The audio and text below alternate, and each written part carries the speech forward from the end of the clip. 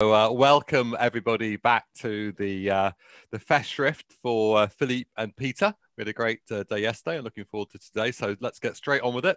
Over to uh, Chad Syverson on uh, growth measurements and growth decline. Take it away, Chad.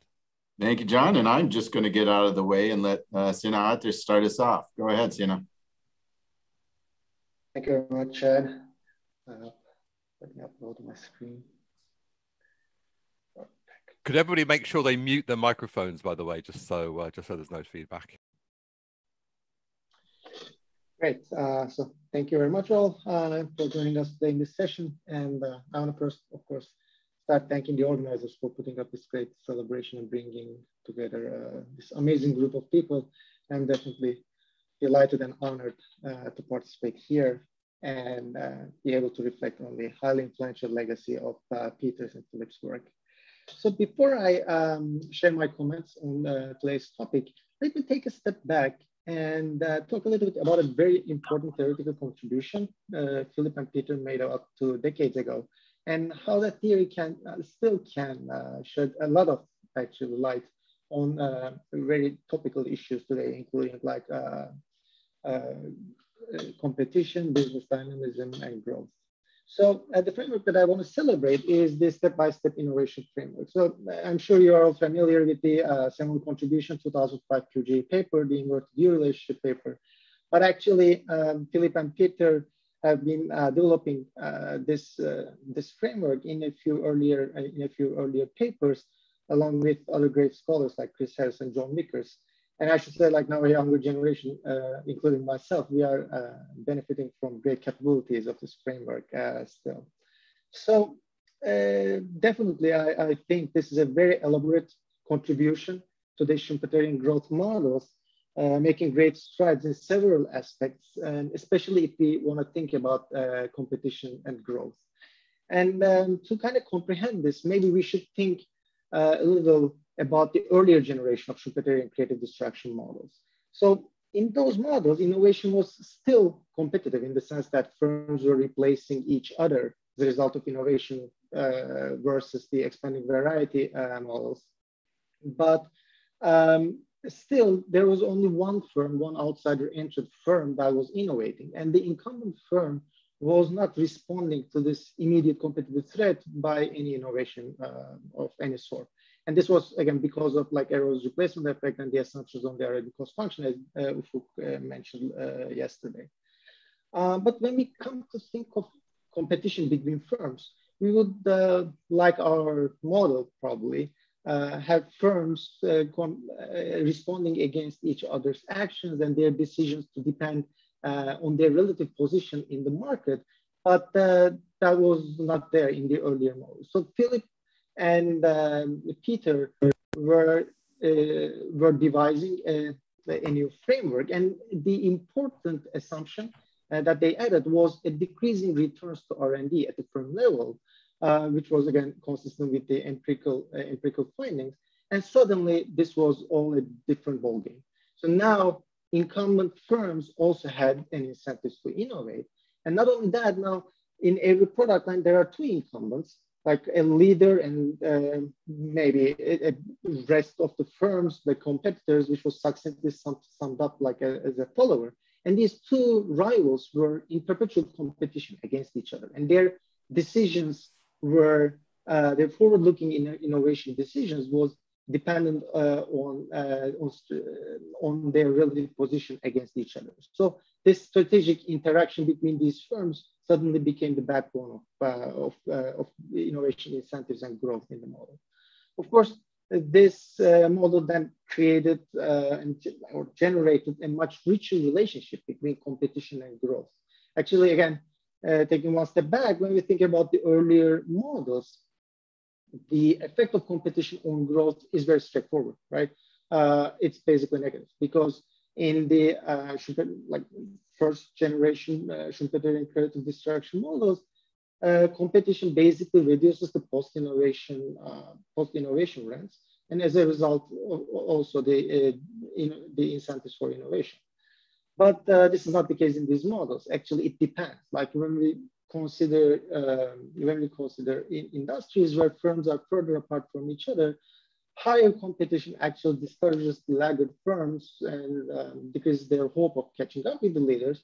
And that is the negative Schumpeterian effect. But when we think of like sectors where firms are in fierce competition, they are close to neck and neck, then competition actually exerts a positive effect on innovation, which we call the escape competition effect. So as you can see already, this is this model creates much richer firm dynamics.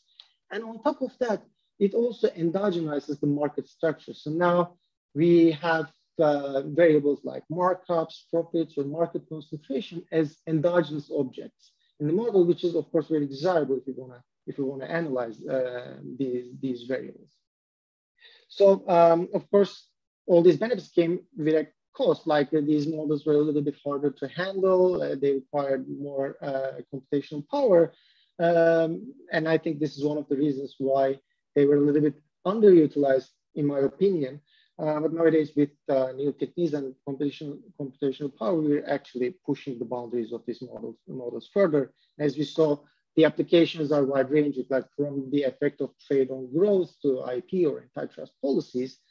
And um, uh, actually, given uh, how suitable this, uh, this model uh, is to analyze like competition and growth, we, we build on this framework in two recent papers with Ufuk to analyze very fundamental changes in the competitive environment in the US and in business dynamism. Actually, over the past several decades, we observe um, very striking trends at the firm and industrial level in the US, which kind of suggests that business dynamism, competition, and entrepreneurship were also uh, in decline as, as productivity growth was, uh, was slowing down. And it is very important to understand the causes of these phenomena because like a healthy degree of business dynamism, by that I mean like firms growing, shrinking, entering, exiting. Uh, this is key for reallocating factors toward more productive units in the economy. And this is the fundamental source of productivity growth, a capitalist economy. So just to review a little more which, uh, what type of uh, trends we are focusing on, we observe that market concentration has been on the rise together with higher uh, average markups and profits in the economy, suggesting uh, probably the market power of firms have been increasing. And on the flip side, the labor share has been going down.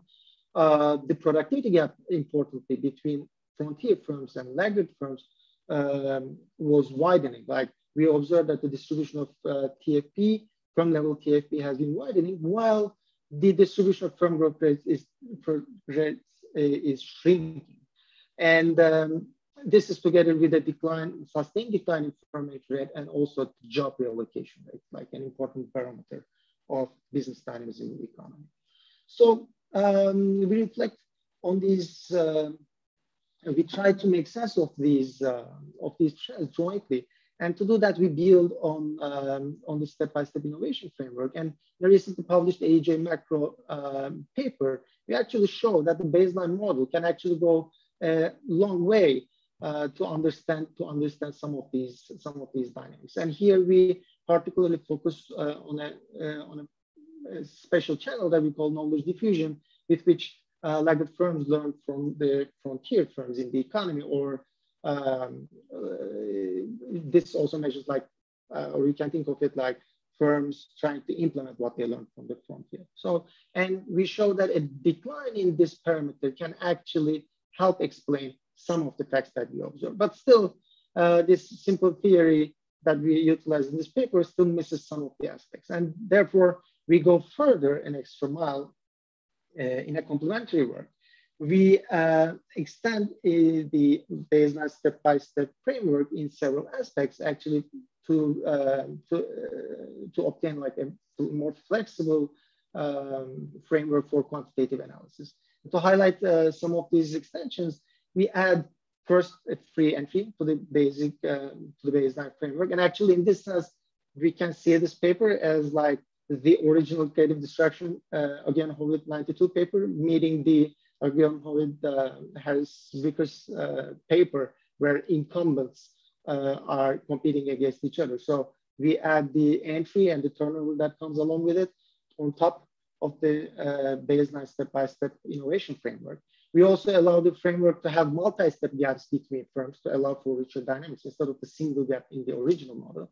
And also we analyze the transitional dynamics to mimic the uh, the experience of the US economy over the past 30, 35 years uh, versus uh, focusing uh, solely on a, on a BGP analysis. Of course, um, these extensions require uh, uh, much like require like up-to-date techniques and more computational power, but now we are uh, we are we have these abilities and we are able to push the boundaries of, the, of this of this framework to apply to uh, to of questions uh, as, as the one here. And um, just to summarize our findings, first, uh, the calibrated model suggests like there's indeed a huge decline in knowledge diffusion between firms, and that we find to be the quantitatively dominant force if we want to understand all these uh, contacts that I was talking about, like in a, in a joint fashion. And more importantly, when we uh, evaluate uh, this channel against several other alternative explanations, like running a horse race, it still uh, it still uh, survives survives the competition here. So um, uh, not to steal more time, so I just want to finish saying that like these are uh, like the step-by-step innovation model is actually a, a, like a, a very uh, potent model that can still guide us through uh, like very important economic issues today and like policy relevant questions. So I will leave this stage now to to other panels. Thank you. Thank you. Thank you very much, Sina. And now we'll move to uh, Timo and Huiyu, who will have 10 minutes each to talk about their joint work.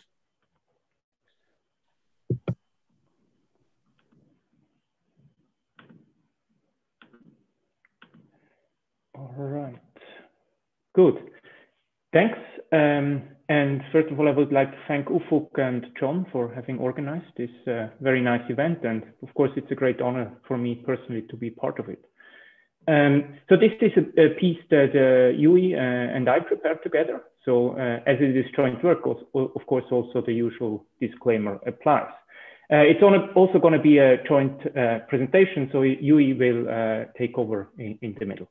So we're going to talk about, uh, as uh, the name of the session, about the productivity slowdown and about measurement.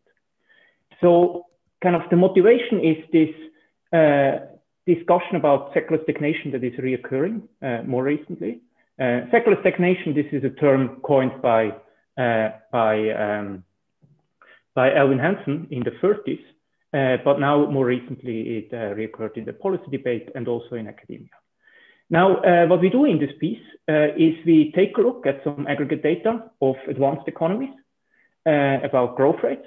And then we uh, kind of uh, organize our thinking with an accounting framework and comment on uh, potential measurement issues. And kind of the main goal of this is to illustrate that this um, creative destruction paradigm, a la Aghion Howitt, uh, is a kind of a very equips us with a very powerful tool uh, to shed some lights on what might be behind this uh, decline in TFP growth that we see. Uh, this framework uh, is nice because it uh, makes a kind of sharp prediction that can be tested in the microdata and kind of from with additional micro moments, those models can be disciplined quantitatively and then have rich prediction that speak to uh, policy implications as well. So let me jump right in. So here is kind of our motivating figure uh, for the productivity slowdown. Uh, here we have uh, OECD average uh, of growth rates of the green line is GDP, aggregate GDP. The blue one is labor productivity and uh, TFP. What we see is that kind of in the OECD countries, the growth rates were quite high after the Second World War. That they came down. They were relatively, I mean, there were big swings, of course. Here we plot the moving average, but uh, there was no clear trend uh, over several decades. And then more recently, we see in all three measures, we see kind of since the early 2000s, we see disappointingly low numbers. Okay, and this is kind of the reason that is behind uh, this uh, recurring of, of uh, uh, this discussion about secular stagnation. So this is kind of uh, well documented uh, uh, by now. So we see it in all, all three measures, GDP, labor productivity, and TFP. Uh, there is also a discussion about the Great Recession because, uh, in, particular in the US, there is some evidence showing that this uh, slowdown actually occurred before the Great Recession. So it's not just a, a, a kind of a, a, side effect of the Great Recession. Furthermore, we also saw that a considerable amount of this slowdown is unexplained by a simple growth accounting uh, exercise. And this I'm going to illustrate next in the case of the US. So in the case of the US, the, the slowdown happened roughly around 2004. So we split up the period uh, between the mid 90s until 2004 and post 2004. This is kind of a special period because there was a burst in productivity growth. So if you look at the labor productivity, it was remarkably high during this period. Uh, and that uh, also leads to a significant and large labor productivity slowdown if you compare the two periods of, uh, of more than 1.7 uh, percentage point per year. Now, what we do in the three remaining columns is we split up this slowdown in labor productivity into labor quality, capital deepening. So this is kind of the contribution from the capital labor ratio and the residual, which is TFP. What we see here is that actually the labor quality goes in the opposite direction. So this cannot explain uh, uh, this uh, slowdown it actually uh, would, uh, would suggest that uh, we, should, we should see an increase in productivity. Whereas capital deepening, capital deepening did go down. So there, there, was a slower growth rate of capital deepening significantly. But if you just look at the numbers, it can only account for 29% of the overall productivity slowdown. So what we take away from this is that roughly two-fourths of the overall decline in labor productivity uh, is uh, unexplained by factors and attributed to the residual, which is TFP. And this is kind of uh, an exercise that only looks at uh, K over L. So you can also take a balanced growth perspective. Then you would additionally uh, attribute part of the uh, TFP slowdown to, to uh, you would increase the, the contribution of TFP slowdown because you would take into account that the slowdown of TFP growth rate has uh, uh, also along a balanced growth path uh, an effect of slowing down the capital deepening. Okay, and then you would end up with a number that is uh, close to 100%. So this is of course very good news uh, for endogenous growth theory to come in into the picture because we really need to shed some light on what's happening behind this slowdown in TFP. Okay, so the remaining of the talk, uh, we're going to provide an accounting framework uh, that speaks uh, to shed some light what might be behind this slowdown of TFP, uh, and then they use this accounting framework to speak to some measurement issues and also uh, about the literature, what the literature has proposed in terms of source of this underlying slowdown. So here, here is the accounting framework that we put forth. So think about aggregate uh, output being produced according to competitive uh, final output production uh, according to this uh, Cobb-Douglas technology. We have n different intermediate inputs. Uh, kind of they come at a particular quality, so they they're indexed by i. They come at the quantity y indexed uh, and the quality q. This term here is added to just give us some additional free parameter that controls the uh, uh, the gains from variety in this framework. Then for the product varieties, we assume that each of those products is produced by firm according to the simple Cobb-Douglas production function with a product-specific process efficiency. Um, and then finally, we assume we are agnostic where it's coming from, but we assume that each product just has some markup over marginal cost, uh, which is denoted by mu. So this implies that the price is proportional to the ratio of markup over process efficiency times this uh, unit cost function. Now let's look, uh, uh, kind of, let's close this production side uh, of this framework, uh, assume perfectly competitive factor markets and add um, uh, kind of a, a, constraint on factor endowments. And then we get this prediction for aggregate output that aggregate output is a Cobb-Douglas is TFP times K to the alpha times L to the one minus alpha, where this is the aggregate endowment of capital and the aggregate endowment of labor in this economy. Kind of now let's take a closer look what uh, is uh, behind this term TFP. Here we can split it up into four terms. One is the variety effect. So this is kind of the gains from variety effect. Then there is average quality. So this is just the geometric average of the quality levels in the economy. Uh, there is an average level of process efficiency. And finally, uh, there is uh, distortion terms of the markup distribution. So this is the dispersion of markups in, in the economy. Uh, so this is kind of a dispersion measure. It's just a geom geometric average over the arithmetic average. Uh, it's, it's between uh, zero and one, of course. Um, yeah, so this is kind of a measure of uh, allocative efficiency. So kind of the, the nice feature here is, of course, in a very simple accounting framework, and it's a Cobb-Douglas structure. If you would go to a CES, then uh, those things would be correlated with each other and not so nicely multiplying each other. Uh, but the kind of the nice feature about the uh, endogenous uh, growth or this creative destruction framework is that it gives uh, kind of very rich predictions how those variables here uh, are related to each other and change in a, in a dynamic sense over time across firms.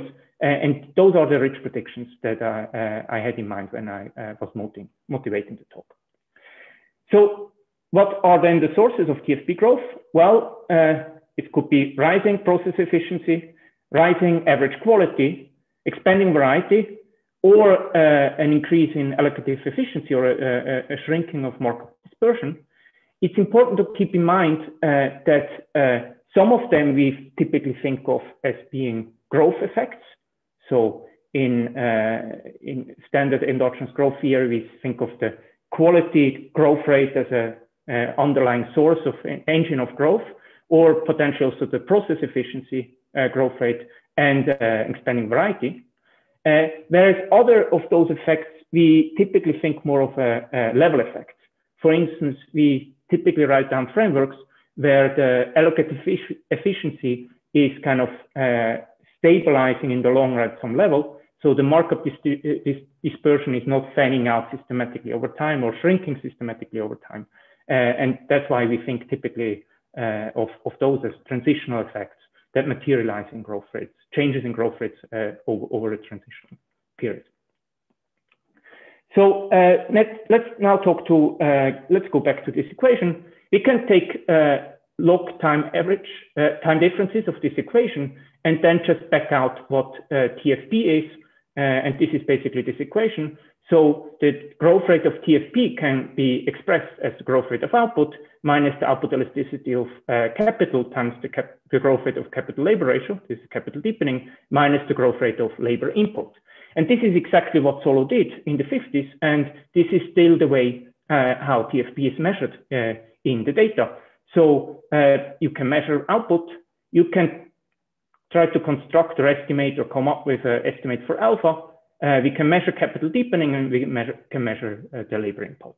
Uh, and that's how you can, uh, in, in, practice, and the BLS in the case of the US, is in practice backing out uh, TFP growth. Now, when it comes to measurement issues, we can ask ourselves, is there a bias? Um, so when will there be missing growth, TFP growth? Well, in a simple way, you can decompose it. Yes, there might be missing TFP growth if you underestimate uh, the true output growth or if you overestimate the uh, uh, kind of the input uh, growth rate. Important is uh, when it comes to the uh, productivity slowdown. So you can think, you can ask yourself, is now this productivity slowdown, as I showed it in, to you in in a motivating graph, is that an artifact of a bigger measurement issue? If you ask this question, you have to take once more time difference. Then the question is whether this bias that I was talking before about has systematically changed over time. Uh, you can think about that. And then, yes, potentially uh, kind of the measurement bias became bigger if we, uh, it, we have a bigger understatement of uh, output growth uh, systematically over time, more recently, or we have a bigger overstatement of input growth more recently. And kind of the uh, next thing is that Huiyu is going to talk about uh, uh, the empirical evidence on those things.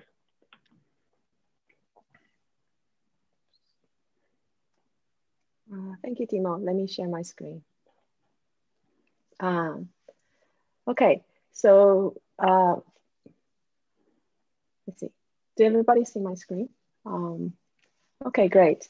Yes, uh, thank you, Timo. Um, first, let me just say that I'm very grateful and um, happy to be here to partake in the celebration of Aghion Howitt.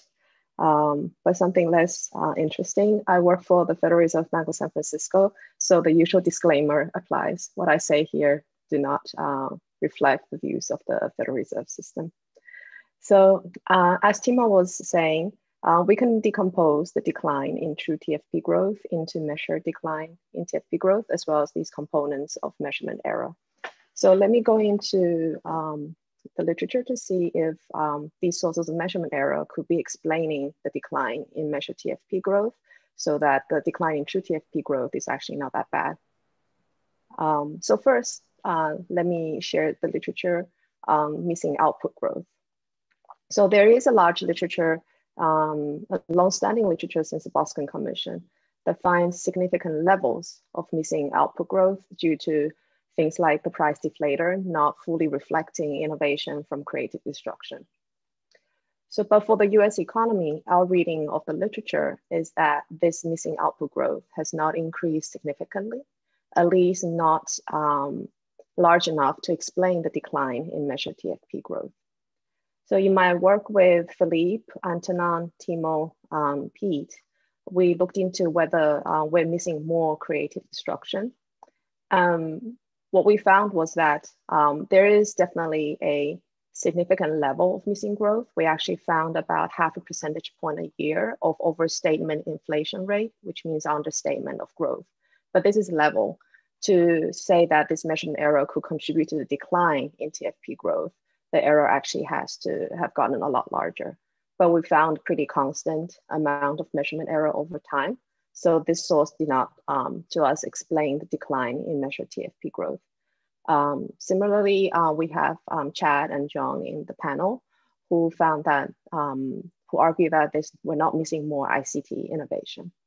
So uh, Timo and I, our reading of the literature is that missing output growth does not seem to explain the decline in measured TFP growth. Um, this is not to say that missing output growth is not important because um, the work that we looked at was focusing on market economy, whereas um, there may be um, a growing amount of measurement error in the non-market economy, which is relevant for welfare. Okay, so what about changes in measured input growth? So TFP growth in levels um, is overstated if quality improvements for inputs are understated um, that we're counting too little of the input.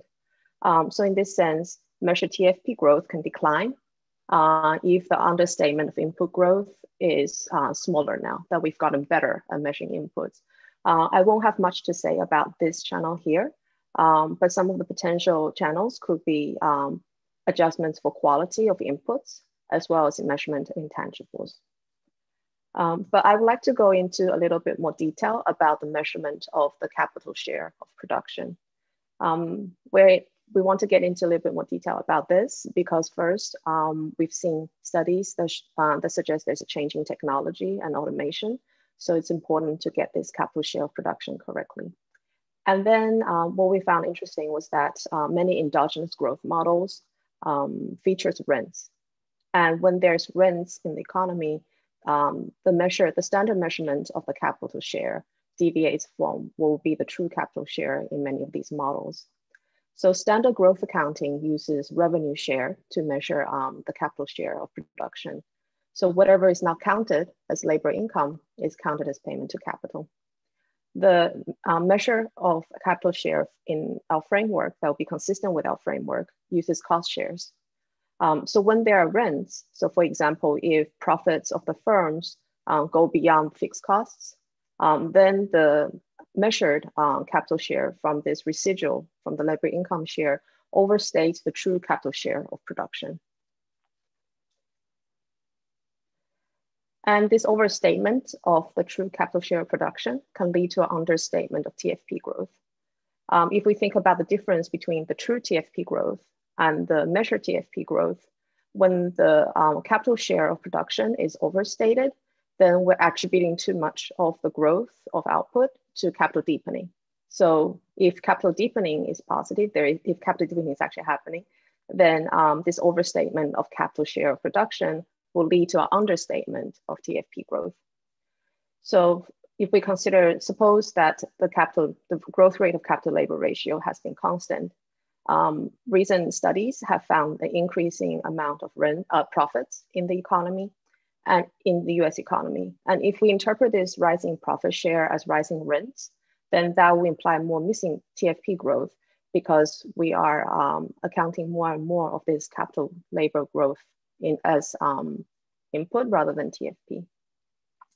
And in contrast, suppose um, rents have been pretty much constant. So this mis mismeasurement of the capital share is constant. Um, but there's a slowdown in the growth rate of the capital labor ratio.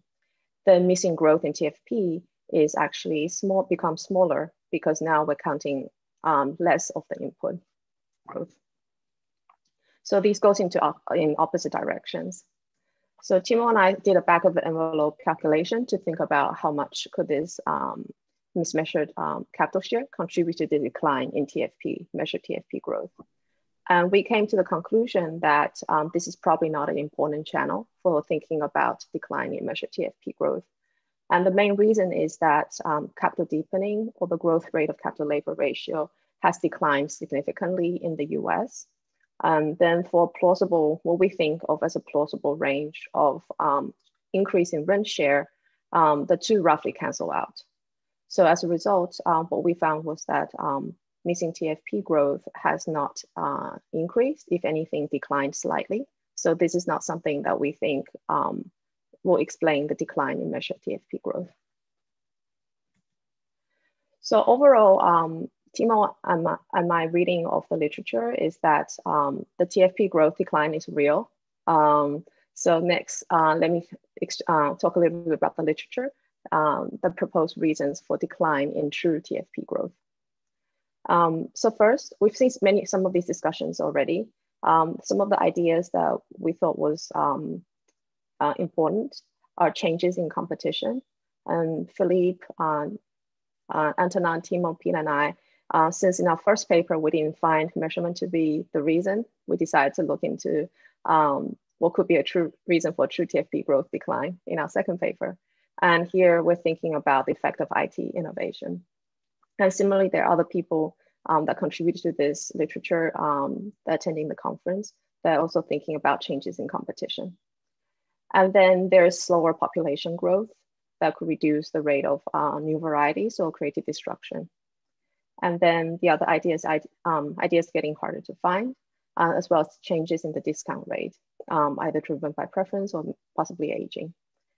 And then finally, I want to highlight um, another um, potential source of decline in TFP growth, and this is more of the level effect. It's a decline in allocated efficiency. Um, Baqaee Farhi um, argued that this is important for the US. And then Pete's work um, found significant decline in allocated efficiency for US manufacturing. So then one reason, one, one the natural follow-up is how do we quantify these channels? Um, in our accounting framework, you, you, theories, you, if I could ask you to wrap up in the next minute or so, we're a little. Yes, yes, of course. Um, Yes, so many of these theories operate through one or more of the channels in our framework. You can also think of financial frictions being, an effect, uh, being another channel. We think this is a quantitative question because Aghion, Howitt, and others show that the effect of competition, for example, can have both positive and negative effects. And uh, so we can do things like um, establishment of firm level growth accounting to find um, potential sources. And then this complements um, structural models disciplined by microdata.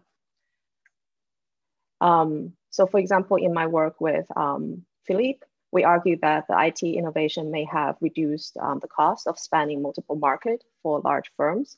And this could have caused the rise in concentration and generate a burst of productivity growth, following by a decline in longer run TFP growth.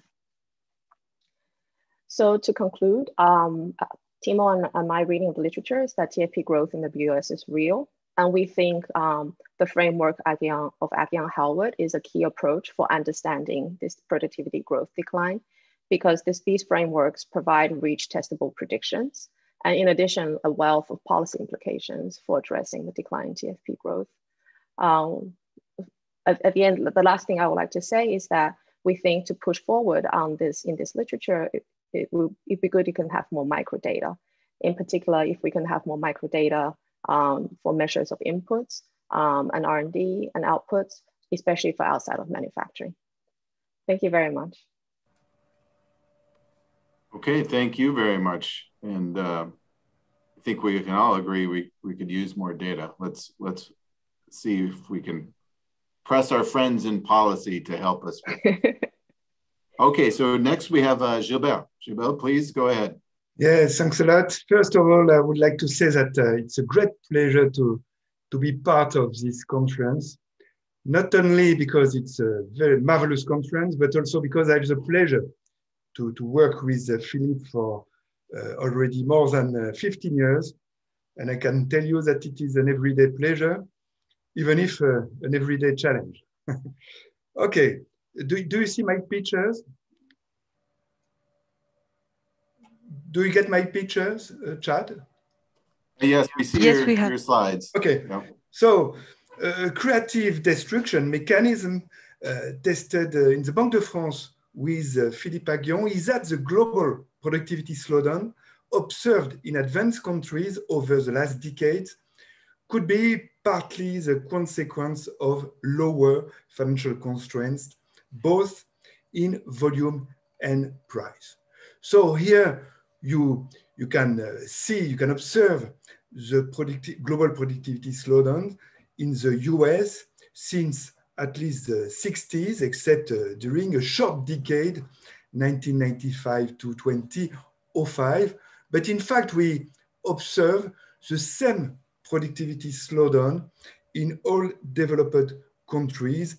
And uh, uh, now the, the productivity, the, the productivity growth rate is at its lowest level observed over a very long period, except war periods. So as this slowdown is uh, universal, of course, we, we have to think about, uh, we have to find common factors to explain it. And one of these factors could be the decrease in financial constraints, mainly through a, a decrease, a consequent decrease of cleansing mechanisms. We observe uh, such a, a, decrease of finance, financial constraints in advanced countries over the last decades, and here I only represent, for instance, the decrease of real interest rates, uh, median and the two quartiles uh, for 17 developed countries. So, in fact, two distinct mechanisms uh, are at play when financial constraints change. And you, you, you can find these mechanisms in separate papers. There's two mechanisms in separate papers in the literature. Uh, first, uh, when financial constraints increase, we, we get an increase of cleansing mechanisms with, of course, a positive impact on productivity growth. But the second mechanism is that uh, from more financial constraints, uh, we, it makes it more complex and expensive to finance R&D and innovation with, of course, a detrimental impact on productivity. And what we've done in, uh, in uh, the Banque de France, Philippe Aghion, Antonin Bergeaud, Rémi Lecat, Hélène Maghin, and I, we, we have tested uh, these two mechanisms together on a large data set of French film. And for that, we have used a, a natural experiment to confirm the coexistence of the two mechanisms. And this natural experiment is a non-anticipated announcement by the ECB at the end of 2011 of a decrease of financial constraints. And more concretely, it consisted in an enlargement of credit rating to be eligible to refinancing operations with the ECB from the beginning of 2012. And consequently, so we have estimated the coexistence of these two mechanisms. And the question is, of course, which one of the two dominates at the country level? And what we have observed with uh, Philippe and co-authors is that the relationship between uh, financial constraints and productivity growth can be represented by an inverted U curve as the picture in this slide. And in the blue part of the curve, the cleansing mechanisms dominate, which means that an increase of financial constraints uh, make uh, uh, increase the productivity growth. And on the red part of the curve, R&D and innovation financing mechanisms dominate, which means that the, the increase of financial constraints would decrease uh, the productivity uh, growth. And we would currently be in the blue part of the curve, which means that a decrease of financial constraints would have a detrimental impact on productivity growth. That's why, of course, the decrease of financial constraints over the last decades in all advanced countries could have contributed to, to, to, to explain, at least partly, the universal uh, productivity slowdown. Just and that's, a, of course, a contribution to the creative destruction theory. And this could explain that in France, as in other advanced countries, we observe a growing gap between the productivity level at the frontier and the productivity level of Lagarde fields. And just to conclude, it will be my, my last word. Uh, question is what to expect concerning productivity from the COVID crisis in the medium term. We can expect, of course, a lot of consequences and different types of impacts, but among others, on one hand, from a dramatic financial constraints decrease, we can expect a negative impact on productivity growth in the continuation of what we observed in the previous decades. But in the other hand, from a huge acceleration of digitalization, we can expect a positive impact on productivity growth. And of course, the net effect is still an unknown between these two opposite uh, mechanisms. Thanks a lot. Thank you very much, Gilbert. Uh, next, we have uh, Jan De Loecker.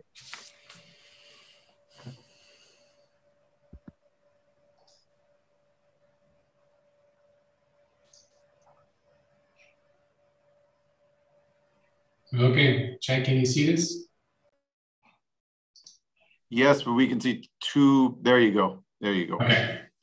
Uh, okay, let me get right to it. Let me first of all uh, say it's an absolute honor to be um, part of this conference, um, celebrating the important and and and, and impressive contributions of the Aghion Howitt duo and all their um, offsprings. I guess as I'm learning in this conference, there's many, many more than I than I thought there were. Um, so let me use my time just to make a couple of points. Um, some have been made, I think, yesterday, and will will be made in the next coming days. That just shows that um, it is um, something we all agree on, which is, as I see it from, from sort of my perspective, the, one of the major contributions of the sort of Aghion Howitt paradigm is really turning growth theory into what I think are verifiable empirical predictions um, that can be taken to the data and even to the micro data where we track individual producers across markets and time. And, and that has allowed to not only uh, test that theory, but also to advance the methods that we require for actually measuring the objects of interest and the identification of the, of the mechanism. So, so we've just seen um, a whole literature developing around this, this, this model. And, and I think being a microeconomist, what I found fascinating is how this research agenda has generated what I think is a much needed collaboration of economists working on a question, on a substance, rather than on coming from a field or a particular methodology. So economists working on growth, um, you know, used to be sort of more in the macro sphere, have been collaborating with microeconomists and even IO economists like myself. And that has just been a very important force in bridging the theory uh, and empirical work. And so these facts on firm growth that we've been hearing about the last couple of days and firm dynamics, where you know, the key thing is heterogeneity uh, across producers and, and how it correlates with uh, other characteristics, has really you know, made its way towards the development of macro models of, of growth. And by putting this creative destruction, which Peter enforces central, this has really introduced the presence of competition among firms of different vintages, uh, where vintages can be thought of as age or technology. And that's fundamentally connecting how innovative activities uh, relate to market structure and how important institutional environments can be, right? And I think that to the IO crowd is very important. Um, and but what's nice about this framework is that we can actually then also talk about aggregate moments in the data. I think that sort of you know, um, talking back and forth between the micro data and the macro models has just been hugely important. And you know, when we talk about reallocation, I in my own work, I've I've seen reallocation in many forms.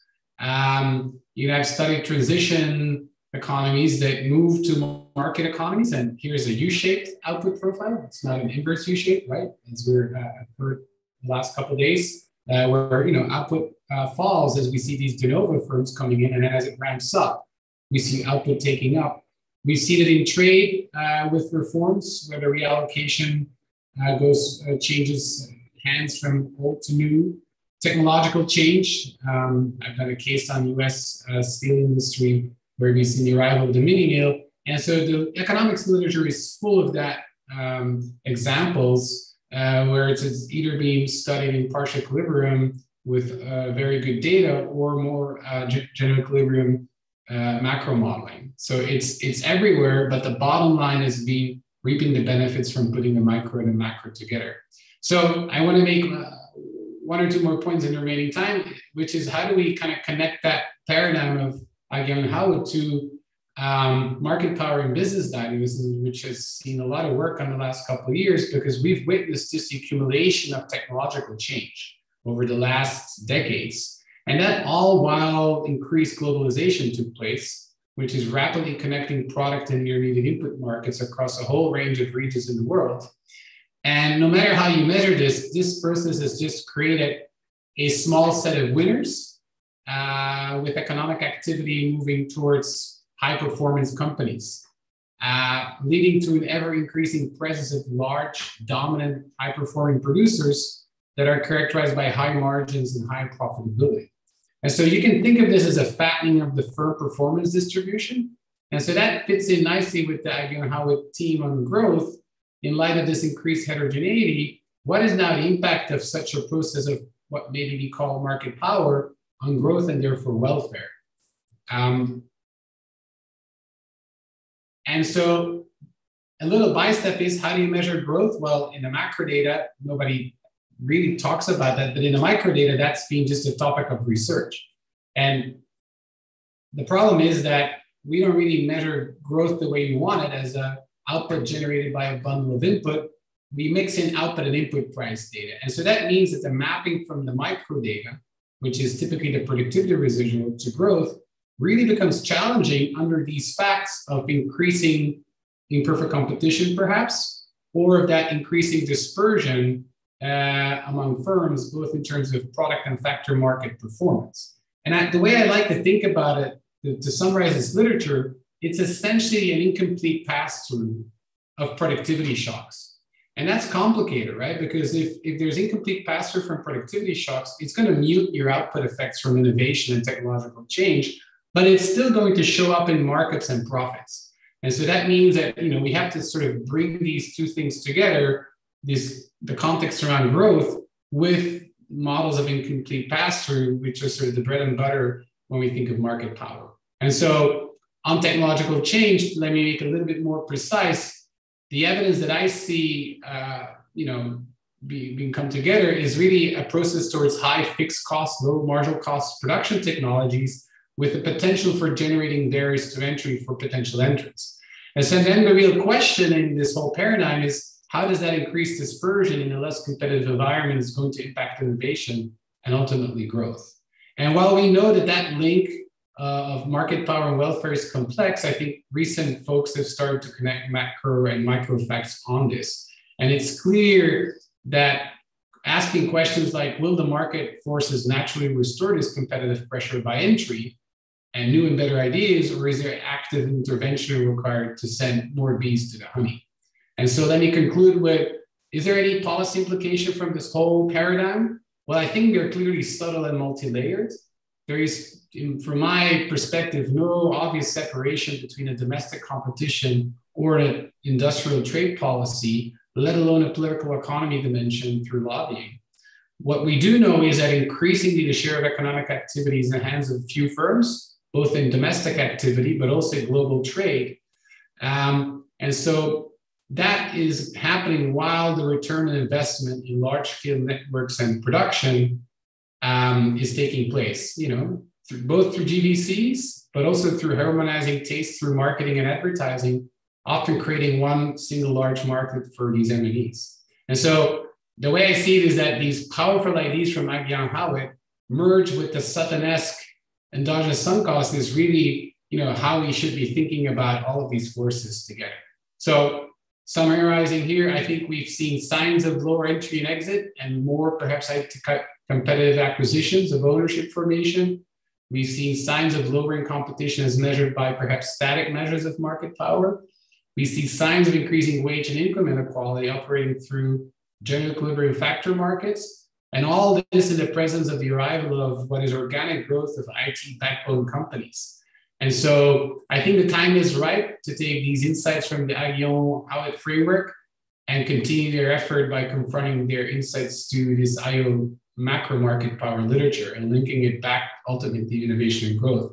And let me just conclude by saying that ultimately tying it back to the big implications for society at large, which may well be income and wealth and how they differ across individuals in our society, is a focus that ultimately Philippe and Peter have had throughout their entire career. And I think it's something that the economics profession can only be incredibly thankful and, and grateful for.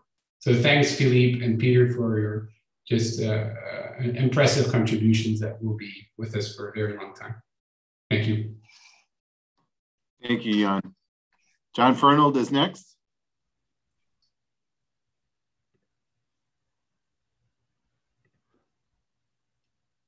Okay, thank you very much. Uh, let's see if I'm, uh, what's happening here. Oh, okay, sorry, I'm running into some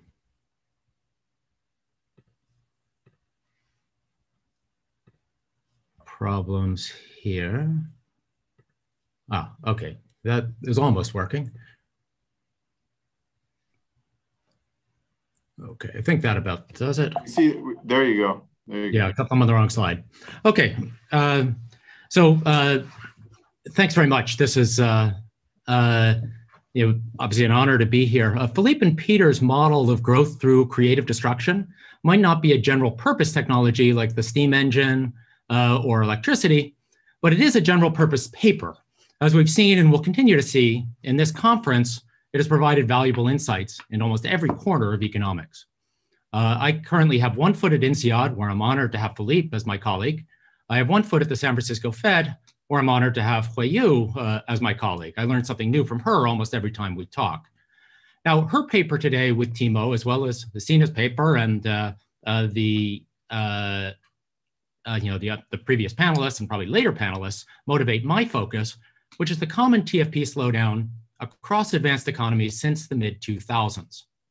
Lots of participants in this Festschrift, not only in this panel, have contributed to our, our understanding of this issue. For the sake of concreteness, let me highlight the US experience.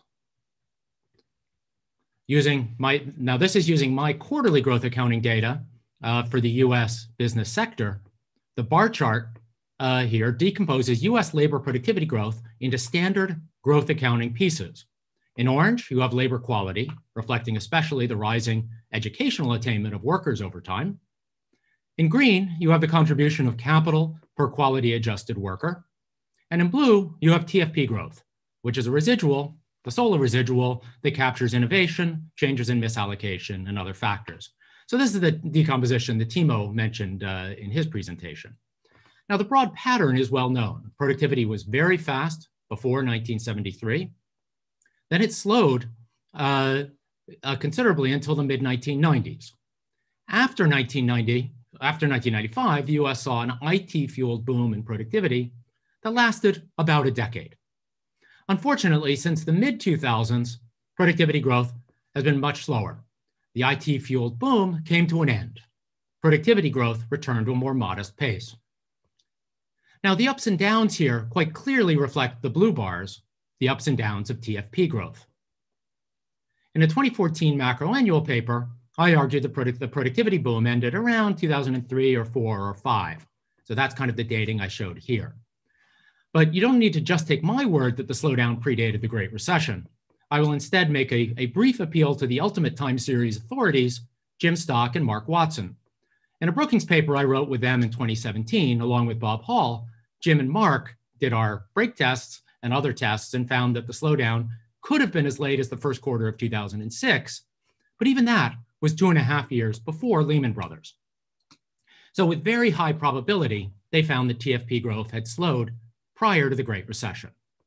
Now, as an aside, what has happened during the pandemic? Well, labor productivity growth has, has, has spiked upwards. Quantitatively, the biggest reason well, I think there's, I think this doesn't look, look quite right. The, we're missing the blue bar. The blue bar is actually supposed to be up to here. Sorry, somehow that got mistaken. Uh, the biggest reason has been capital deepening in green. That is still correct. Uh, capital input growth slowed a little bit from its pre-pandemic pace, but employment plunged and it remains substantially below its pre-pandemic levels. So capital labor ratios have surged. This is actually a quite normal aspect of recessions. So what I now want to do is take this 25, oh, 2005 to 19 bar and just split it out. So now you actually, the 2020 bar is correct. Now, now you see some TFP growth. But what I've done is, you know, the first three bars are the same.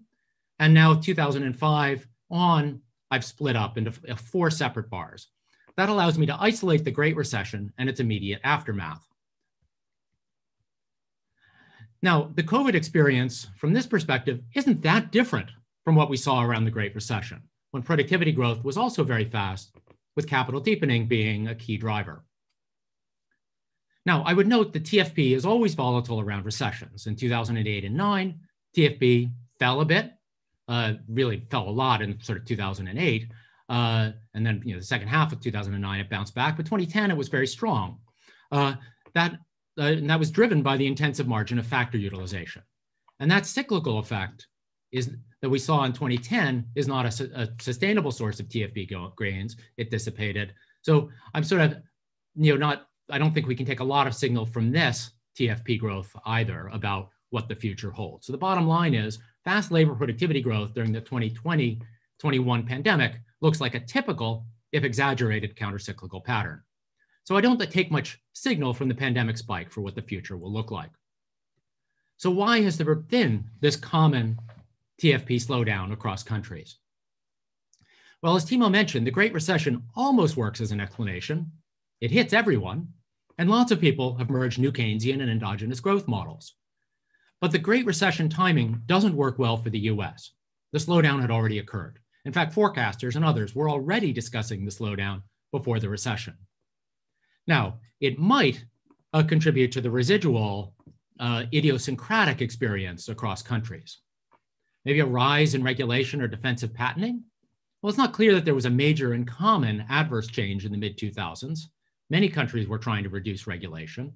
So in my mind, these stories seem more promising you know, for trying to explain the 1970s US slowdown or the heterogeneous advanced economy experience in the mid 90s and early 2000s, prior to the last 15 years. How about rising mismeasurement? Well, uh, you know, the thing you could be worried about is that you know growth didn't really slow, but we're just missing more of the gains, say from activities like watching free cat videos on the internet not to mention Facebook and internet searches and Google Maps and all of you know the, the you know hundreds of apps on my phone. The biggest problem with this story and what the literature has systematically found is we've always been missing a lot of true growth. So there's no evidence that we're missing more now. Uh, so that's what Chad found in a 2016 paper. It's what I found in work with Dave Byrne and Marshall Reinsdorf. You know, in this literature, we were looking especially at ICT, you know, missing ICT innovations. But one of the things, you know, when we were writing that paper, we were we had to wave our hands about was, you know, growth and variety is in creative destruction. Uh, and so one of the, that was one of the reasons why I was extraordinarily, you know, excited about a paper by, you know, uh, Aghion, Bergeaud, Boppart, Klenow, and Li uh, that found that no, and you know, as, as what you mentioned, they do not find that there's, you know, that there was an increase in creative destruction that could explain growing mismeasurement. Uh, and you know, similarly, offshoring doesn't seem to fit the facts either. Um, so my preferred story is that the lag is lags associated with general purpose technologies. Lots of people in, on the, you know, in this Festschrift have contributed to that story. Uh, the 70s and 80s in the data looked like a fallow productivity period, but there was, in fact, lots of IT related innovation and learning going on. In the mid 90s, that learning finally showed up in the productivity statistics. Of course, with GPT stories, a challenge is, you know, how long will the exceptional growth last? You know, here, as you said, the Aghion creative uh, and Howitt creative destruction framework again provides valuable insights. In particular, as Aghion et al. Uh, argue, and as, as sketched quickly by Timo and Huiyu, the IT revolution raised growth in their story only temporarily. In the mid 90s, the falling cost of information uh, in their creative destruction model you know, allowed high productivity firms to expand into new markets and productivity boomed. But eventually, the fact that every market now had a, and every product had a high productivity firm reduced incentives uh, to innovate. Uh, so the returns to new entrants or even for incumbents trying to move into new markets are low. Thus, the IT revolution sowed the seeds of its own demise. This story applies everywhere, so it can explain the common TFP slowdown. Now, of course, technology isn't static. There's lots of focus at present on the, fo- and the promise of artificial intelligence, and a number of participants again have contributed to this literature, and we could all have a lively and extended discussion of the topic. Um, but given I am out of time, I will conclude by simply noting one of the things I learned from Aghion, Jones, and, and Jones. Lots of things could happen, but in their model, Baumol's disease is crucial. That in their model, growth is ultimately limited by what we cannot automate, but that we value. Uh, though that is, and and it's not just by the things that we can well well. So it's uh, by what is those things that are essential and yet hard to improve. And so that is something I will leave you with that thought uh, and say thank you. Thank you, John. Uh, next, we have Bob Gordon.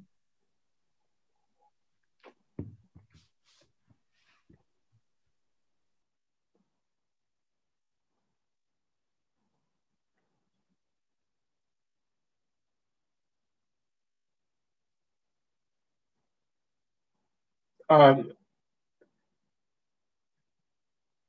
How do I, uh, okay, I've got to find the PowerPoint.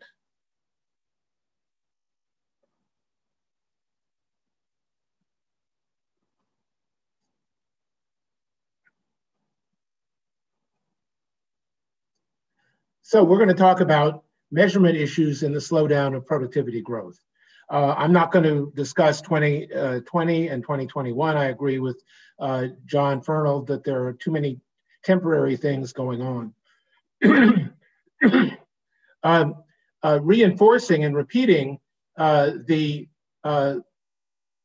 widespread uh, occurrence of the slowdown across the developed uh, world, uh, I'm going to show you, break down the OECD into developed Asia, which is Japan and the four tigers, Western Europe, which is the pre 2004 EU, plus Norway and Switzerland, the United States, and then show you uh, all three of them together. So here's what uh, developed East Asia uh, looks like since 1955 to 2019. Uh, and you see we, they went from 8% down to three decades at around 3% and wound up uh, in the last decade at about um, one and a half percent.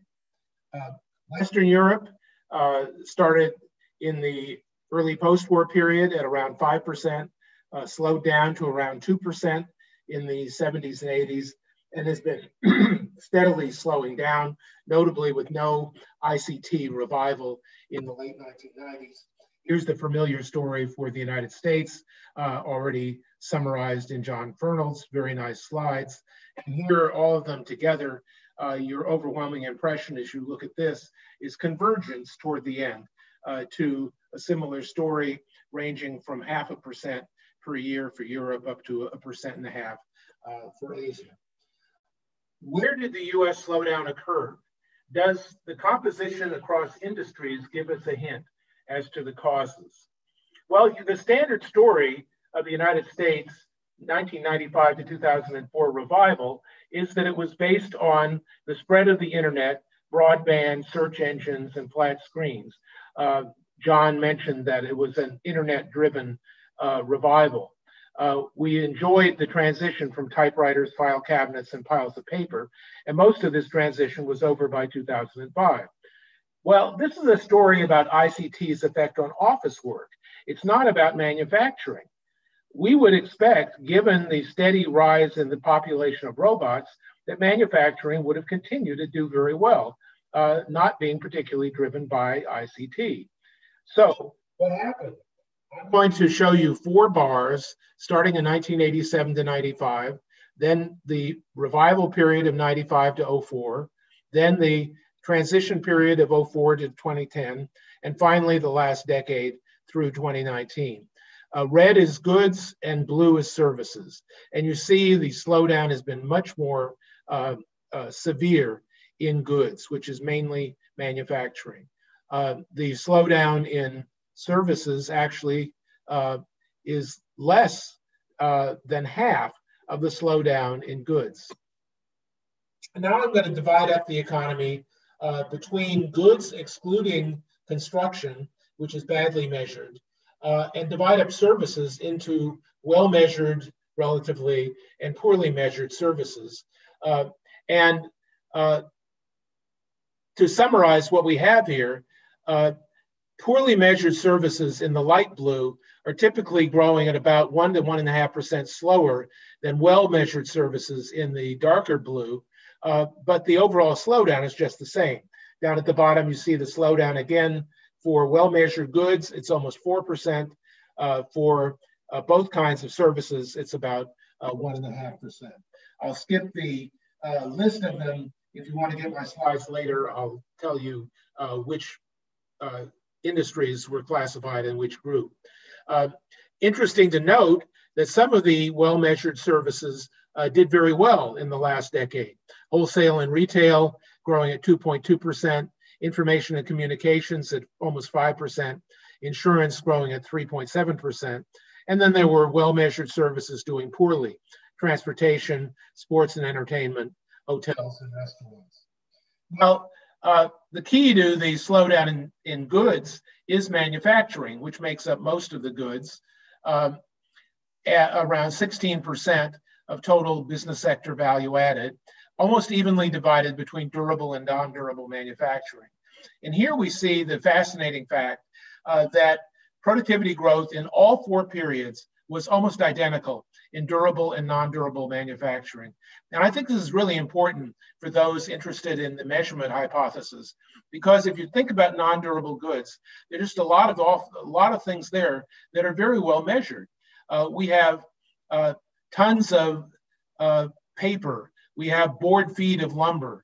We have gallons of petroleum. We have pounds of food. Uh, so non-durable manufacturing is probably one of the best measured parts of the economy and look at the extent of its slowdown, non-durable in blue and durables in uh, red. Uh, what's happened with all these robots that should be pushing manufacturing productivity? Here's installed base of robots in Japan versus the US. The US has been catching up uh, rapidly. Um, but when you multiply it all together, it's just remarkable how unimportant the robots are.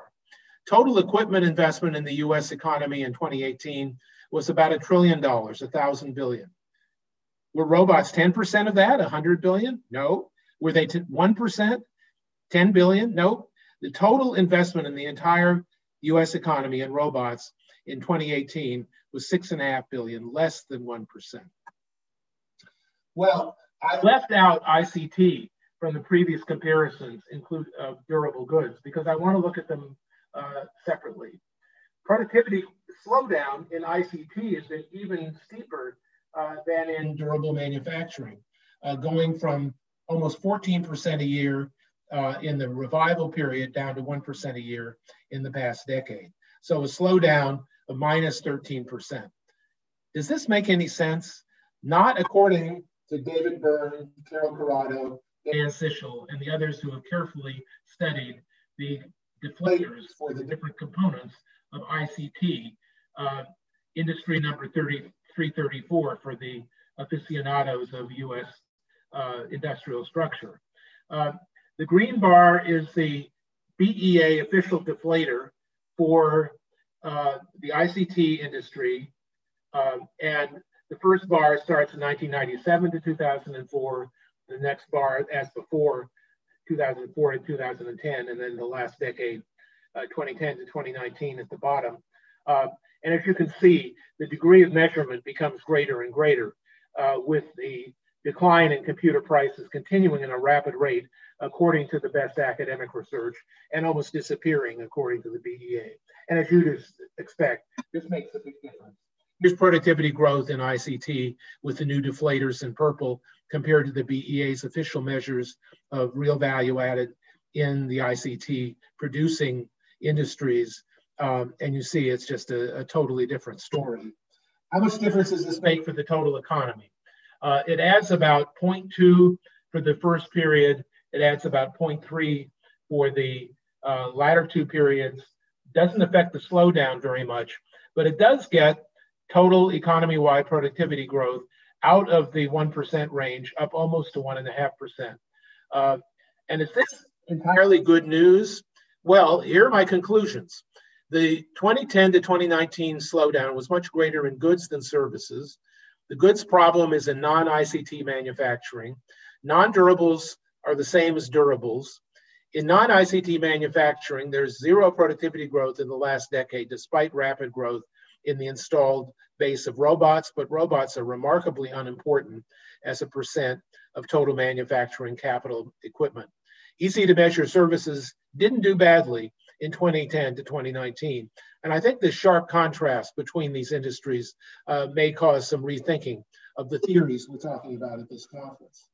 ICT is a different story. The BEA deflators understate the price decline by an increasing amount. There's still explosive productivity growth in ICT. Uh, but here's the real kicker. And John Fernald, with his TFP data, uh, may want to help me uh, complete this story. Much faster ICT output growth means much faster growth in capital deepening, and thus substantially slower TFP growth in the non-ICT rest of the economy. So remeasuring ICT deepens the puzzle of weak uh, pass-through of innovation in the non-ICT US business sector. So where is all that ICT going? That's my bottom line. Thank you very much, Bob. Atif Mian is our next discussant.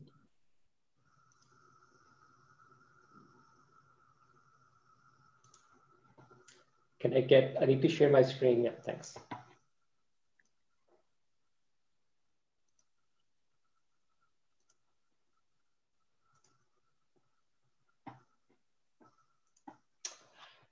It's a great pleasure to be a part of this uh, celebration. We sometimes say that I can uh, see far because I stand on the shoulder of giants. I think all of us very much feel like that um, when it comes to the contribution that Aghion and Howitt have made to um, everything uh, that um, a number of us do. And I thought I'll just speak for a few minutes about how their work has helped me think more clearly about some of the issues that um, I have been grappling with for, for, for some time now. Um, so let me, uh, you know, begin by talking about that journey. I've been doing a lot of work um, um, with Amir Sufi and others on trying to understand um, why we have this persistent stagnation in the economy. And at least initially, um, a lot of the emphasis uh, was put on this idea of weak demand, and that's certainly true. Now, if you look at the explanations for how that weak demand and equilibrium turns into sort of stagnation or stagnating forces, you typically require some notion of uh, nominal rigidity. And again, there is truth to that, makes a lot of sense. But it starts becoming less and less appealing if you extend the period of time over which uh, these potential explanations um, might be applicable. So in particular, it's hard to imagine why these kind of nominal rigidities would play a big role for sustained long periods of time. So that was my initial discomfort with these kind of, let's just call them Keynesian demand side explanations, as much as I liked them and as much as I did some work kind of pushing these ideas, um, I thought there has to be more to this story. And so one obvious place to look would be on the supply side. And so the question uh, that came to my mind, at least, was can part of the answer uh, lie in uh, the impact of these forces that we have been looking at on the supply side? So that really got me thinking about the work that uh, uh, Philippe and Peter have done, which obviously all of us study in graduate school, so we are all familiar with this. Um, and what we realized after a bit of uh, thinking was that there is actually a potentially an interesting connection between what I'm calling Peter and Philippe have done and this traditional Keynesian idea that demand side being important. And so our starting point, it, uh, it turned out, um, was this famous paper of theirs with Harris and Vickers that really gives us a framework for thinking about competition uh, in a world with growth. Um, and all we really did to this framework, and it turns out that, that adding that ingredient is potentially useful. Um, what we did to this framework was add what I'm what I'm calling here add time, but what I really mean by that is that we thought that in the real world, in a number of important scenarios, when people are competing or firms are competing with one another, the industry leader often has time to respond to the potential catch up that a follower might be involved um, in. And vice versa, the follower knows that they can't just uh, leapfrog the leader uh, in an instant, but usually there is kind of a battle that you have to fight uh, over some sus- potentially sustained period of time before you can overtake uh, uh, the, the, the, the leader. And what we realized was that it turns out that once you incorporate that time dimension, there's an interesting effect of low interest rates. And that is kind of the, the, the key uh, point of uh, this forthcoming paper that we have with Ernest Liu, and uh, I have with Ernest Liu and Amir Sufi. Um, and the key insight in, in that paper is that once you allow for that time dimension to add to the equation, what you see is that the impact on investment, for example, of low interest rates is not necessarily expansionary for all parties in a, a market. And in particular, the investment response to lower interest rates for a leader would be stronger than a follower when rates are low. And number two, this effect actually snowballs. That's the key theorem in that paper as interest rate gets closer and closer and moves towards zero. And the basic intuition is that as interest rates go down, the follower now anticipates a tougher and tougher competition with the leader if they were to try to get closer to the leader. And so that um, that expect, expected heightened competition acts as a disincentive. And so ultimately they give up, and that's what leads to these two important ingredients that correlate with falling interest rates towards zero. One is rising concentration for reasons I've already uh, described. And the second uh, implication is reduced productivity growth, as we have seen a number of uh, uh presenters highlighted as well. So that's obviously consistent with some of the macro patterns, and that, that's where our um, uh, theory paper ended. But what I want to talk a bit next is um, some um, empirical implications that we are testing at the micro level in more detail. And so let me just quickly um, highlight what those key implications are conceptually, and then I'll show you a couple of graphs. Um, the main insight that comes out of this kind of thinking is that if you think of any outcomes, in particular, think of relative valuation of industry leaders versus followers, and, and then think of change in that relative valuation of industry leaders versus followers within any given industry or market. Um, there are two effects that I've highlighted. One is that if you think of the interest rate at zero lower bound, the effect of a further decline in interest rate would be asymmetric. So we should find a very strong zero lower bound effect, which is stronger for the leader in terms of their valuation rising, for example. The other implication is that not only is this true at zero lower bound, but there is what I'm calling a snowballing effect, which is this force becomes stronger and stronger the lower the interest rate is. So that's what we test in the data. And let me show you one kind of non-parametric graph to illustrate uh, these two forces what you're seeing in, in this picture is the relative valuation uh, effect on the leader of a decline in interest rate. And what you see is that when the level of interest rate is kind of in the range pre mid 90s, roughly speaking, there is no differential impact. Uh, on average, is zero. So when interest rates fall, the relative valuation effect, leaders versus followers in an industry, is roughly zero.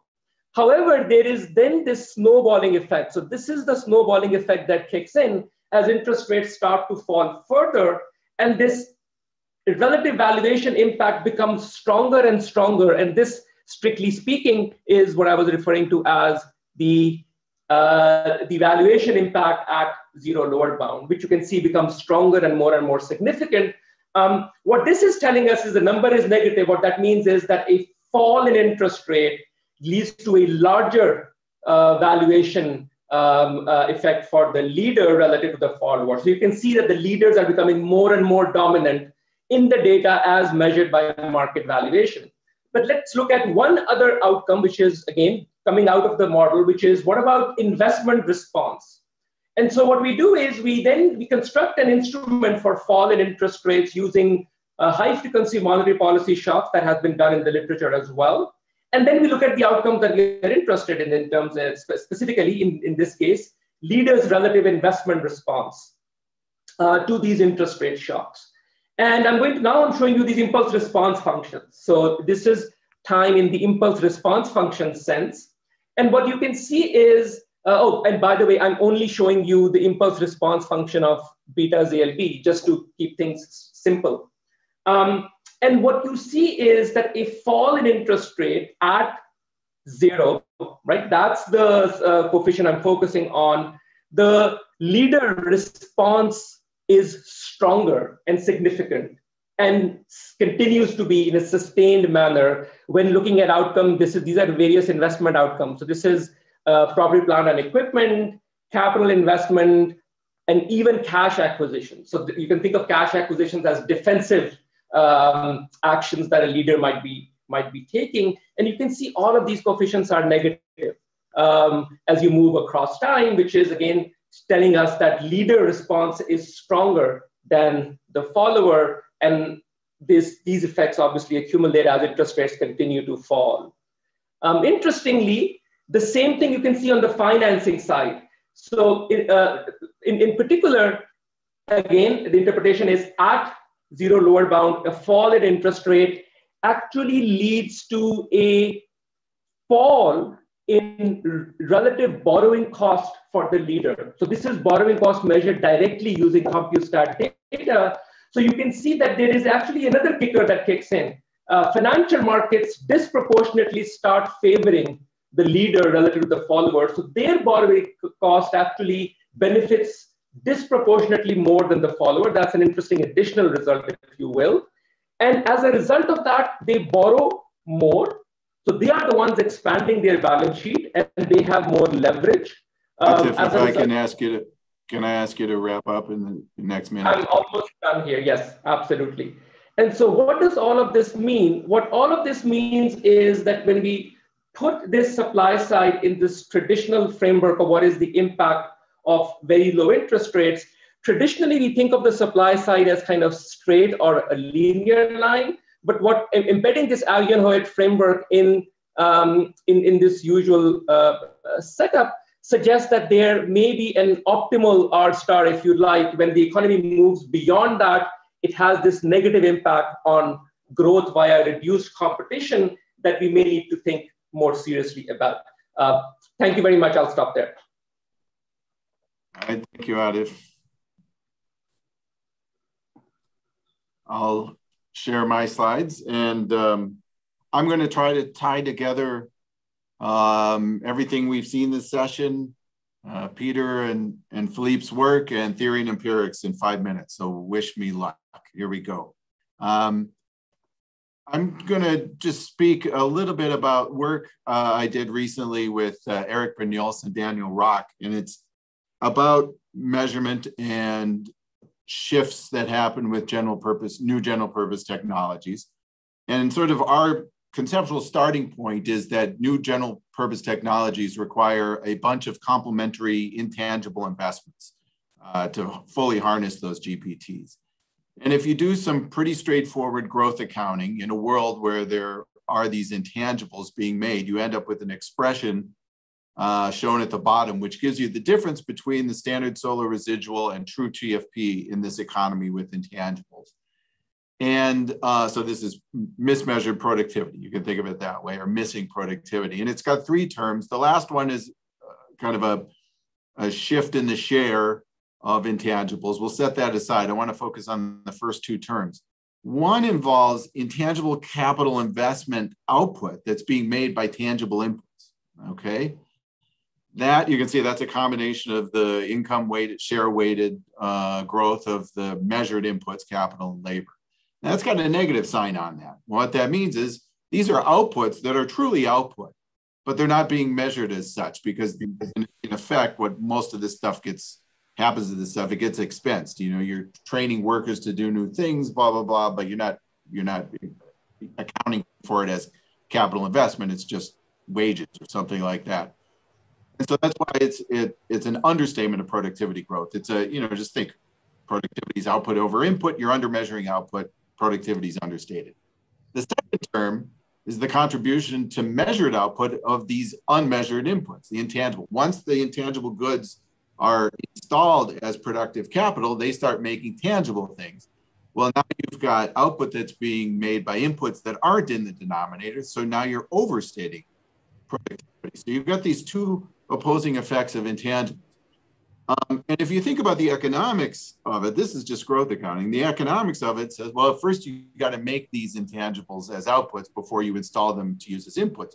So you might expect the mismeasurement to be first understatement and then later overstatement of productivity. And that's this so-called J curve that we talk about in the paper. Here's just the, an example J curve for a toy economy. First, you're understating productivity growth. True productivity growth is faster than it looks as measured and then later you overstate true productivity growth as you're getting a lot of output from these unmeasured inputs.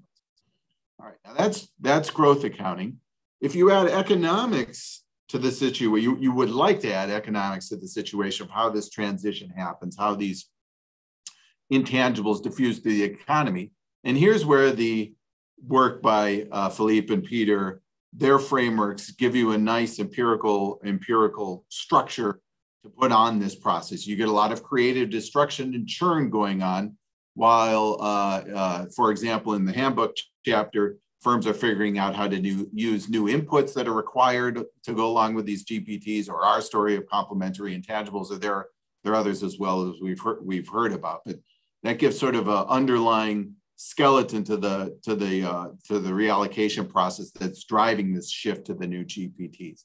Now, one issue with this story and the current productivity slowdown, I, I want to be clear, we're not really proposing the J curve as, a, as an explanation for the current productivity slowdown, but the creative destruction notion of the shift to new GPT implies that churn is going to rise, but that hasn't been going on in the data. Hadn't been going on in the data. since COVID, we have seen some signs that churn has gone up. Uh, business formation, for example, in the this is for US, but it's happened elsewhere, has risen and risen a lot. And it's not just people who are unemployed starting businesses out of desperation. So-called high quality startups seem to be rising. There are other measures of churn that are increasing. The churn is still, it's still creative destruction. The correlation between growth and productivity is still positive and aggregate productivity growth is up. Now, as has been mentioned, maybe this is just a temporary COVID effect rather than a start uh, to climb the J curve. Or maybe the disruption of COVID itself is the shot in the arm. You see what I did there? To start more persistent reallocation process. So these are the big questions I think remain to be seen.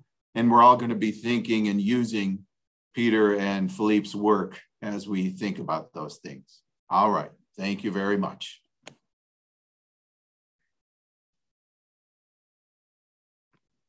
And that actually just about hits the uh, time limit for our session. So I'm a, there, there have been a lot of Q&A going on in the uh, in the chat box, and I know some questions got answered, but I'm afraid we'll, for the sake of staying on time for everyone else, we'll have to take the other questions offline, everybody. But thank you very much. So thanks everybody for the, the session. We have a 15 minute break now. Chad kept excellent time. And uh, so we're recording 15 minutes. I guess if people want to stay on and chat, they, they're, they're welcome to, to, to, do so. Um, but, you know, everybody should feel free to take a 15 minute break before the, the next session. See you. See you then.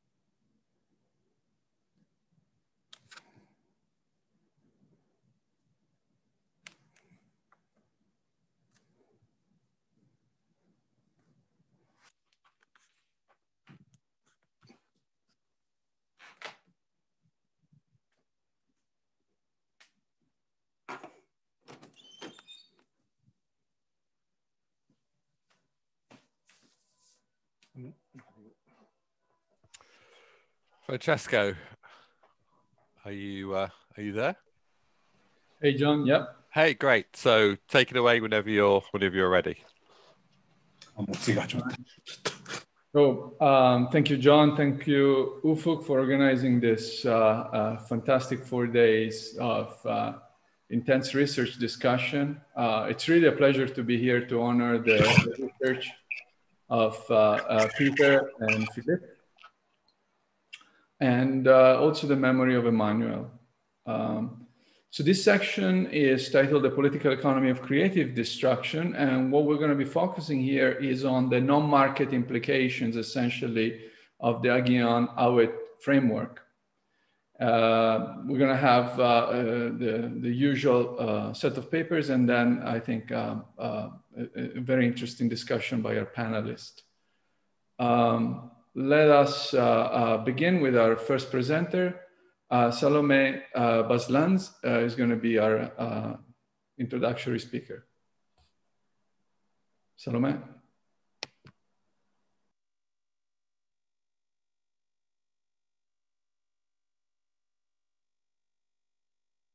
I think you're on mute, Salome.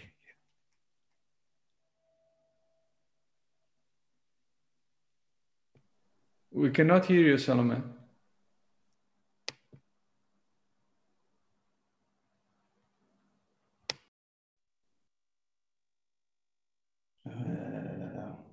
Solomon, maybe you might want to go to Zoom setting and change the microphone settings. If you right click on the top left green check mark. Hello? Yes. Speak, Mike. Yes, now it works. Yes. Sorry about that. Uh, Go ahead, You have 10 minutes.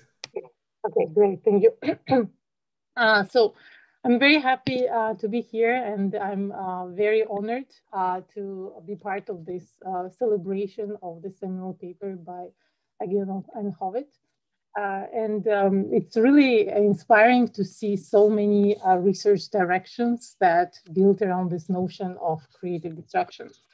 And today I will be talking about um, political economy of creative destruction and um, this uh, talk will be based on the uh, research paper with Ufuk Akcigit and Francesca Lotti. So as uh, this conference highlighted, uh, the creative destruction and factor reallocation from less productive uh, to more productive firms is an important uh, driver and of the growth process. And theoretically, the basic premise of these creative destruction models is that uh, it is sufficient for an entrepreneur to come up with a better technology, with a better quality product to seamlessly replace an incumbent. However, this process of creative destruction, when we think about it, uh, creates a tension between existing leading firms and followers or entrants. And this has been also uh, picked up by several speakers uh, yesterday. Among other things, uh, this tension may result in leading firms to rely on political connections to secure advantage over competitors and impede creative destruction and displacement. Well, how prevalent is this channel and how do political connections affect firm dynamics, relocation, and productivity in the economy? This is uh, the main question we will focus on in our paper. To understand the empirical importance and implications of political connections for the aggregate economy, it is important to have a, a large scale micro level data set that on one hand helps us to systematically identify political connections across firms and at the same time will help us see outcomes at the firm and aggregate level. And we assembled such data set for the Italian economy. The um, uh, main uh, central part of the data construction comes from the social security data for the universe of private sector employees in Italy for the last uh, several decades. Importantly, we link this data set with the registry of local politicians um, where we have more than half a million of local politicians at the municipality, province, and regional level uh, in Italy and we can uh, merge it to the social security data to see where those individuals, politicians are working. This helps us to define a firm as connected if a firm employs a, a local politician at that point in time. The political connections are pretty widespread. This is what our data tells us. And across industries, up to 5% of all firms and up to half of large firms uh, are politically connected. And they account for about a third of employment in the economy. We link this data set with, with other uh, set of uh, data uh, first to understand you know, more uh, innovation dynamics for firms with patent data, with firm level data on income statement and balance sheet, balance sheet, as well as with election data to help our uh, identification strategies. Now, with this rich micro level uh, data set at hand, we now uh, both analyze uh, outcomes at the firm and at the aggregate level. First, we establish a so-called leadership cross uh, whereby leaders innovate relatively less, but use political connections relatively. So on the x-axis, I'm showing you firms market rank. So I plot uh, 20 top firms in each market where market is defined at the region and industry level. And the leading firm is depicted by a rank one. So this is rank two and so on. So if we look at the uh, red uh, dots here, uh, we look at the innovation intensity measured as patents uh, uh, uh, Uh, uh, uh, as, as patents normalized by size of the firm, we see that market leaders are most innovation, less, least innovation intensive relative to their competitors. However, if we look now, on the other hand, at the politicians' intensity, measured as number of politicians employed uh, again normalized by firm size, we see that market leaders actually are most politician intensive relative to their competitors. So this leadership cross persists across various definitions of markets and definitions of uh, uh, uh innovation and or political connections. So somebody is not on mute unless the question. Okay, so at the firm level, our data indicates that these connections um, lead to the expansion of firms in terms of size, but not in terms of productivity. And uh, let me, uh, in this uh, uh short presentation, show you part of the analysis with the regression discontinuity analysis around marginal elections. So the idea here is to compare the firms that have been connected right before uh, uh, marginal elections with winners and losers and to look at the outcomes of those firms right after the election. And here is what the figure illustrates. So on the um, right side, uh, so I'm showing you the outcomes of, uh, in terms of the employment growth uh, after the election for firms that are connected with winning politicians in elections with various victory margins. On the left hand, I'm showing you the outcome, growth outcomes for firms that are connected with losing politicians in the same elections. So um, since the outcomes of the very contested elections here at uh, victory margin when it's almost equal to zero, since these outcomes are uh, almost random, like they can be decided by a weather shock or breaking news, uh, we can think that this discontinuity exactly at zero it can help us um, identify the causal causal effect of political connections on uh, growth in size.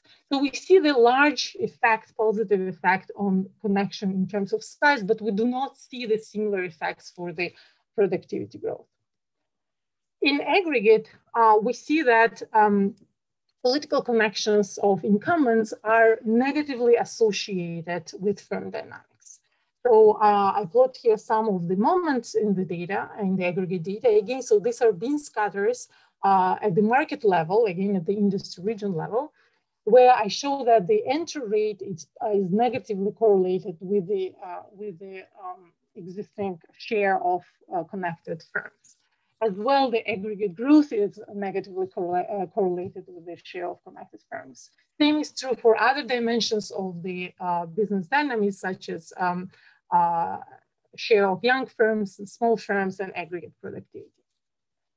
Now, to think about these facts and their implications, we extend the benchmark Schumpeterian growth model with political connections.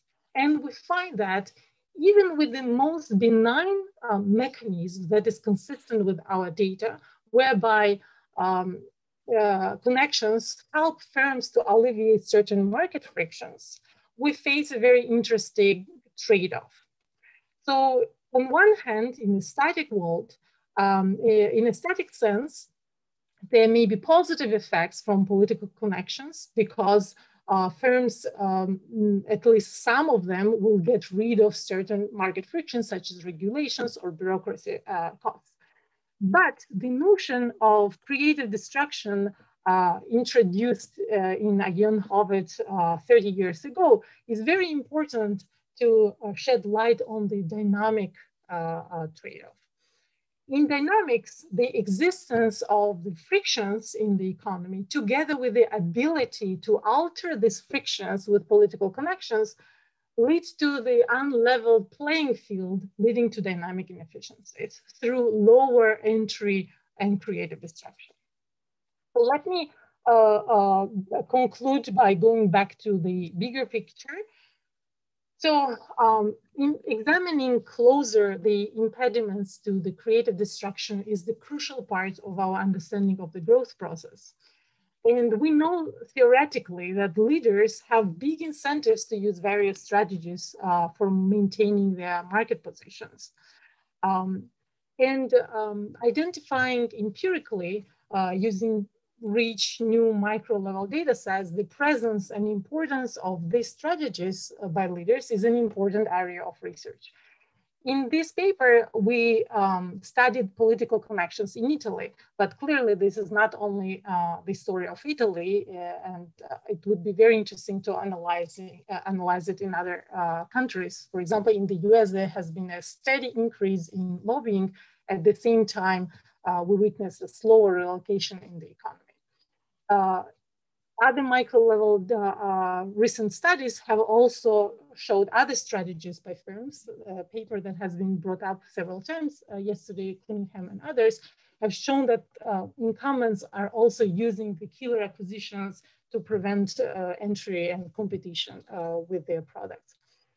In a recent paper with my co-authors, we linked the patents to products in the consumer product goods sector and we find that the large firms have a large share of unproductive patents that are not reflected in, in innovations in the market, but they are reflected in the reductions in competitors' entry. So uh, better understanding these and other uh, um, strategies uh, by firms should inform us about uh, deficiencies of certain institutions in the economy or, or, or various policies. Uh, so that's it. I think I'm on time. Thank you. Yes, yes, Salome, you are uh, perfectly on time. Uh, I'm, I'm, amazed. Uh, the next speaker is going to be Matilde Bombardini. She's presenting work that we've uh, done together with Olimpia Cutinelli Rendina. And uh, because she's taking basically the remaining paper writer's time, she's going to have the 20 minutes. Um, for the for this. This is not uh, a political economy patronage or nepotistic uh, element on my part. That's what the organized uh, organizers told us to do. Uh, so Matilde, take it away.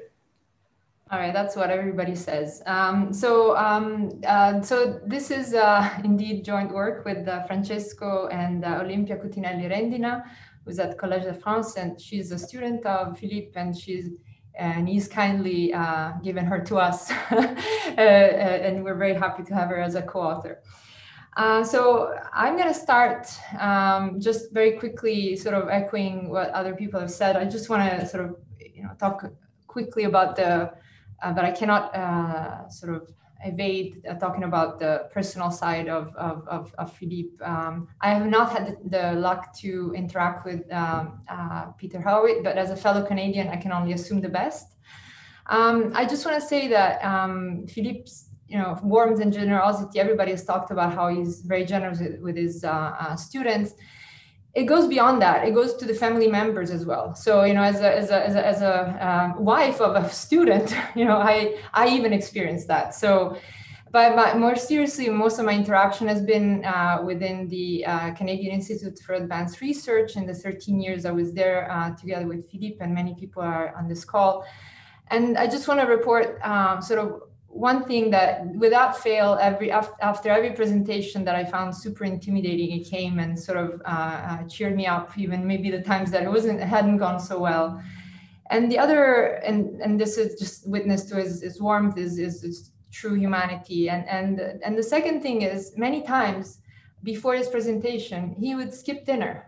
You know, he doesn't realize he's Philippe Aghion. He doesn't have to skip dinner. He just so, uh, uh, you know, involved in what he does that he just like, he just, yeah, I hope to be like that when, you know, uh, when I get to that point. Um, so here we go. Uh, so this is, this paper is called Lobbying Behind the Frontier. Um, and uh, uh, many people yesterday and today, and um, they've talked about the sort of important work that uh, uh, Philippe and Peter have done and other people uh, on the, the nexus between competition and innovation. So, and I guess the more general question is how do firms react to competitive pressures? And, and you know, many people have sort of um, commented on the fact that this is a nuanced relationship. Um, you know, and, and sort of this the fact that it's non-monotonic and so on. And in particular, um, when um, especially in the trade session yesterday, um, many people commented on uh, the, the impact of foreign competition and how these this escape competition effect uh, that's present in, in the uh, in the models of uh, Philippe and Peter um, there, this escape competition effect is particularly strong among frontier firms and sectors. So in particular, this is sort of in the seminal paper, and in the research paper in 2009, um, uh, this is some, this is exactly what they show that when there's an entry of foreign firms, uh, the sector at the frontier are the ones that sort of innovate more, but the other ones are discouraged. So um, within the foreign competition, uh, particular again, uh, sort of the, the trade literature, there's a very large uh, uh, set of empirical results, and which is very ni nicely summarized in this recent uh, chapter by uh, Pian Shu and Claudia, Claudia Steinwender. And I would say that this is a richness. You know, it's not that these are contradicting results. Many people start by saying, you know, there's uh, Autor Dorn Hanson, Pisano, and Shu find different results in the US uh, for the effect of competition on innovation relative to uh, Bloom, Draca, and Reenen, and, and so on. And, and we find different results in China and so on. This is sort of more witness to the richness of it. And as many people have said yesterday, to the need to do more research to understand why we, you know, uh, these, these relationships are, are, uh, are different in different settings, developing countries uh, and, and then in Europe versus the US. Now, now um, a strong intuition, though, let me just say once more, is that and that all these papers share is this idea that this uh, et al. kind of intuition that the escape competition effect is stronger in firms closer to the frontier. Okay. Now, the question that we ask in this paper is do firms use other tools to react to competition. And this is very, ties very nicely to Salome, who said at the end, you know, it'd be good to do this in other countries. Well, here we go. Uh, so we didn't coordinate, but so um, lo- other tools like lobbying to curb foreign competition, and which firms tend to do more lobbying in response to foreign competitive shocks. And so what we find in this uh, uh, in this paper is that we find that in the U.S. we use a, as a competitive shock the China shock, um, uh, this China shock, this increase in, in imports from China produced an increase in lobbying and a lobbying that was not only related to trade. So it's important that it's lobbying for all, all sorts of issues, potential subsidies, uh, regulation, and so on. And interestingly, uh, it is only the firms behind the frontier who increase lobbying after the China shock. So it's not the very top firms.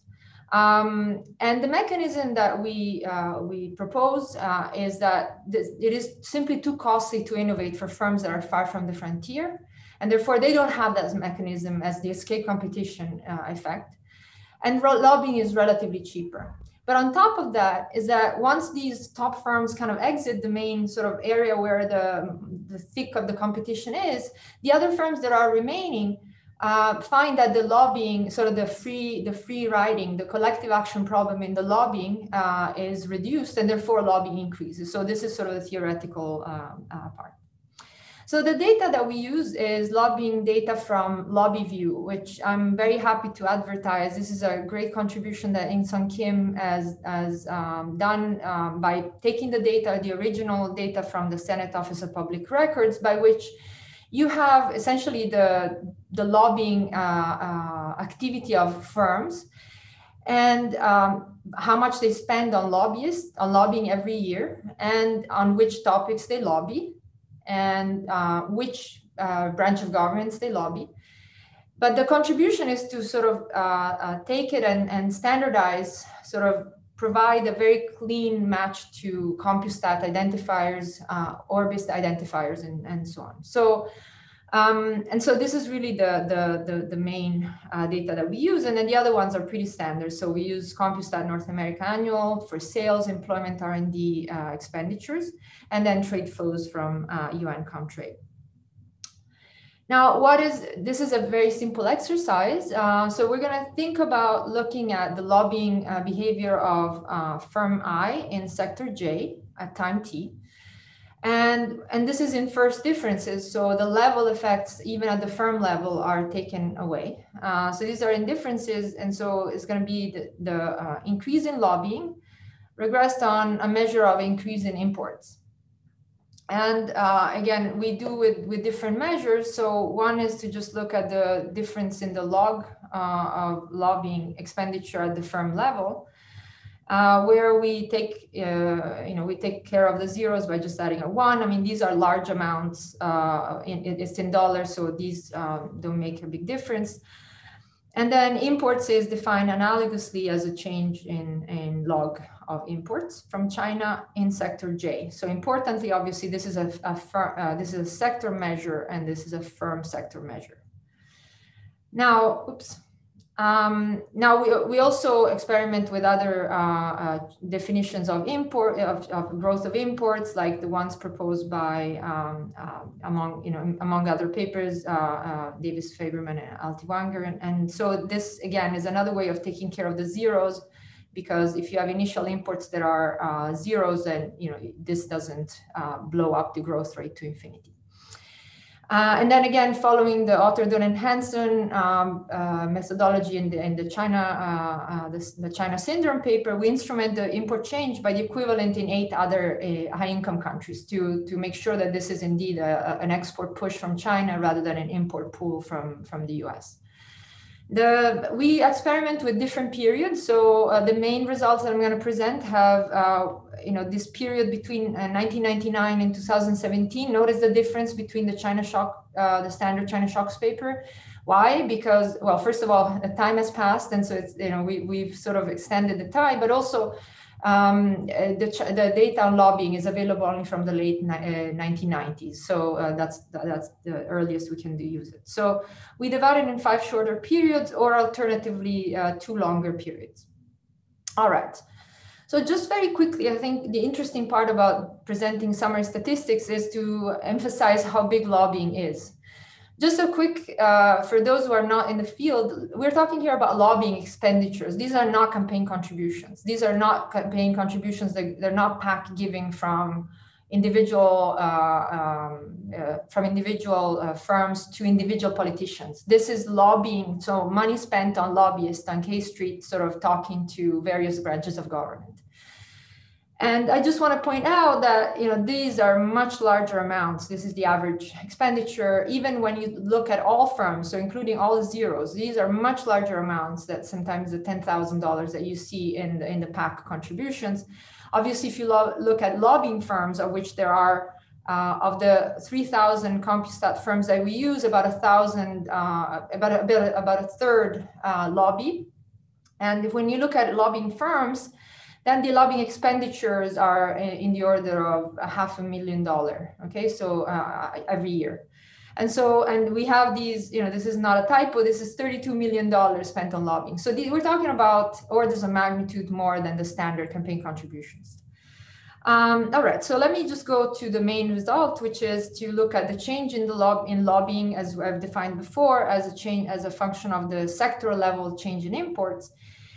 And you see that by reporting both OLS and two-stage least squares in with different controls, right? So, and, and again, when we say period and industry controls, keep keep in mind that this is already in first differences. So these are account for uh, sector-specific and time-specific trends um, you see that there's a positive uh, association between uh, uh, lobby and imports, and you know, uh, you know, if uh, by relying on the instrumenting strategy of Autor Dorn and Hanson, uh, we're going to go as far as saying that this is a causal effect of, of the competition effect, the competition push on on on lobby. So you see. this is a, the main result, and in terms of magni magnitudes, what does this mean? It means that if you take the average import increase during this period, uh, you know, in terms of in, in, in change in log imports, column six implies that the, this increases lobbying by approximately 26%. So this is a large increase in, in lobbying expenditure. Now, this is the main result. Okay, so this is sort of, and then when we go to uh, um, the heterogeneity, which is, you know, the other, you know, as I said at the beginning, the strong uh, prediction in the Aghion and Howitt uh, uh, work is that this different firms in in in the uh, in an industry react differently. So firms at the top react differently from firms at the bottom, and so and we find consistently, no matter how uh, you slice the data in terms of which type of heterogeneity you look at, is that if you take firms uh, that are more, that have higher performance, uh, to borrow um, Mark Melitz's uh, uh, um, terminology yesterday, firms that are um, below the industry mean of sales, for example, of employment, of R&D expenditures, that's where we get the reaction in lobbying. So this is where we see that the change in imports translates into an increase in lobbying. And again, uh, this is true for, for these measures and also normalized measures as sales per, uh, per employee, R&D per employee, and importantly, also patents. So we, we also look at patents and we find that the reaction in lobbying is only given by those firms that have uh, that don't patent, that are not that they never patent. So how to explain these findings? Well, this is work that uh, Olimpia Cutinelli Rendina is doing uh, uh on uh, uh, on a model, and so her model is based on um, Harrison and Feeler, who have also worked in this area uh, on sort of the competition and innovation. And just the basic setting, I just put it in a picture. Hopefully, this is uh, clear. Is that there are the, the view is that, that you have uh, an industry has a, a big uh, a big island where everybody competes pretty tightly but it also has differentiated products so these are islands where you can go you can escape to and be the only person to be a monopolist where you have a, a more differentiated product and therefore you have higher markups but you have to pay higher fixed costs to go to that island now what does innovation do? Well, innovation is takes you from this big, more competitive island to the smaller islands. Now, the, uh, the, the, novelty here um, is to introduce the lobbying technology. What does the lobbying technology do? Well, every firm can invest in lobbying. Lobbying at the firm level gets aggregated at the sector level in through and, and this is not obviously linear because these are not they are not perfect substitute this is not money that's given to politicians and then uh, uh, then there's a, a, function that sort of uh, that translates this aggregate expenditure into some barrier for, for foreign firms and so you can put this barrier here uh, and trying to stop the imports from China by, for example, in, increasing regulation, increasing um, safety standards, all these things or you can innovate and escape. And so what the model predicts is that as competition increases, most productive firms innovate and adopt more differentiated products. But the less productive firms that remain, those that don't exit, um, and they remain in these less differentiated islands, increase lobbying. Interestingly, even though lobbying overall increases, even though the most productive firms who innovate stop lobbying, the ones who escape, that go to a different island, they don't lobby anymore. But the ones that stay increase so much lobbying that it overwhelms even the fact that the other ones stop lobbying. So, and this is due, interestingly, to also this, uh, this reduced free riding due to the fact that the other firms are leaving. And so the reduced number of firms uh, essentially prevents this dilution, dilution, dilution of, of, uh, um, of uh, the lobbying expenditure. So I have uh, a couple of concluding thoughts. Um, so first of all, uh, here we find the competition may stimulate innovation among high performance firms. And clearly the uh, work of uh, and Howitt sort of explains that and, and, you know, in the fact that it generates sort of these kind of winners and losers, but uh, it all, we emphasize that there's a non-market response, which is that less productive firms may turn to other tools, which is that you're maintaining or erecting new barriers to entry in the form of regulation, as I said, carve-outs, and domestic subsidies, for example. Notice we're, what we're not we're not saying here that large firms don't lobby, but that the ones that react more to competition, at least to this foreign competition, is the ones that are not at the frontiers, the ones that are uh, below. And so, given that, as Salome was saying, you know, lobbying is an increasing phenomenon. If you go around, lob, uh, you go beyond lobbying to campaign contributions. This is something that you know, we, we should be more concerned about. Uh, we think this is uh, potentially fruitful for, for, for more research. Thank you. Uh, thank you, Matilde. And uh, now we're going to start with our discussion of uh, uh, panelists. our first panelist is Daron Acemoglu. Daron, take it away. Thank you, Francesco. let me share my screen. Uh, well, I said uh, how happy I was to be part of this yesterday, so let me not repeat that and let me just jump into uh, my presentation so that we can try to remain on time.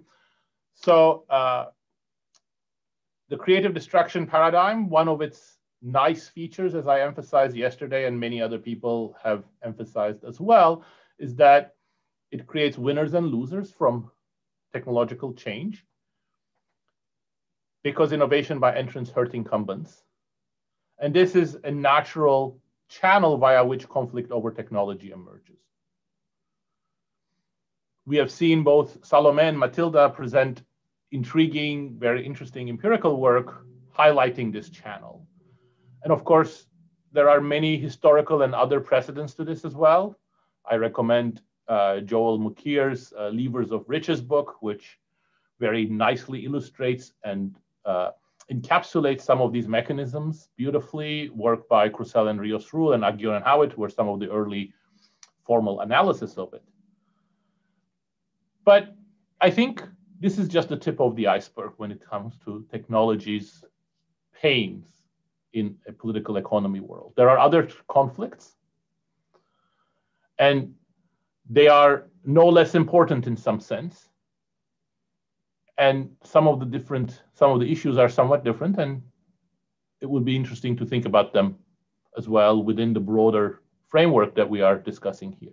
Capital versus labor, skill versus unskilled labor, engineers versus workers. All of these issues become much more important, in my opinion, in the context of what I emphasized as malleability of technology. When we have more technological choices, there are more room there's more room for conflict, bigger political economy issues. So one framework for this is to think of the dynamics of institutions together with conflict because institutions are critical for how we mediate the differences. So in particular, we want to think about political institutions that are themselves evolving over time, the way that we resolve conflict either between whether it's between incumbents and entrants or between capital and labor differently in democracies versus dictatorship. And also distribution of resources, for example, determines who has more power. So we can think of these as de jure and de facto power, de jure institutionally allocated, de facto that exists, for example, through collective action, unrest, power that is military in nature. These shape economic institutions, political institutions next at the next date are also shaped by it. And how this is all going to evolve is going to depend, of course, in the nature of the conflict, the nature of the technological choices, and, and also other political factors. So in the context of thinking about capital and labor, for example, this is something that a very preliminary version was done in my book on economic origins of dictatorship and democracy with Jim Robinson.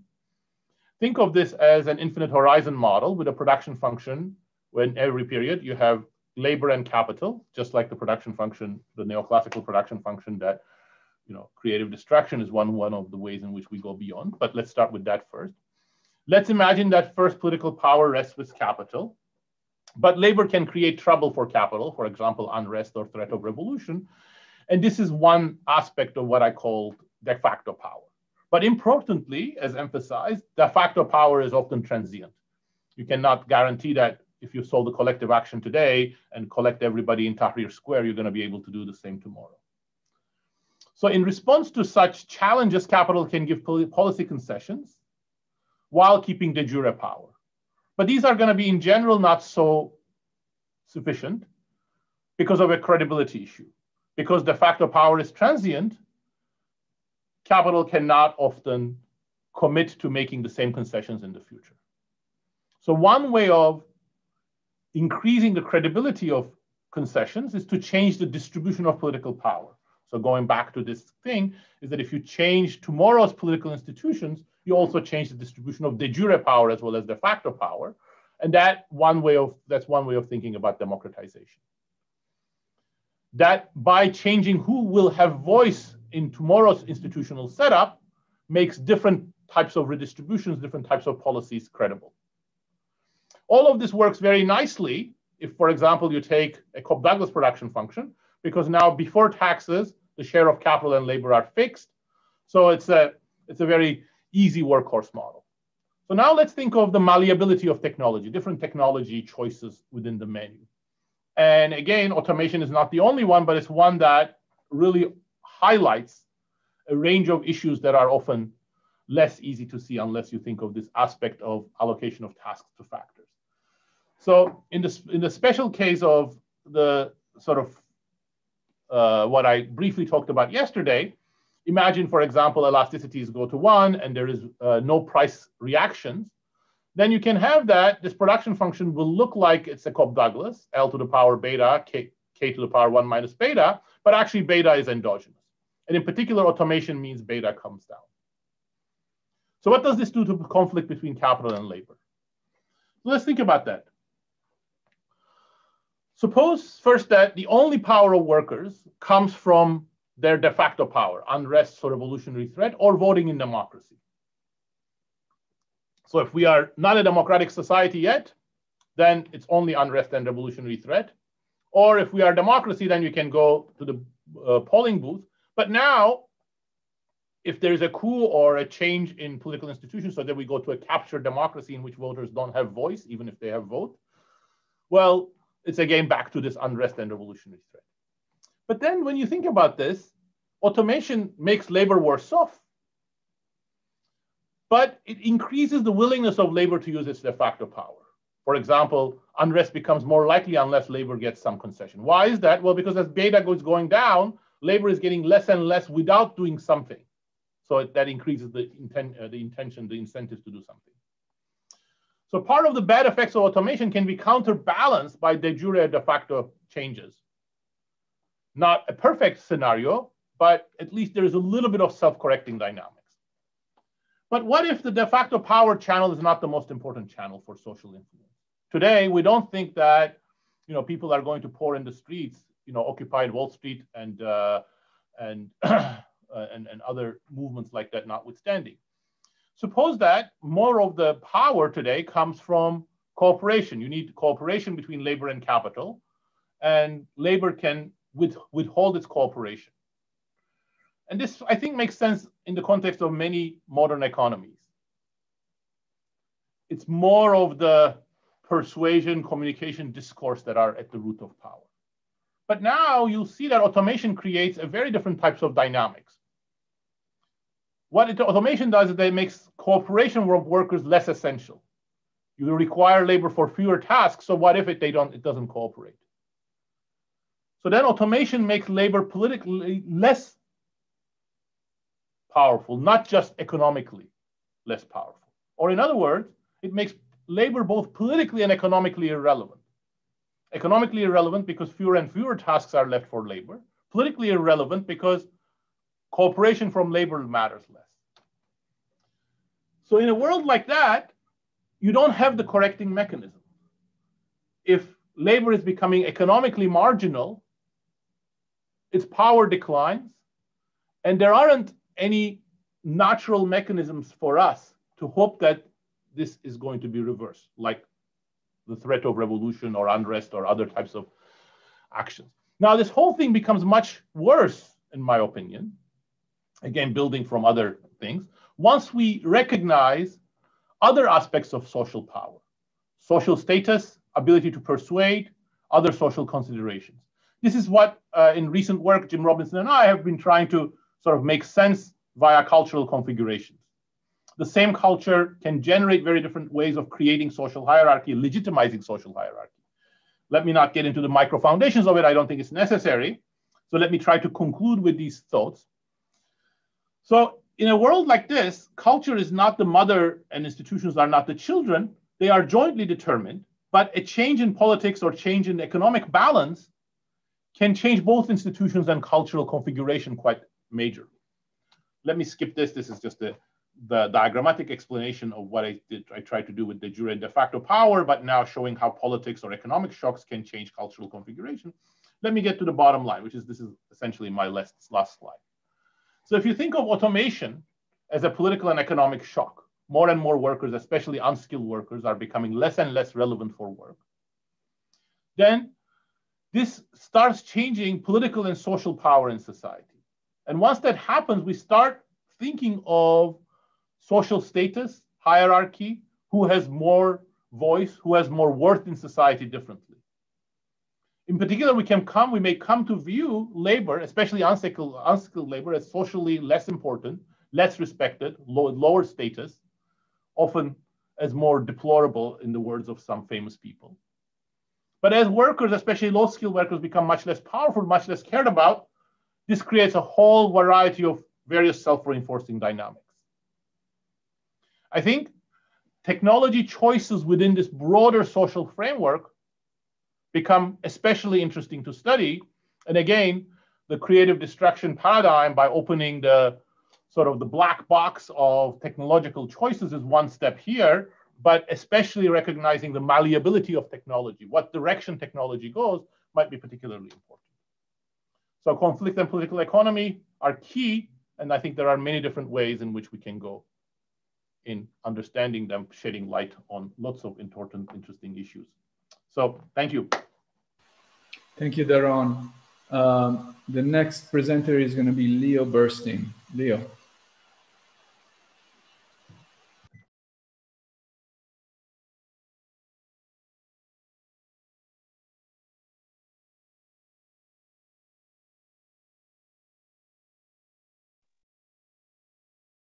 All right, thank you. Uh, thank you for inviting me. Uh, it's an honor to be part of this conference celebrating the work of Philippe Aghion and Peter Howitt in the memory of uh, Emmanuel Farhi.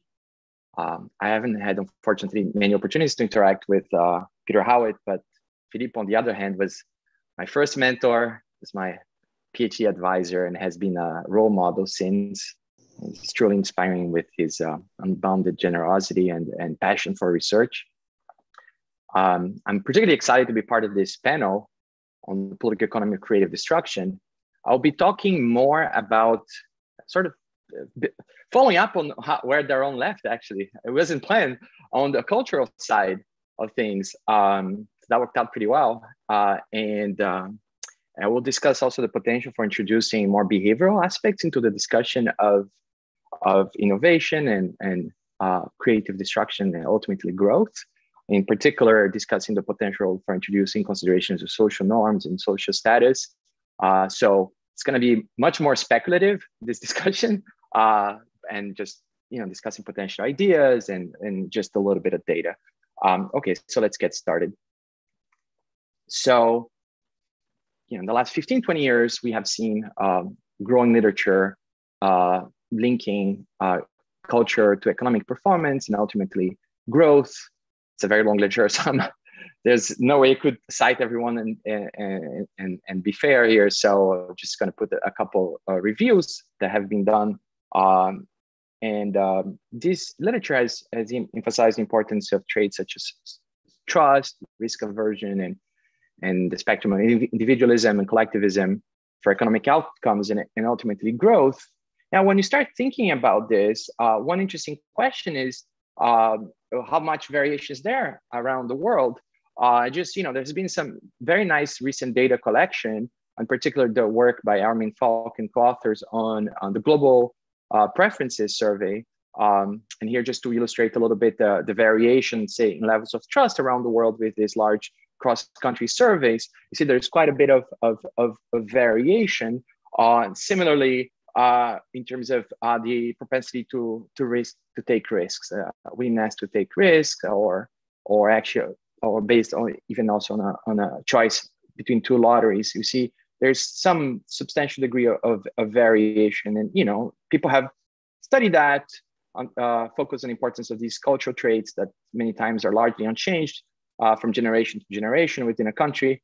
Um, so I start getting interested, you know, when, when preparing for this discussion, uh, wondering if one could think about the role of social norms in economic growth. Um, just a really good question. But before talking about it, it's important to define what we mean by social norms. So I'll follow the the the definition uh, by um, uh, Benabou and Tirole, who characterize uh, social norms as, as the set of social sanctions and reward that incentivize certain behavior. So people in this world care about how they're going to be judged and viewed by others, and this might powerly powerfully shape the way they, they make their choices and, and engage in important economic behavior. Uh, this concern about their social image, how they're going to be judged by others. There's an emerging literature that has uh, showed that mostly using field experiments, uh, and how these concerns are could be important for shaping uh, very relevant economic behavior. I've done some work on the subject just to give you some examples because you can see how this can start building up into to thinking about economic growth. Um, you know, for example, students in, in, in, urban areas in the US, uh, high school students uh, can, might forego education opportunities to avoid being seen as nerds or achievers. So, you know, some local social norms really affecting uh, uh, uh, education achievement and human capital accumulation. Um, another example we have looking at MBA students, uh, single women may avoid career enhancing actions, investing in their career because of gender norms because they worried about how they're going to be judged uh, in the dating market, that they might be considered too assertive or pushy. Uh, we also find evidence in outside of the US, for example, in Saudi Arabia, of men uh, willingly keep, you know, choosing to keep their wives at home and preventing them from working outside of home because of perceived social norms and understanding that they're going to be judged by allowing their wives to work. So examples of, of, of inefficiencies that could be created here uh, by social norms. And there's evidence that these things can actually matter for market, market outcomes. There's some very nice recent work by Emily Breza and co-authors uh, showing that social norms can actually maintain higher wage floors in the absence, absence of unions. Even you have decentralized uh, labor markets without unions, uh, social norms might actually keep uh, uh, the minimum wage at a, at, a, at a particularly high level. So it does affect uh, like market level outcomes. Uh, so so that you know there's you can start seeing the link here, uh, and then you know I start trying to get a little bit more you know serious about the connection uh, with a model of uh, you know innovation and endogenous growth. Uh, which you know make, made me think about uh, the potential for studying social status considerations and the allocation of talent, in particular the allocation of talent to uh, high risk occupations or in particular entrepreneurship. Uh, and then, you know, that brings some questions. Uh, for example, what is the extent, is, is there a lot of cross-country variation in the social status of entrepreneurs and risk takers more generally? Um, you know, do we see this, this, this variation across country? Uh, you know, I start thinking about this because uh, I just I just came back from Brazil, my, my home country, and and there, you know, talking to old friends and so on.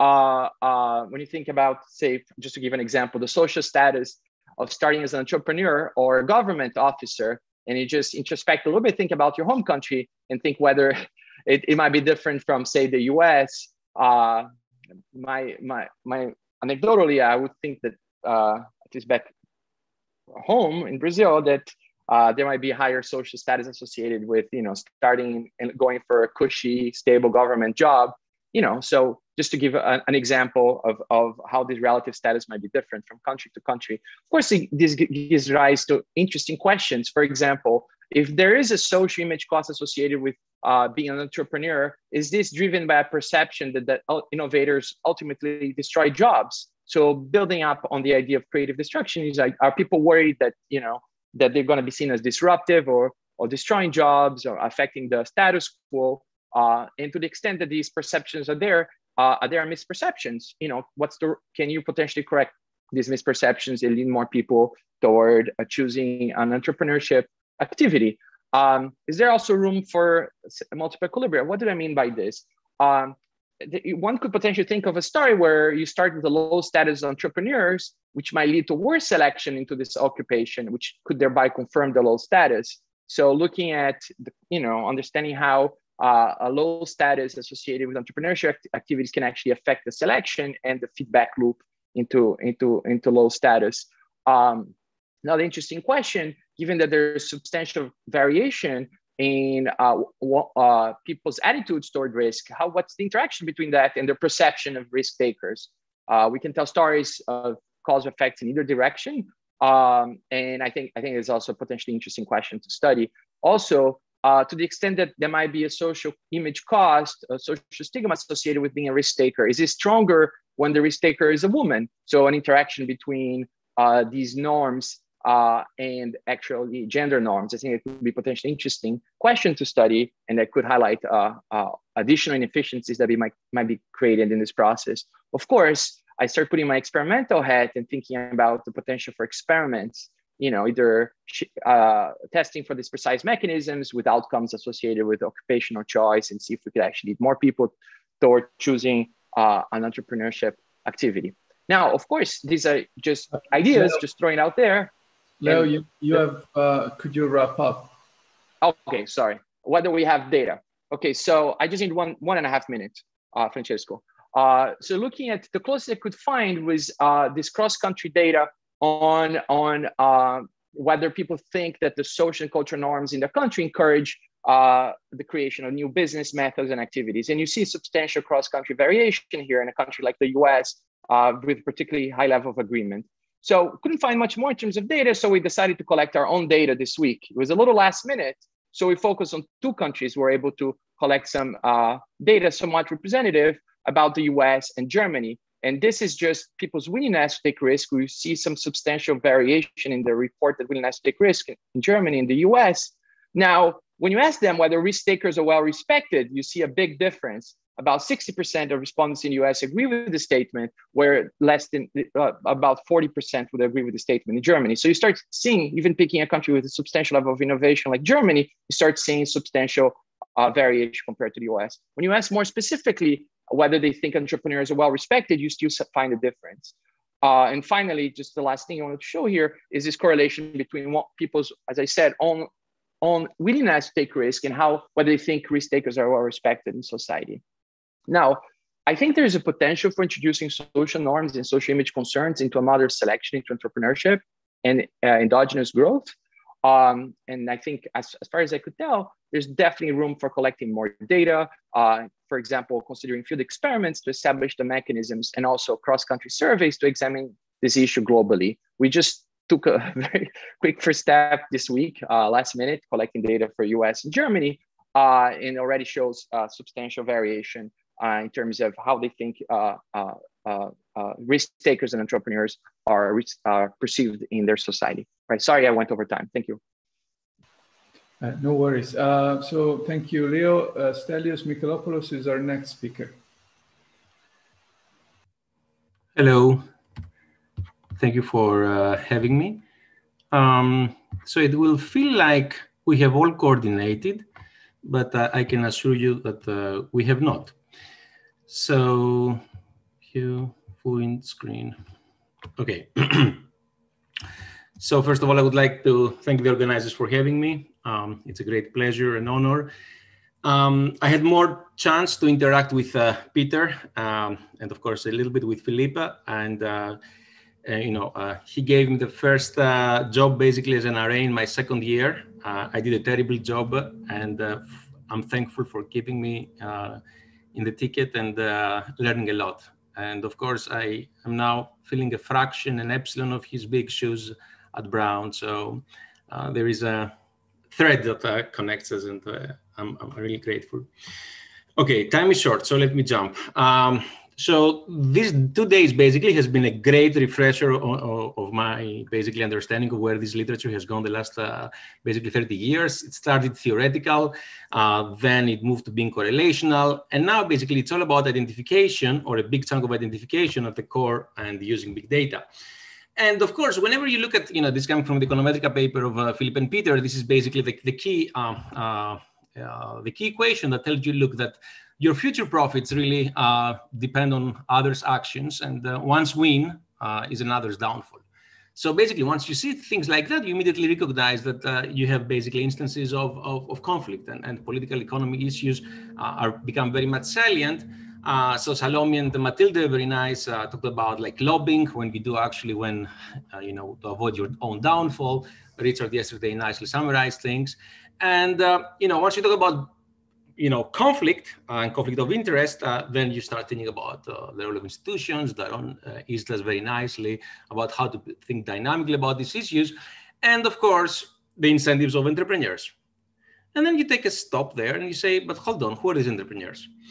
And uh, there's, you know, people in the room uh, have done awesome work on basically trying to figure out um, you know, what are these characteristics of these entrepreneurs, individual or household factors, or the, in the regions where they grew up. There's some nice work by Ross and uh, um, uh, Yona, where they talk about, you know, kind of people that are a little bit on the margin of, uh, uh you know, breaking things. And uh, these people, when they're young, eventually they will become the entrepreneurs. Um, and Ufuk has very nice work uh, showing basically the uh, you know uh, what's going on with uh, you know the IQ with the entrepreneurs, uh, their education levels back in the 19th century, 20th century U.S. And the terrific paper by John and co-authors and Xavier about you know kind of the where you grew up as a, as a very young has a very big impact on whether you will be an entrepreneur yourself.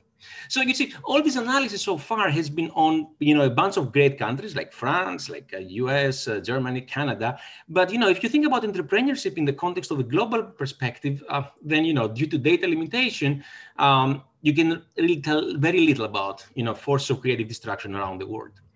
So let me take a step back, and before telling you, uh, you know, how I how I view the force of creative destruction around the world, let's actually ask uh, some firms, like what do firms cultivate, what type of attitudes they cultivate, and this goes to uh, Leonardo's point uh, about you know uh, culture and attitudes. So, what do firms cultivate uh, when they really are into creative destruction? So about, uh, you know, uh, when Facebook was going uh, public uh, back in 2010, I think uh, Elias and I were at Facebook headquarters and we were seeing these posters everywhere that now apparently you can even buy them online. And, you know, these are posters that tell you, you know, have very clear messages, right? What would you do if you were not afraid? Move fast and break things. So, you know, that gives you an idea of what is the mindset of actually um, firms that are in uh, what I call the, the destroyers, right? Those that want really, really to, to break uh, uh, free from the chains of uh, uh, whatever is known. And then I was started thinking, then, okay, this is about firms, but how do societies cultivate attitudes towards creative destruction? Um, right? So you, you start thinking about like societies now. So I'm, I'm following up on Leonard's uh, on Leonardo's point, and um, and carefully look at the press from around the world reveals very different portrayals of the innovator and her actions. In some societies, he's the villain, he's basically the bad guy uh, that uh, you know should be better sent to jail, and in others, he's the hero, like uh, he's almost a cult around him. So you know you may be already thinking of people uh, uh, out there. So now, the last two years, an empirical body of research has shown that you know history casts a long shadow uh, on contemporary economic outcomes, and like there's a huge debate on the interaction of geographic, institutional, behavioral, and cultural traits that they seem to wield significant explanatory power. Um, and the role of narratives, in particular, lately has gained some momentum with uh, uh, you know uh, uh, pretty important people actually uh, thinking out loud that you know we have not been talking a lot about narratives, and maybe these are very important. So, okay, so back to the question, how do societies cultivate attitudes towards creative destruction? Well, you know, one would say, look, if we, if society was a Facebook and was posting posters, they would actually post uh, narratives that would either promote or demote this mindset. Fine, um, that sounds uh, tautological, uh, but how can we capture society's core mindset? Um, that's what I'm after here. Um, so what I'm going to basically tell you is that one way to go is to actually leverage the oral tradition of a group. And uh, the oral tradition is a folklore. It's basically the set of narratives that you get from your ancestors. So let's go there. Uh, so what is folklore basically, for those who are not uh, very much into this anthropology uh, literature, is the collection of fictional stories, legends, myths, jokes, songs, tales, basically whatever your grandmother was telling you while you were trying to sleep back in the age of three to seven or 15, whatever is uh, your uh, age range, uh, that's actually folklore. These are the, the, the, set of stories. And it's a description of culture. So for the typical uh, um, non-economist, folklore is kind of a description of culture, which is passed informally from one generation to the next. Um, and it's also a field of scholarship, which is devoted to the documentation and interpretation of, of basically uh, these narratives. So that's what I have in mind. You read people's stories, you read your kids' stories, and this has been, a, you know, a, a, thing that has been going on forever, like uh, since we have been uh, together in in in, uh, in groups.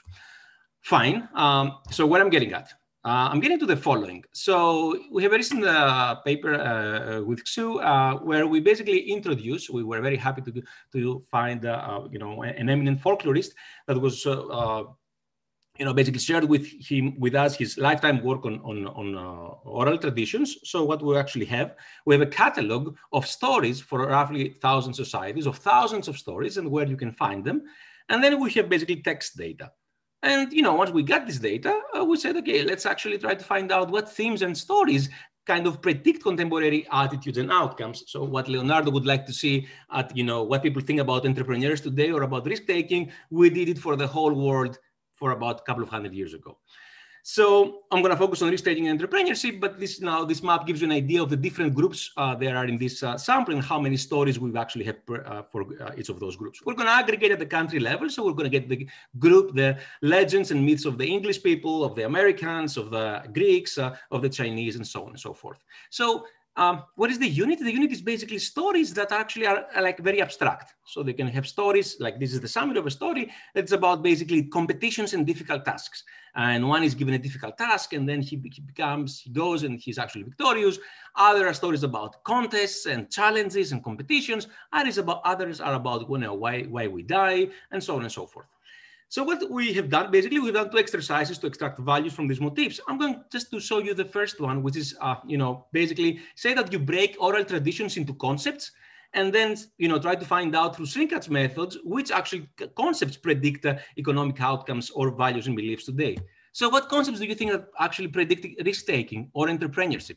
Well, once you see it, then I immediately thought of, of Peter and Philippe competitions and challenges actually are type of stories are the type of themes that you know pick up are very salient in cultures that they have high risk taking as leonardo showed to us or uh, they have very high patent rates per capita they have high business creation rate. And these are all about so what is actually the country's mindset for creative destruction is a country it's a mindset that allows but basically takes competition at heart. And hence it allows for these outcomes of like winners and losers because once you embrace competition at least this is our interpretation, um, it's going to be okay basically to leave.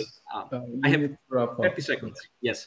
Uh, so, you know, this is like putting together like the stories of our ancestors and the stories of Facebook. They are actually very much, uh, uh, uh, you know, on, on, one on the top of each other. I'm out of time. So basically, I'm just going to leave you with that. Creative destruction needs many different things, and we have brilliant guys in the room that have already done brilliant work about thinking about optimal policies. But perhaps the most important thing is that it needs legitimacy. Why? Because it creates losers. So understanding what makes creative destruction legitimate from the point of view of society is ultimately what will determine not the fate of the creative destruction, but our fate as a humankind that, that believes in basically uh, these, uh, these topics. So we are able to ask these questions because we're standing on uh, the shoulders of giants Thank you, Peter. Thank you, Philip.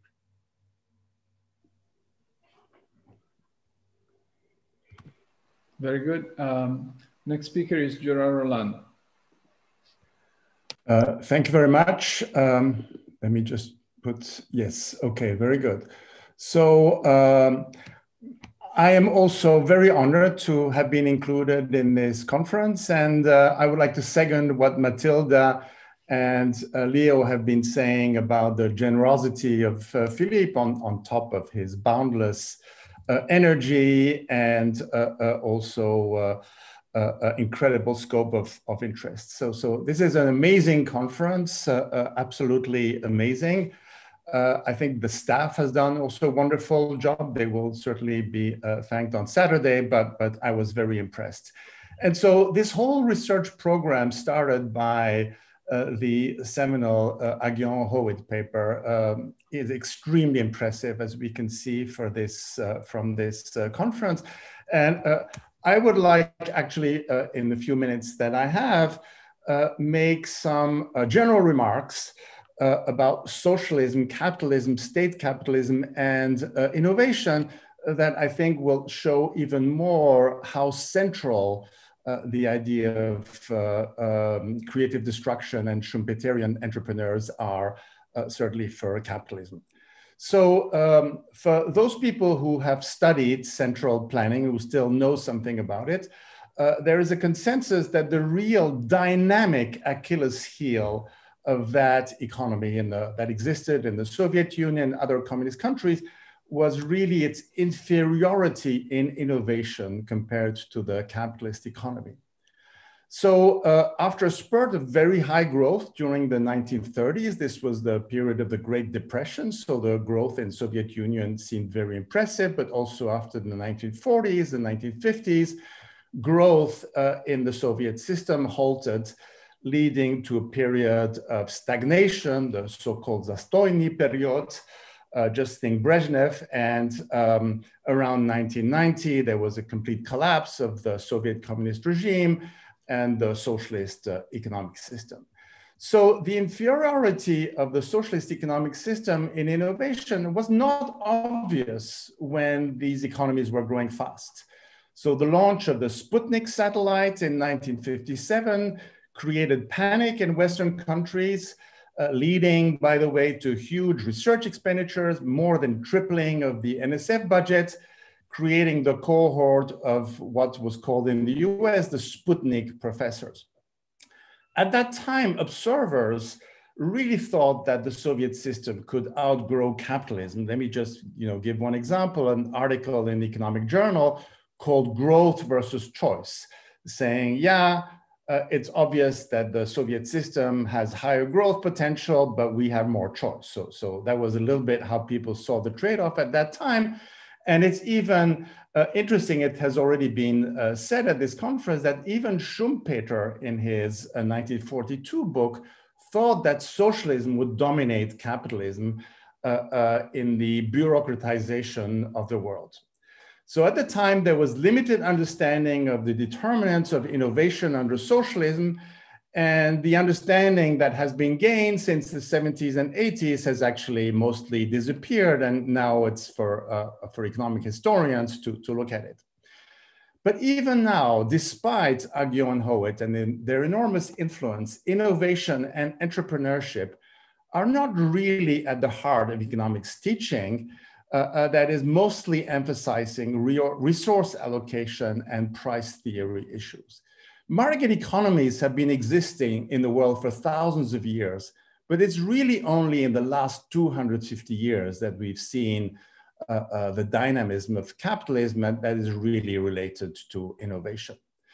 So uh, uh, I said something about the Soviet system, but today similar questions are raised about innovation in China the Chinese economic system that exists today is not a socialist central planning system, but it's a capitalist market economy. Some people call it state capitalist, but it's a capitalist market economy, but that exists under a communist political regime. And so, so this combination of a capitalist economy under a communist political regime is a completely new institutional system in history, and we still don't understand it very, very well.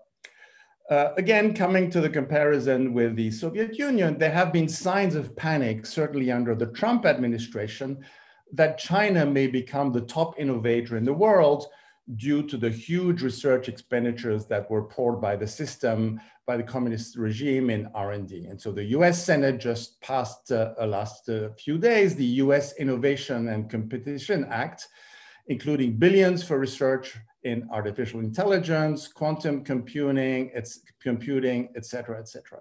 And so people have been asking, is China capable of overtaking Western countries' innovation? Or are we seeing a repeat of the misguided scare from the 1950s relative to the socialist economic system? So coming to uh, uh, quickly innovation issues in the socialist economy, uh, in a, a paper uh, in 2013 showed that of 87 major breakthrough and revolutionary innovations that happened since 1917, that's the year of the October Revolution, none, zero, originated in socialist economies. Inventions did take place in the Soviet bloc, mostly under centralized impulse, and there was very high research talent, but very quickly, there were great lags in the organization of production, diffusion, imitation, uh, uh, Schumpeterian entrepreneurs were not allowed, illegal. There was a lack of gigantic rewards, lack of competition for innovation, lack of decentralized experimentation, lack of quick financing, uh, uh, all things that are really important as, as we know. Uh, and there was also no creative destruction. And by this, I mean the destruction part, mostly due to soft budget constraints that were absolutely pervasive and due to the uh, uh, planning system. So in the planning system, there were incentives to increase the gross output, but there were never incentives to, to, for destruction of existing assets. And so there was no creative destruction, again, emphasizing the destruction part. So innovations under socialism were mostly non-Schumpeterian, they were military or government uh, initiated, and eventually uh, uh, they made that system economically inferior to capitalism in terms of long run growth. Now, coming to China, which is again this hybrid system, uh, let me just emphasize some pros and cons about innovation. China does have Schumpeterian entrepreneurs, which was not the case uh, in the Soviet Union, but they face political risks. Just look at what happened to Jack Ma uh, recently. And, and it's not just about Jack Ma. Uh, the Communist Party is very eager to prevent the private sector from becoming politically too powerful. And of course, this is a very important political economy aspect. China has massively improved its education system. It ranks now among the highest in PISA scores. Uh, its universities have improved their ranking uh, tremendously. Uh, but the talent pool is still more limited. It's limited to Chinese, you know, which very, very large population. Uh, also, it's claimed that traditional education tends to discourage creativity. Xi Jinping has bet on a dual system in China where STEM research is completely free, but social sciences is fully under control of the party. Question, of course, is raised uh, uh, if you lack total freedom of the mind, how stifling can that be on research productivity? So certainly a question uh, um, that we don't know a quantitative answer to. Also, there's the issue of the collectivist culture that frowns on deviations from conformity, and I have done some work with Yuri Gorodnichenko on that. Venture capital is present in China. This is very important for innovation. But new private firms do not have easy access to quick finance. In artificial intelligence, which is a strongly government supported sector and uh, uh, you know, very visible, only 39.2% of AI investment is funded by domestic capital. The rest is either funded completely by outside capital or by mixed domestic and outside capital. A bigger role is played by the government in research in China, as we know, but there are still also massive soft budget constraint issues preventing creative destruction. And, and you know, why these soft budget constraints uh, issues are, are very important, uh, uh, this is because they really prevent the uh, destruction part.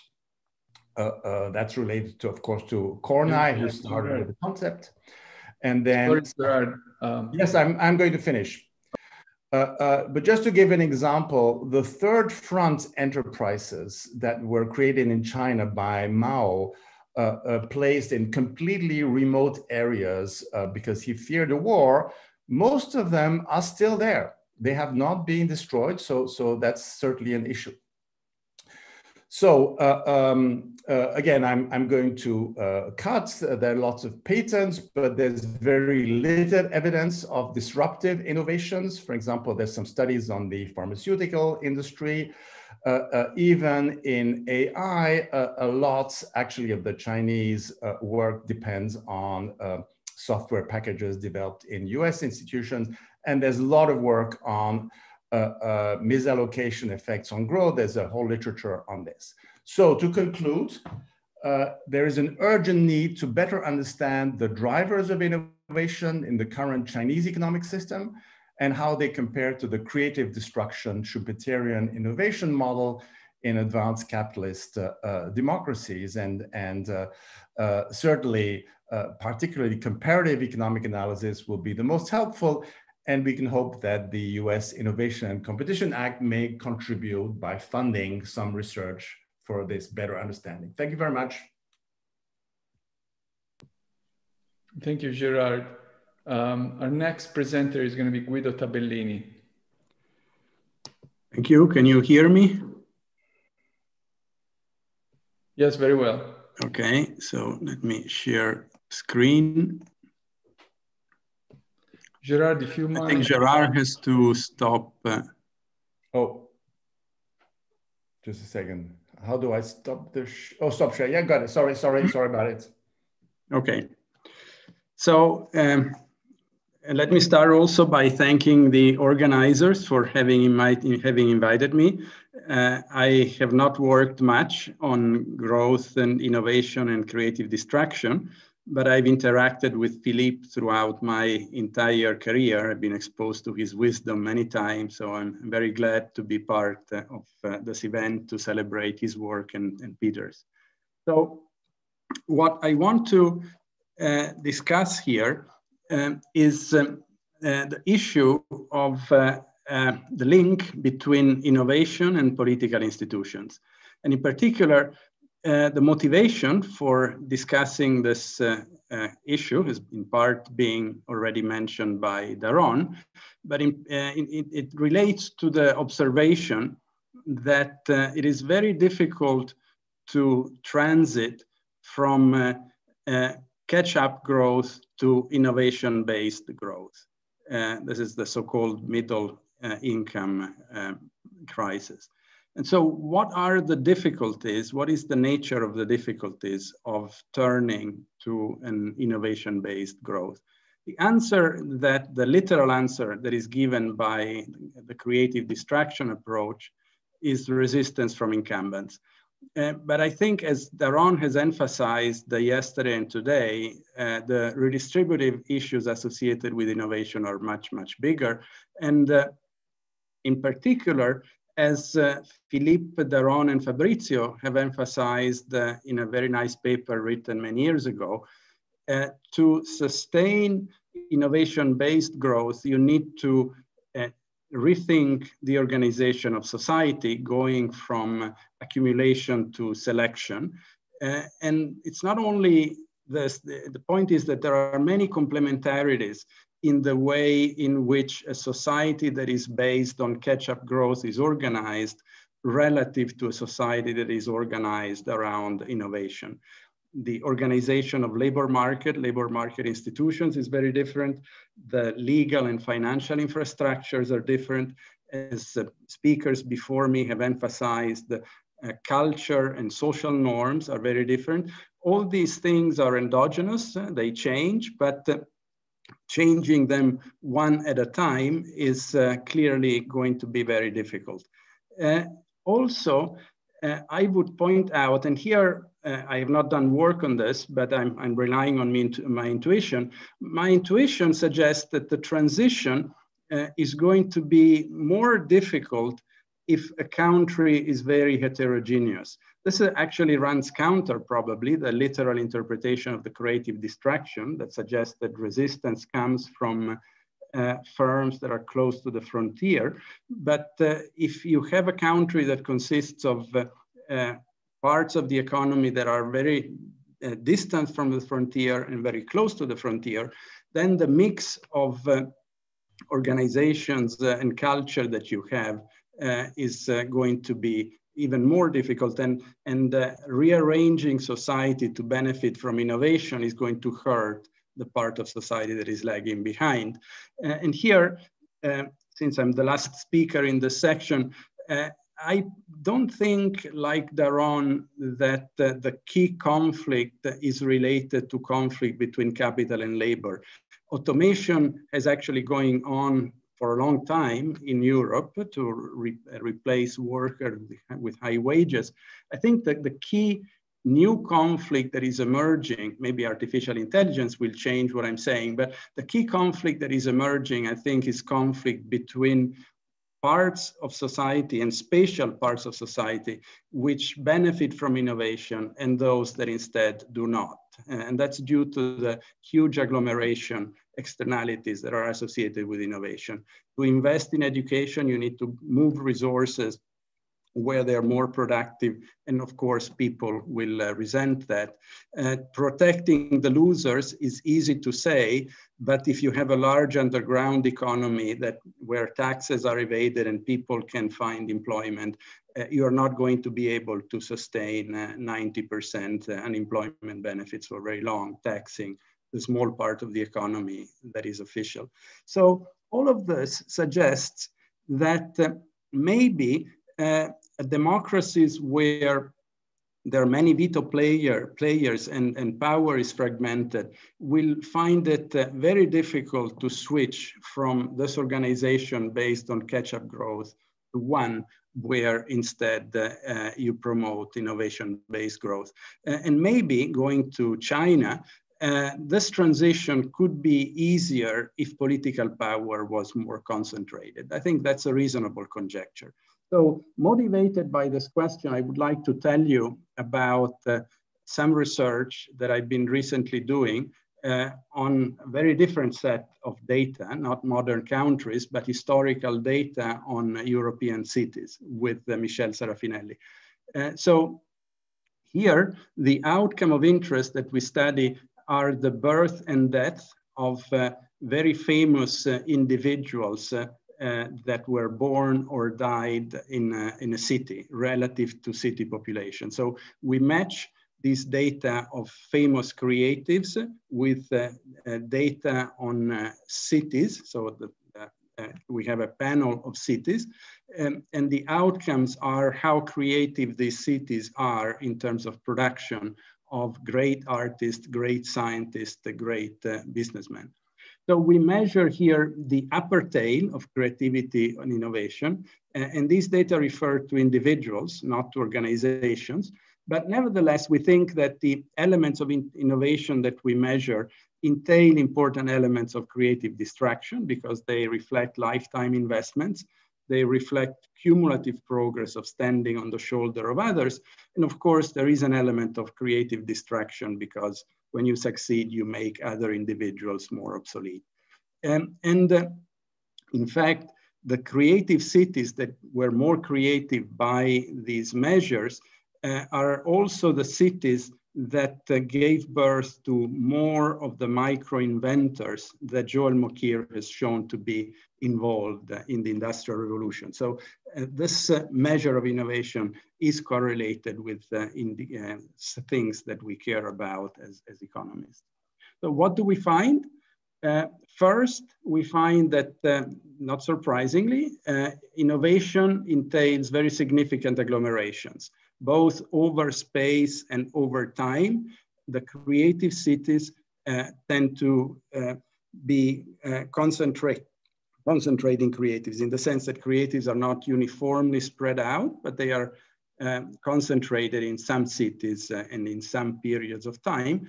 Uh, and uh, this concentration is also across disciplines. So the uh, creative cities in one field are also more creative in other fields. Second, creativity is persistent, but less so than city size. Third, and perhaps uh, more surprisingly, uh, the rise of creativity is not preceded by economic prosperity, uh, measured by city population, but also measured by wages, which are available at more disaggregated time uh, intervals. And finally, coming to political institutions, uh, the burst of uh, creativity tends to be preceded by changes in the city political institutions, uh, and in particular, it's uh, associated with becoming a commune. Communes, as you know, had the city institutions that protect the economic and political freedoms of individuals, provide autonomy, and also provide checks and balances uh, uh against executive authority. So this is uh, uh, an instance of the data that what, what the data suggests in an event study. So zero would be the event of the transition into commune status. Uh, city institutions are measured at the beginning of the century and the, the flow, the birth of creatives is measured throughout the century. So this means that the, the date zero, where the transition occurred, uh, referred to a city that became a commune sometimes during the previous century. Uh, and uh, as you see, uh, there is an increase in the birth of creativity and there are similar uh, effects with regard to the attraction of creative immigrants. Of course, unobserved heterogeneity is a, is a big uh, concern, so we cannot claim causality all the way here. We can, however, go one step closer towards uh, causality by thinking uh, of instruments for uh, these city institutions. And so uh, we rely on uh, the regional incidence of commune controlling for regional creativity as uh, an instrument with the idea that these transitions typically reflect vacuum of powers or spillover effects from neighboring cities.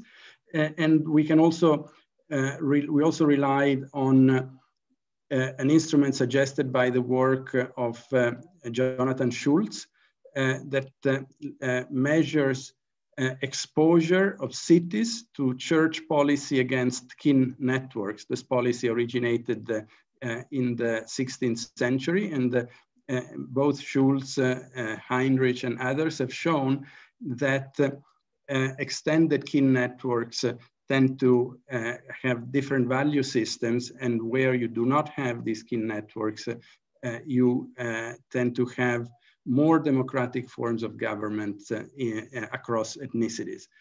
so relying on these two instruments, um, the results are, are even stronger. So I think we have come to the end of the session. Summarizing, I think that uh, in modern democracies, we often see widespread opposition to innovation-based growth. This is because of the extensive complementarities that are associated with transitions from one mode of growth to another. Uh, but uh, historical data, the, his the, lessons from history suggests that uh, political freedoms and checks and balances are important to sustain innovation. Uh, and so uh, thinking about uh, modern China would suggest that maybe uh, it is not so obvious that concentration of political power would be beneficial to sustain the growth-based innovation. Let me stop here. Thank you, Guido. And our session on uh, uh, the political economy of creative destruction has come to, hand, to an end. Uh, I would like to thank you everybody for listening. Uh, John and Ufuk, back to you. Okay, well, you, have actually ended two minutes early, but uh, the chair has discretion over these things. So I think uh, we have now a, a 15 minute break again, if I've got it right. If it can correct me before the start of the next session, is that right? I don't hear anybody contradicting me, so I think that's true. That's, that's correct. Uh, yes, that's correct. So uh, it will. Let's reconvene in about 15 or 16 minutes for the final session of the day on uh, growth and the environment. So thanks everybody very much and uh, see you soon. And as I said, you can continue chatting during the break if you uh, if you if you want to. Okay.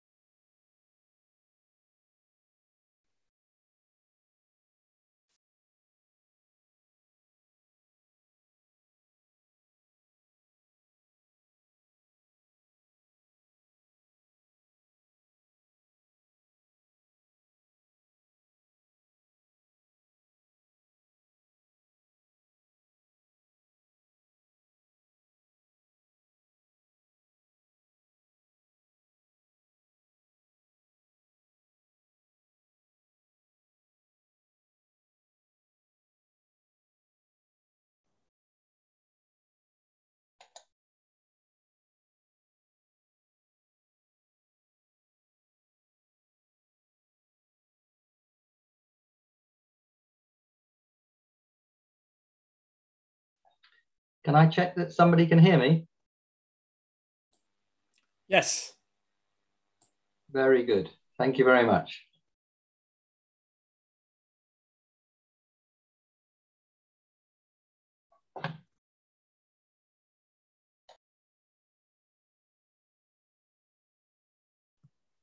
Hi, Nick. How are you?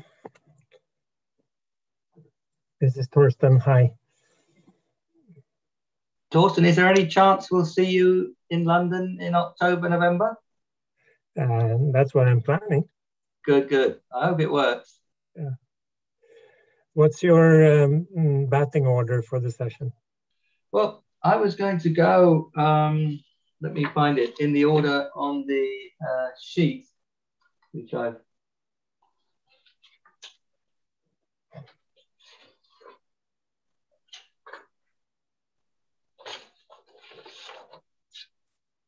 yeah, and putting you and Tim together, then on this um, uh, program, it would be you and Tim first, then Antoine, then John Hassler, uh, and then uh, then me. Isn't that right? Yeah. Okay, that's good. Then I'm prepared. And Nick, you know, Tor- Torsten is presenting. I'm not. I'm. I'm just going to grin and, and look happy, but he's going to actually present. Yeah, that's fine. You you you'll do it beautifully, Tim. Um, but the I, I I am right. I hope that there are four papers: Antoine and colleagues, John Hassler, Besley Persson, and myself. Yeah, I'm I'm co-presenting with Antoine. Oh, very good. So you you'll do it together, David. Yeah, we'll do it together, and I'll do the I'll do the first part actually. Okay, very good. And it's it's really quite important that we manage to get all the presentations done within 45 minutes.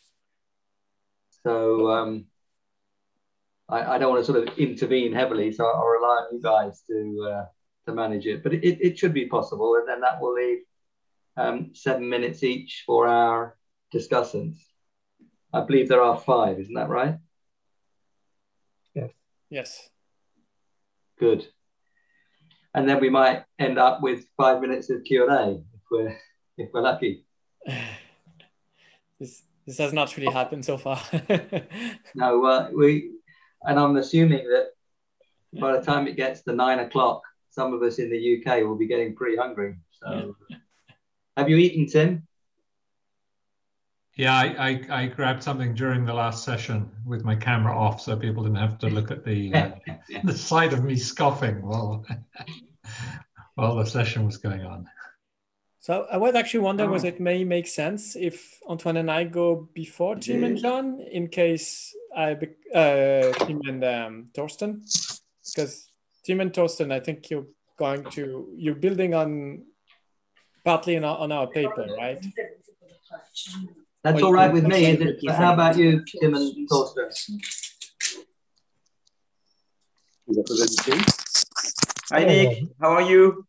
Salut, Philippe. All right. Hello. Hey, Philippe. Hey. Hi, everybody. Hi. Hi, Torsten. Hi, David. Hi, guys. So, Hi, team. David, did you have some suggestion for? Hi, Philippe. Hi, John. Hi. Was there a rearrangement of the order? No, I was just wondering about. So I didn't. I don't know how much Torsten and uh, and Tim's presentation is building on our on uh, our paper. In which case, uh, it would have made sense maybe that we go first. But if they don't build much on it, then it's completely fine to stay with the current uh, order. Uh, it's on topic. It's related, but uh, on what you say is not related. Okay, so then you can. Uh, so we you should go ahead. Okay, so we, we, we start with Torsten and Tim. Yeah, yeah, and then Antoine and David, then John, then myself. Is that all right? Yeah. Uh, Dav uh, David will go before me. He does the first part. Nick. Oh, okay. So David and then Antoine right? Correct.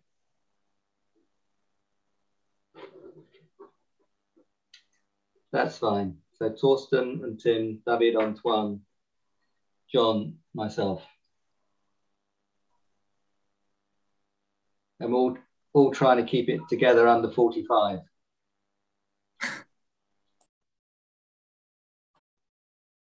and we have the, is it uh, Roland, Patrick, Christian, Roger, and Ralf as the commentators? Philippe, I'm just checking those five commentators, yeah? That's what I have. Yeah, absolutely. This is the I- most, I, um, this is the most packed session, isn't it? Yeah, so we have to try, we have to try and have some discipline if we can. So, well, I was hoping that each commentator could keep it down to seven minutes, if that's possible. But you have a last session. Yeah, but then some people, you know, need to eat. Some people need to sleep. Huh? Can you hear me? Yes, Roland, we can. Okay.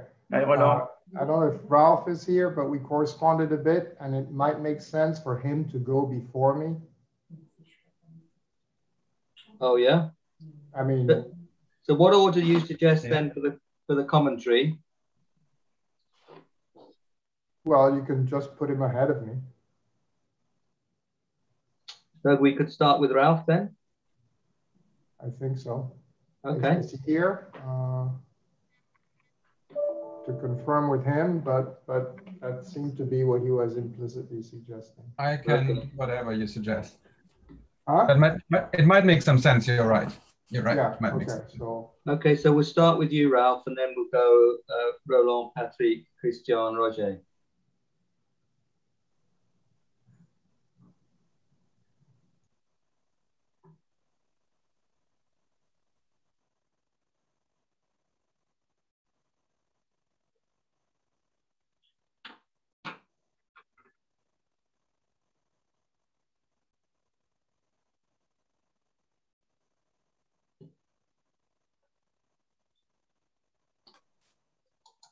Ralf, um, were you going to speak about the spillover stuff? Because I have a couple of slides on this in my presentation, but I'm happy to skip it. And you know, I, I'm sure Nick will be happy if I uh, speak for two minutes less uh, if you have it covered.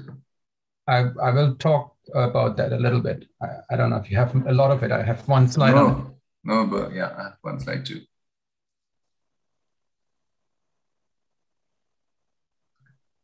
Are we missing anybody? I can't see. I don't see Roger. I can see it. I don't see his face. There's a there's a tableau that says Roger. He's connected. Yeah, Roger, tu es là?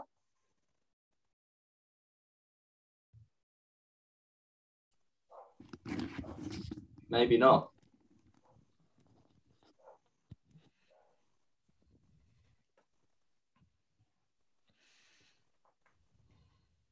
Oh, there's Roger. All good. And Patrick. Excellent. You can see Christian. Salut, Christian. Bonjour, bonsoir. Bonsoir, Christian. Bonsoir, Patrick. So I think we've got everybody, haven't we? Yeah, I think we're core it. So uh, you can take it away whenever you want to, Nick. We're actually one minute ahead of schedule, so I'll leave it to your discretion. Yeah, it's gone now. It's 1930. So let's Go- begin. go for it. Let's begin. So we've got a tremendous group here, and everybody turns out uh, for Philippe Aghion and Pete Howitt. And um, we are going to move fast, um, uh, asking everybody as presenters to stay inside the 10 minutes. If they're two presenters, they can have another two, three minutes, but um, we've got to try to stay absolutely within 45 because we've got um, five splendid um, panelists. And if they keep to seven minutes, we'll just about have five minutes left at the end for uh, questions if there are any. So it's all very tight. So relying on you. So um, Torsten, would you like to take us away?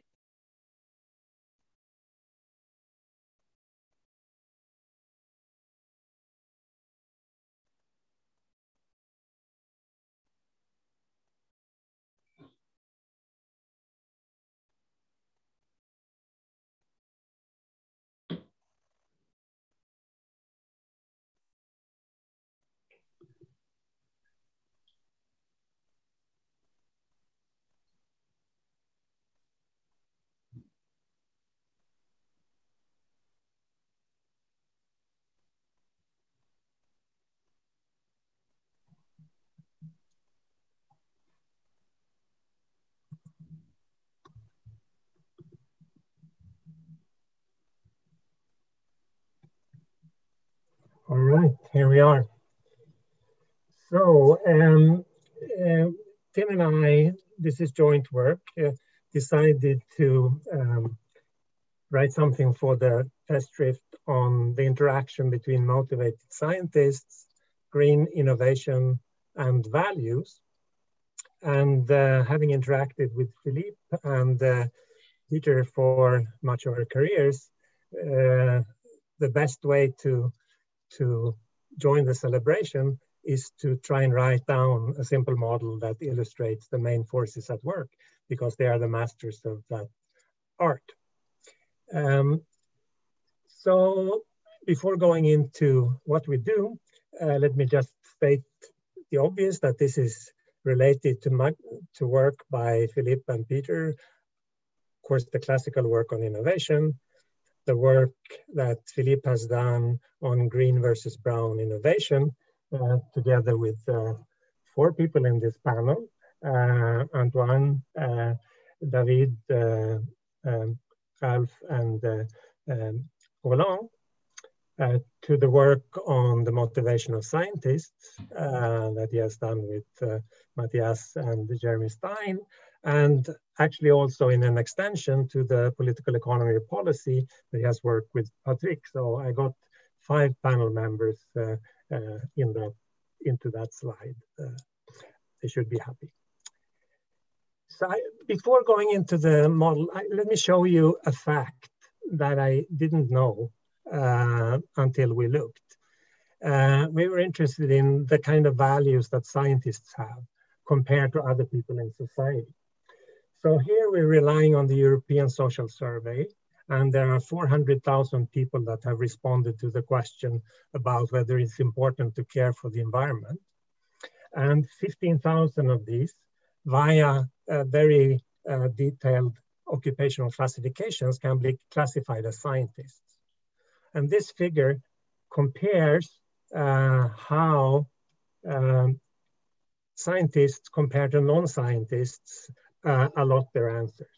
And as you can see, uh, the scientists uh, are overrepresented at the high um, levels of this scale, and they're underrepresented on the low levels of this scale. So in other words, uh, it's a rightward shift of distribution of how important uh, scientists think that the uh, environment is relative to others. And this is, uh, has been tortured a bit, uh, the data with uh, country fixed effects, with year fixed effects, it holds up to the obvious demographics, to education, and to, and to income. so it seems to be a fact that scientists, relatively speaking, care for the environment. Now here is a, uh, a model, an attempt at a model overview. I cannot go through the details, so try to do the main thing in, in a graph. So it's going to be a simple setup where there are monopolistically competitive firms in two sectors. They produce varieties and have some monopoly power. But some of these firms produce green products, which do not pollute.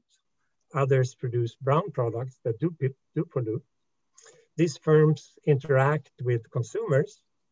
These consumers come in two types. Either they are green or they are brown.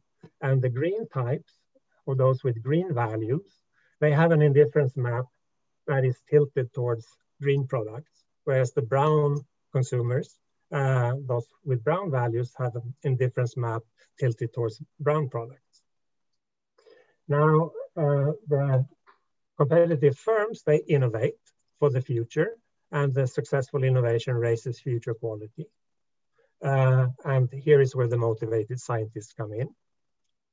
The current consumers socialize the future consumers who can then also turn green or brown.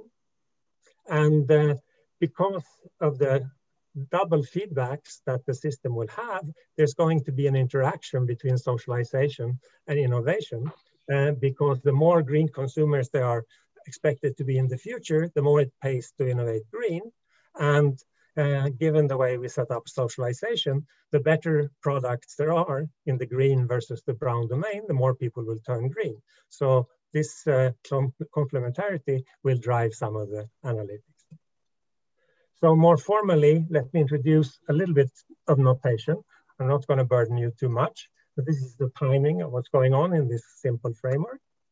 So we begin, sorry. We begin with uh, all the firms that are green with the same uh, quality level. We call that little q. And all the brown firms have the same quality level. Uh, that's uppercase Q. There is a current fraction of green consumers, which we call mu. So one minus mu are the brown consumers.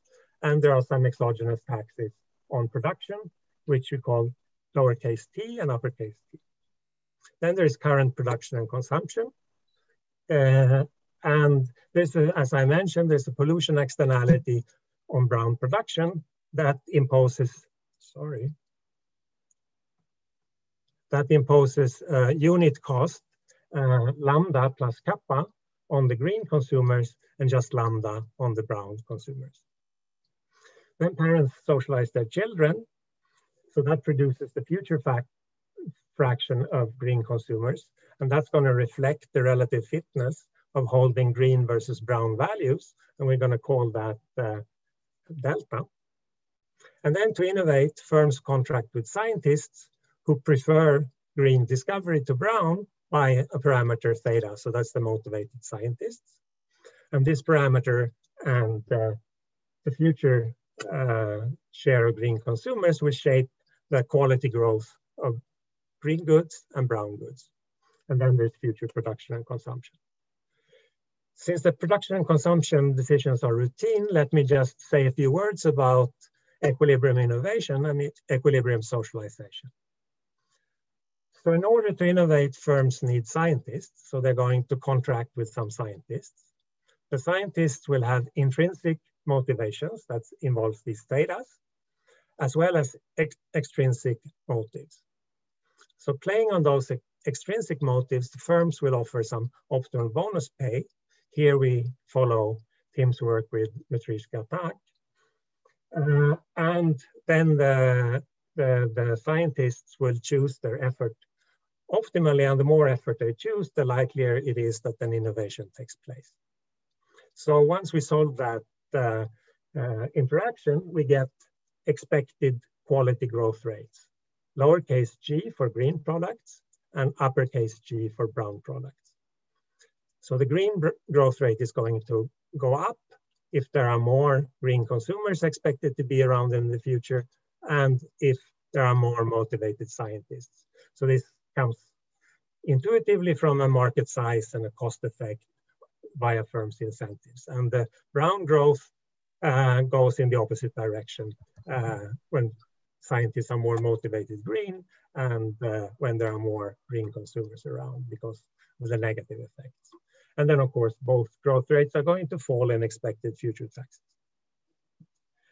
For the socialization, we can microfound this, but however you do it, uh, in many frameworks uh, that people have used in the literature, we get a kind of Darwinian uh, cultural evolution uh, of values.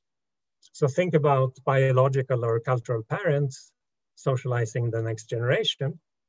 And uh, at the end of the day, the share of green consumers is going to go up if the fitness, meaning the relative expected utility of holding green values in the future for the offspring is positive. And it's going to go in the other direction if the fitness is negative. And we can solve nine minutes gone, Torsten. Uh, and we uh, can sign the way that these values go. Uh, and uh, there is a simple expression that involves the, uh, the relative growth rates and the extra um, extra punishment you, you feel as from pollution when you're green. So the important point here is that uh, that um, that um, the fitness goes up in the motivation of scientists and the share of green consumers. Now let me say two words about the com uh, comparative statics and the complementarity. So this system will have a two-way feedback as, as, you saw. So the fitness of the uh, of being green will rise in the share of green consumers via this market size effect and this effect on green innovation and quality. And at the same time, we just saw that the share of green consumers in the future will increase in that fitness. So we have a mutual feedback between values and between innovation. And this complementarity is going to amplify any shift we have. So let's consider more motivated scientists, so higher value of theta.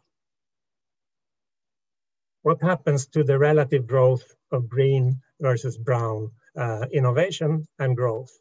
Well, they're going to increase, that relative growth rate for green is going to in, increase directly because of the innovation effect. But there's also going to be this feedback effect, a cultural multiplier, if you like. Now there's going to be uh, more fit to be green, so more people will become green, and this is going to further uh, uh, magnify the effect of the shift on innovation. So we realize that near a critical juncture where this fitness is close to zero, a shift could put society on a new path where the number of greens would go up rather than go down. Now, the, the, we do one extension of, of this uh, analysis, and uh, that's to uh, extend it with endogenous uh, taxes, where taxes are set in electoral competition. And the way we set it up, that political equilibrium will implement static Pigovian taxes. So taxes on brown will correct for the monopoly distortion, but they'll also correct for the externality and the marginal social cost that uh, goes with it. And the important points about this extension is that policy in each period will now reflect the green share. So this uh, uh, tax function on the brown Uh, uh, goods will be increasing in the share of green consumers. The other aspect is that current policy cannot target future outcomes. Politicians may want to do so, but they have neither commitment nor effective policy tools to implement it. And the, the, the additional thing we get for the analysis is an added amplification mechanism, a kind of political multiplier. So consider again how a shift in science, scientist motivation will shape relative green growth. We get the same effect as before, but then a third term.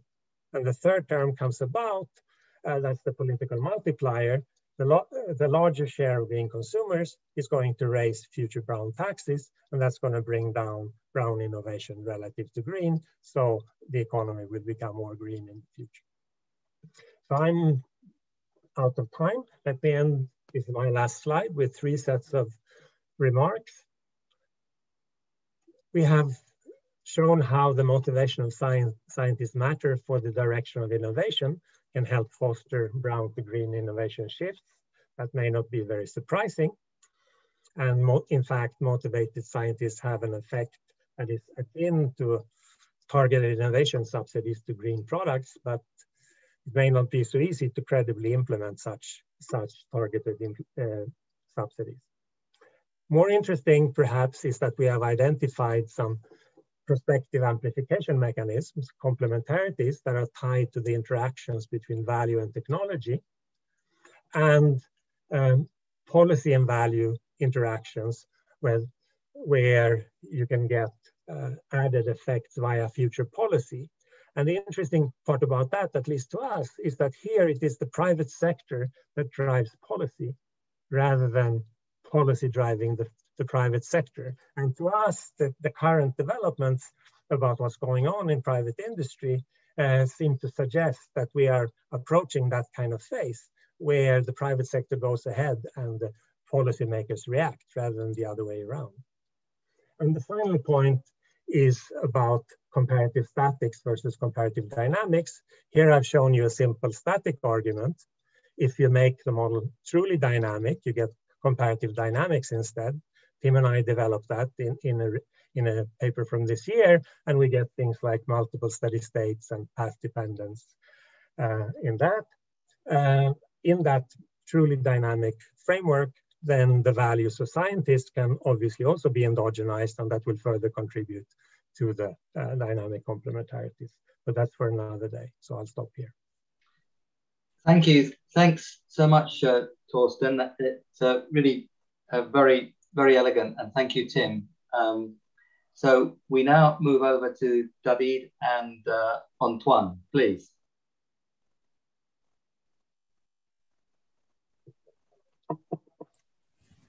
Hi.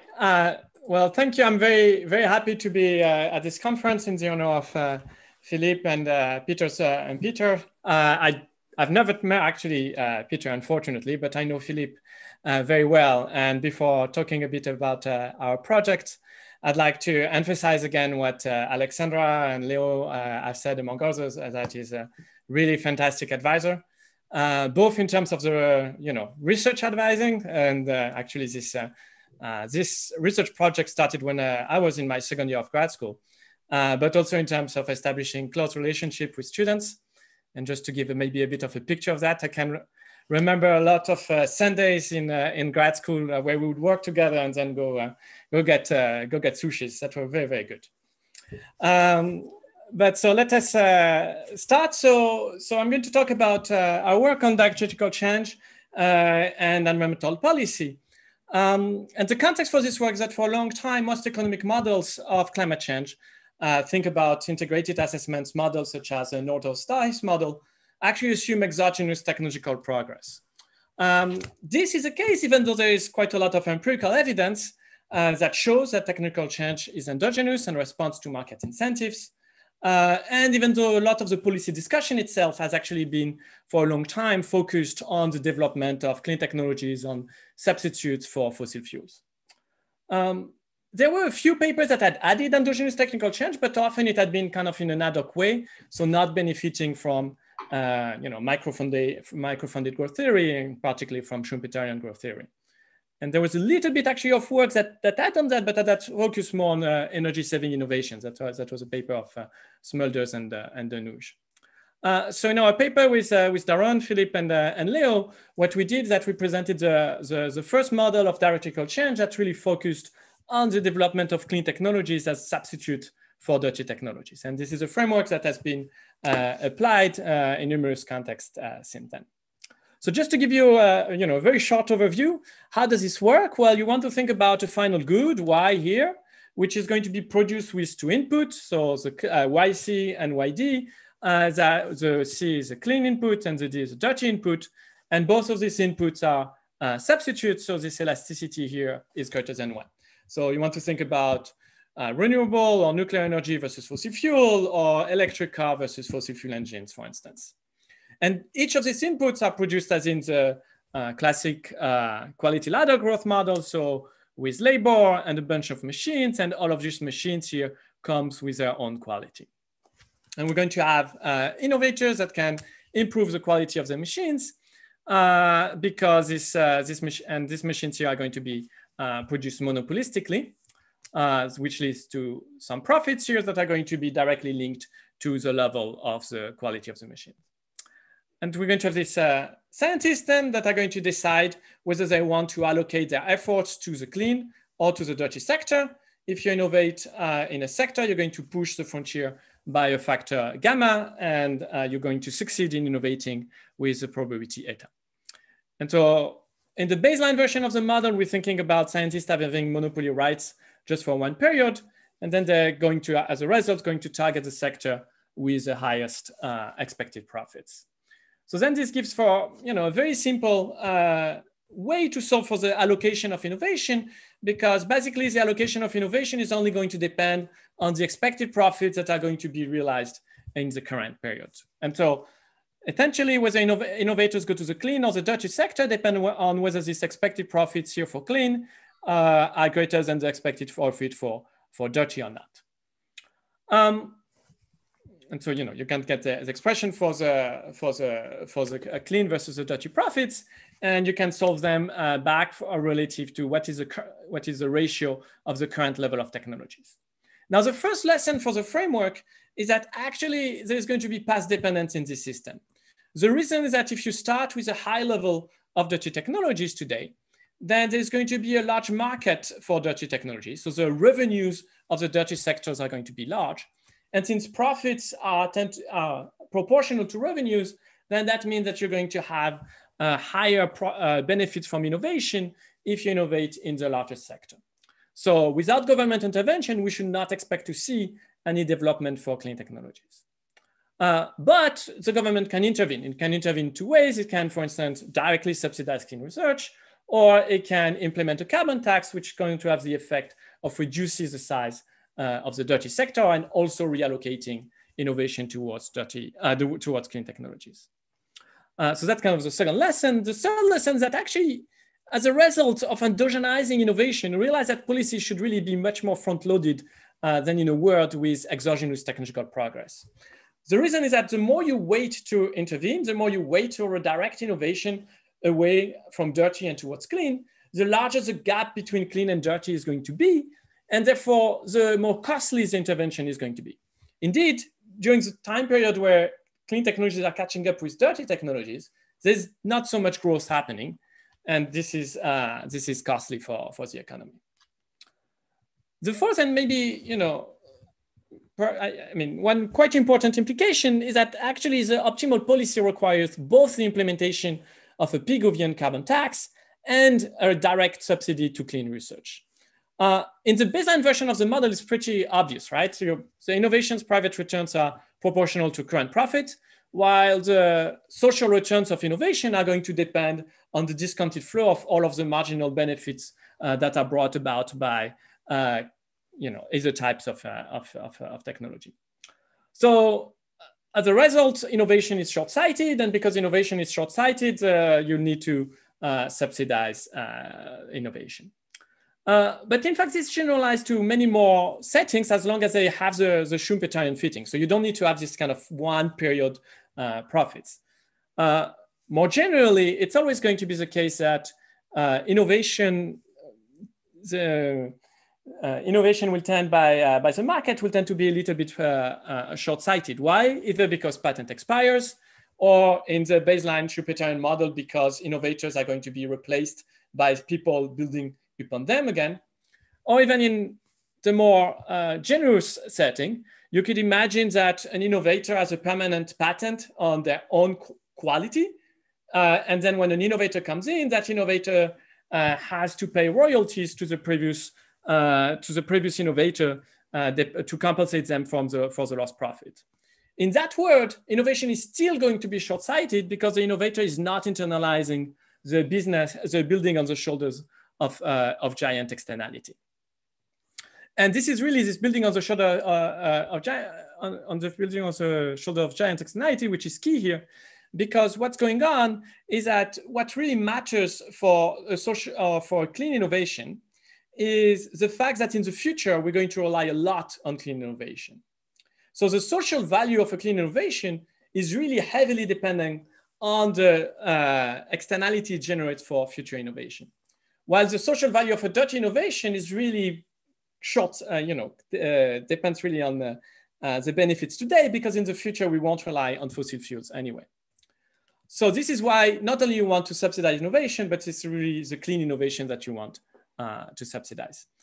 Uh, because I'm already running uh, quite a bit out of time, let me spend just a few words on different types of quantity of applications of this model.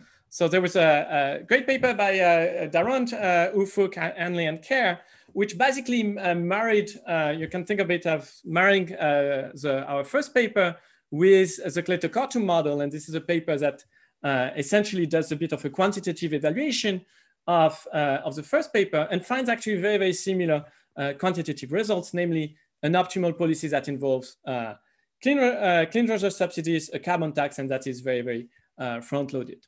Uh, there's a paper, a very interesting paper by Stephie Fried, which, who also built a directed technical change model, which has both clean and dirty technologies, but also energy-saving innovation in the spirit of, I guess, what John is going to talk a bit about later. Uh, that's, that's nine minutes, David. I'm at nine minutes. Yeah. So she basically uses this uh, this paper to show, um, yeah, to to in she can she basically uses uh, the oil shocks of the 70s to calibrate a model and then uh, study climate policy from then. We're currently working on uh, some project with Daron and Philippe and Lint Barrage where we're looking at the effect similarly of the of the shale gas uh, boom in the US. Uh, but I'm going to, to skip uh, now and let, uh, let Antoine talk because I'm taking all of his time. So here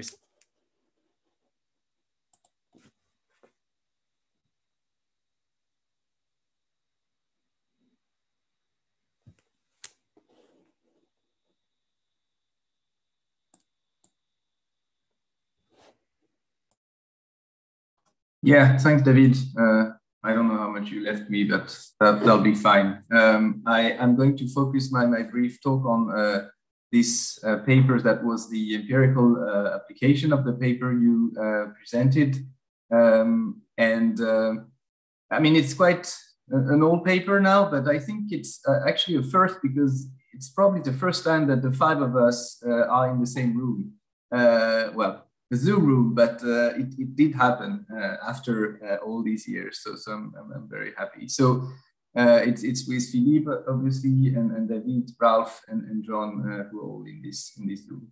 Um, so, so what we did here is, you know, we tried to uh, look at empirically using firm level data at exactly this question of, you know, whether firms respond to, to policies by redirecting innovation um, and, and also at the same time looking at this uh, path dependence uh, in innovation, which, uh, as, as, we saw, uh, you know, plays a very important role um, in, in, in, this type of uh, model. And we uh, did this based on a, case study of the automobile industry, where we looked at, you know, dirty innovation versus clean innovation. Clean is, you know, electric, hybrid, hydrogen car, and, and dirty is internal combustion engine. And um, I'm going to go straight to the results. And, uh, and here it's, you know, really beautiful because we really have this uh, creative destruction, uh, you know, almost one for one at, at play in, in those uh, regression that I'm showing here, where we, you know, regress the, uh, the number of patent filings in either clean or dirty uh, technologies. on, on those you know variables and, and the first one here is the fuel price which you can think of as a you know, proxy for, for carbon price and carbon tax. And you see this you know, clearly positive effect on clean, negative impact on dirties. The coefficients are not exactly the same uh, despite all our efforts, uh, but uh, they, they, they are really of opposite sign and it's, it's, it's really uh, striking.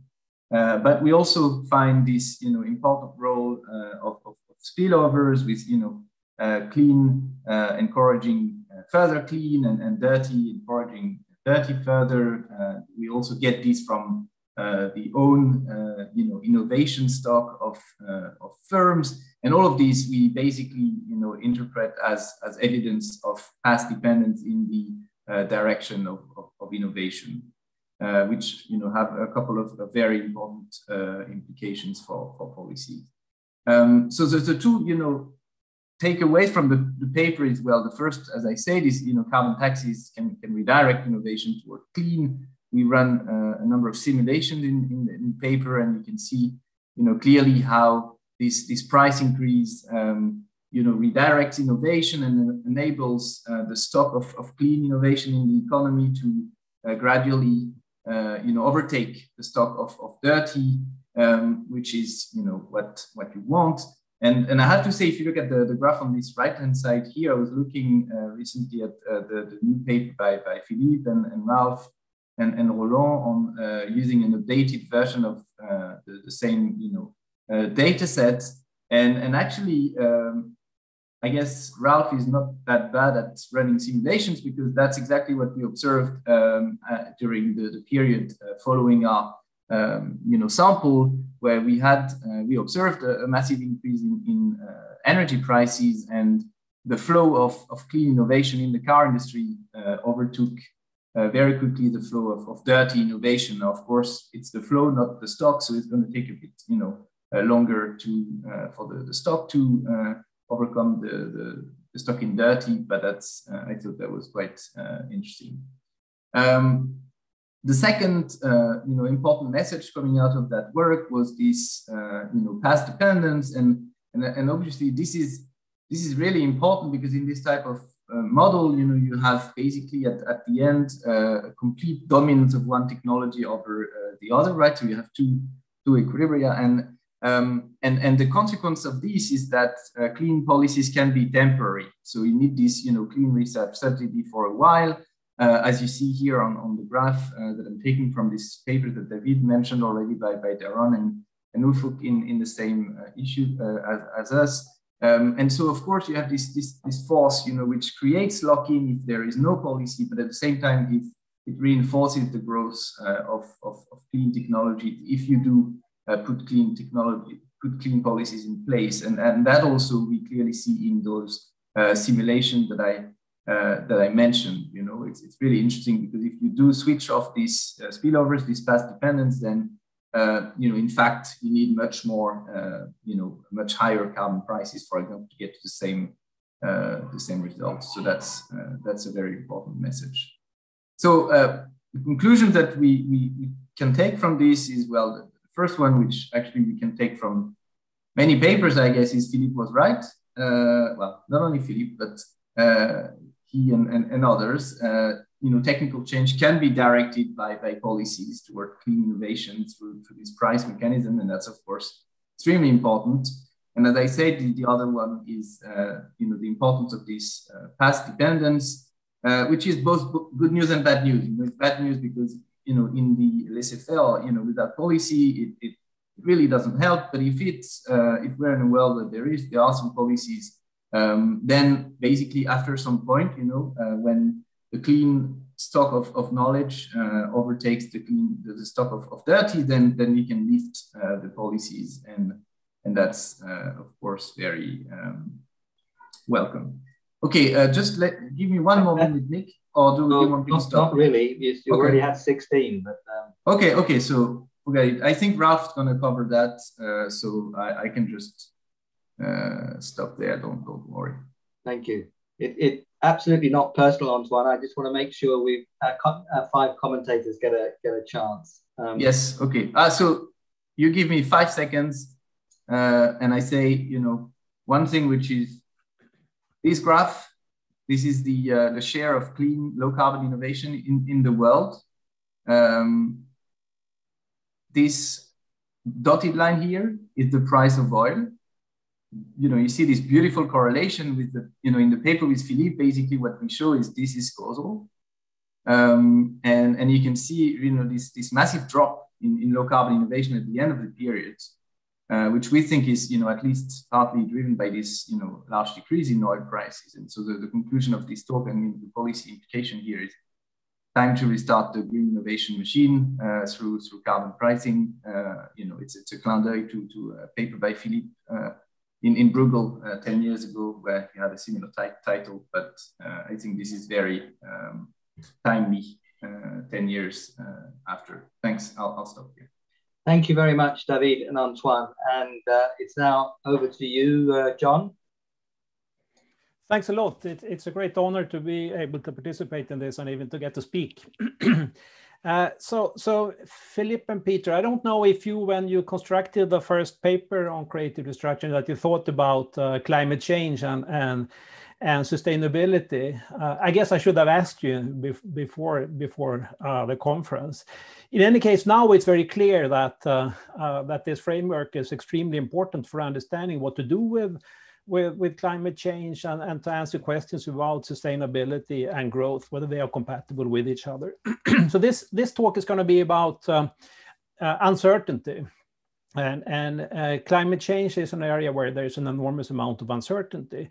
But let me start with a few things on uh, uh, on, on the relation between growth and sustainability. and, and, let me first uh, make an observation, and that is that uh, prices of most natural resources have uh, not traded, trended in a, in a long run historic perspective. So we see at the upper graph here uh, a price index of 47 minerals and energy co commodities. And apart from some spikes, including a fairly recent one, there's no, no trend. And the same thing in, in the real oil price.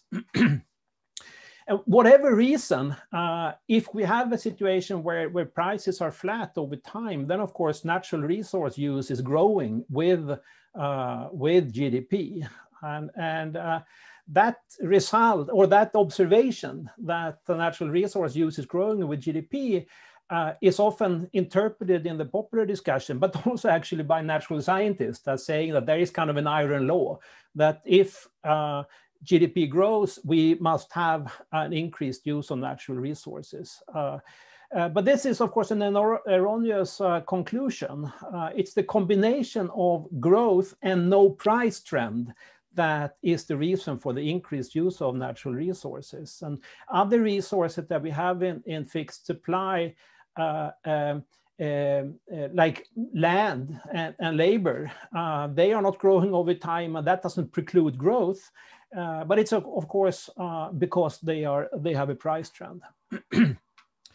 uh, we don't really know exactly why prices have been so stagnant, but in some important cases, uh, we know that the lack of the in, of this increase in price trend uh, reflects market failures, uh, implying then unsustainable overuse. And, and, a, and a key example is, of course, the lack of pricing of atmosphere's limited capacity to absorb CO2. And, and uh, we have in previous work shown that uh, the price really should uh, not only be non-zero, it should also grow at the rate of GDP. And it is this market failure, the, the absence of such a price, not growth, that is the root cause of the problem. But of course, growth typically makes the problem worse if we uh, if we don't with the the, the, the consequences of market failure. so now let me come to, to climate change and policy. Uh, clearly now we know that uh, climate change is for real, uh, but we also know that um, kind of the best guess of the global aggregate consequences of, of, uh, of uh, uh, uh, climate change is that probably these consequences are in the aggregate not very large. Uh, and this is confirmed by the IPCC report uh, that came a couple of years ago, consistent with the 1.5 degree target, saying that probably we have 0.2 to 2% GDP losses uh, from 2% uh, warming. And here, kind of non-measured things uh, uh, are, are included too. So it's, we should in, not interpret it as exactly GDP, but kind of the losses are in this order of magnitude. But there is an enormous amount of uncertainty about the climate sensitivity to emissions and the sensitivity of welfare to climate change. And, and that, of course, will, will imply that since we really need to set policy in advance of knowing the climate sensitivity and how sensitive welfare is to climate change, policy will ex post uh, most likely turn out to be sub, suboptimal, uh, too loose or too hard. And, and what we have been focusing on in recent work is the, the cost of such policy mistakes. so this is, uh, uh, we have, have a couple of papers uh, uh, and, and this is the most recent one on this. And this curve uh, shows uh, what the loss, the, the caused by the policy mistake of not having a carbon price in place, so basically no uh, policy, while it turns out that we have high sensitivities, both in terms of climate sensitivity and welfare sensitivity. So you see here that this, and this of course comes on top of the consequences of, of, of climate change. So this is just the cost of the policy mistake. And it's pretty, pretty large and pretty fast increasing. The opposite policy mistake, namely to kind of to precautionary put a relatively ambitious climate policy in place. And it turns out that this was uh, not necessary because climate sensitivity and welfare sensitivities were low. The cost of that is, is, is much lower. and here we're not talking about kind of extreme uh, uh, uh cases. This uh, uh, the sensitivities here are within what IPCC calls a, a, a 67% uh, confidence interval. So we see very asymmetric costs of policy mistakes, and, and that implies that an ambitious climate policy is a cheap insurance against the possibility of high sensitivities. And why is insurance so cheap? Well, that's very much related to, to the things that we have heard about today and know from, from the work of, of, of and, and Peter, namely that the price on emissions redirects R&D. Uh, and and, and, and we have in a paper that just was accepted in JP shown also that that, that actually allows long run growth, that mechanism also if energy use must fall, which we don't really know if that's going to be the case. So the preliminary conclusion is that the economy is flexible in the long run due to uh, directed technical change, and that carbon pricing steers R&D right, and, and that's, that's not a very costly mechanism, provided that sufficient time is allowed. Uh, so a transition to climate neutrality over, say, three decades uh, is then doable and will not have large consequences for economic growth. and a successful implementation of such a transformation of, of the economy will probably keep the global mean temperature below two degrees and climate damages manageable. But there's so much uncertainty, so it may be the case that such a plan is insufficient. Uh, so we have seen recently a couple of plans, IMF and IEA, uh, uh, uh, for uh, climate neutrality take going over these three decades. And, and, the purpose is then to stay below one and a half degrees. Uh, and that work, that's going to work if climate sensitivity is in the middle of IPCC's uncertainty range. And of course, that implies that we have 50% chance to stay below one and a half degrees. Uh, and I, I, uh, if you take a wider uncertainty interval than the, the one I use, so say 95% uncertainty interval for the climate sensitivity, then we cannot rule out three degrees by, by 2100 under that fairly ambitious uh, IEA and IMF uh, net zero by 50 plan. and with current policies and a climate sensitivity in the upper end of the 95% interval, then temperature is up by five degrees by 2100. And we don't really want to go there. Uh, we don't know what's going to happen, but uh, we don't want to go there. So in worst case, we need, I think, uh, one or rather many plan Bs if uh, it turns out that the climate sensitivity is higher than we expected, that the vulnerability of, of, of welfare to climate change is, is more severe than we th thought, or if international political cooperation in this area breaks down. Uh, and there, I can think of two strands of, of plan Bs. One is direct air capture, uh, so sucking out CO2 from the, from the, from the atmosphere. And the other one is solar radiation management. And, and Marty Weitzman has been um, proposing one variant of that, namely to have aerosols uh, uh, sprayed into the atmosphere. I'm going to talk about another uh, variant, the two minutes or so I have left, and that is to put sunshades in space. And this is uh, uh, to just block part of the sun incoming sunlight to compensate for the global warming. And this is this is um, this is based on work uh, by uh, uh, a person that I have recently started collaborating with, namely uh, Christer Fuglesang, who is a, a, professor in astrophysics, but but also actually the first Swedish astronaut. So so you can see him, my my co-author here to the right. Uh, so it's a nice picture, I think. So is this a new idea? No, uh, but it was uh, believed to be too expensive. Uh, and previously launch costs were uh, uh, for things out in space were $10,000 per, per kilo, but they have fallen quite a lot. They have already fallen by, by 80%. And, and we now know that private rockets are much cheaper than NASA's, which I guess wouldn't come to a surprise, uh, at least not to, to Peter and Philippe. Uh, and Elon Musk uh, has has now a project with reusable spaceships, and he claims that costs can fall further quite dramatically, perhaps to 50 or even $20 per kilo. So where to put the shades? Well, orbits around Earth is, is not so good. Uh, it's better to put them in what's called the Lagrange point uh, on a line between Sun and Earth where the gravitational force is balanced. It's around four times the distance to the moon or something like that. And then they are always in zenith, but too far away uh, to be visible. And, and they, when they are there, uh, positions can be adjusted uh, to, for example, shade the poles more that uh, tend to, to suffer more perhaps from, uh, from, from, from climate change. How large do they have to be? Well, it depends on how much shading you need uh, to neutralize a doubling of the atmospheric CO2 concentration. Now it's up around 50%. You need to shade off 1% of the solar inflow. Uh, but this, this is scalable. Uh, and you need big shades then, six times the area of France around. And, and that's going to be um, uh, uh, done by 500 million shades, each sized like a football field.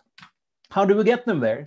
Well, we uh, do that by using Elon Musk's rockets, half a million of them, uh, half a million of launches uh, to low Earth orbit. And from there, they sail to the Lagrange point using what's called solar radiation pressure, which bas basically is that the photons bounce on, on the sail and that causes a pressure. And then swarm technology and this solar radiation pressure can use, be used for, for maneuvering. It takes around 600 days for these sails to, to go to the Lagrange point. And this, this, this we already know works. Uh, so this is a light sail technology uh, that has already been launched and actually crowdfunded. So that's kind of interesting. How, how much does it cost? Well, uh, these shades, six times the area of France, they're gonna weigh around 50 million tons.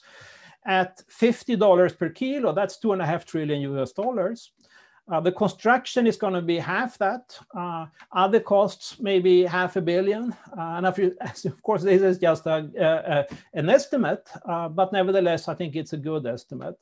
So five trillion US dollars over five years. Uh, and actually, Christer, when he first called me up, he asked me, "Is this a lot?" And I told him it's not.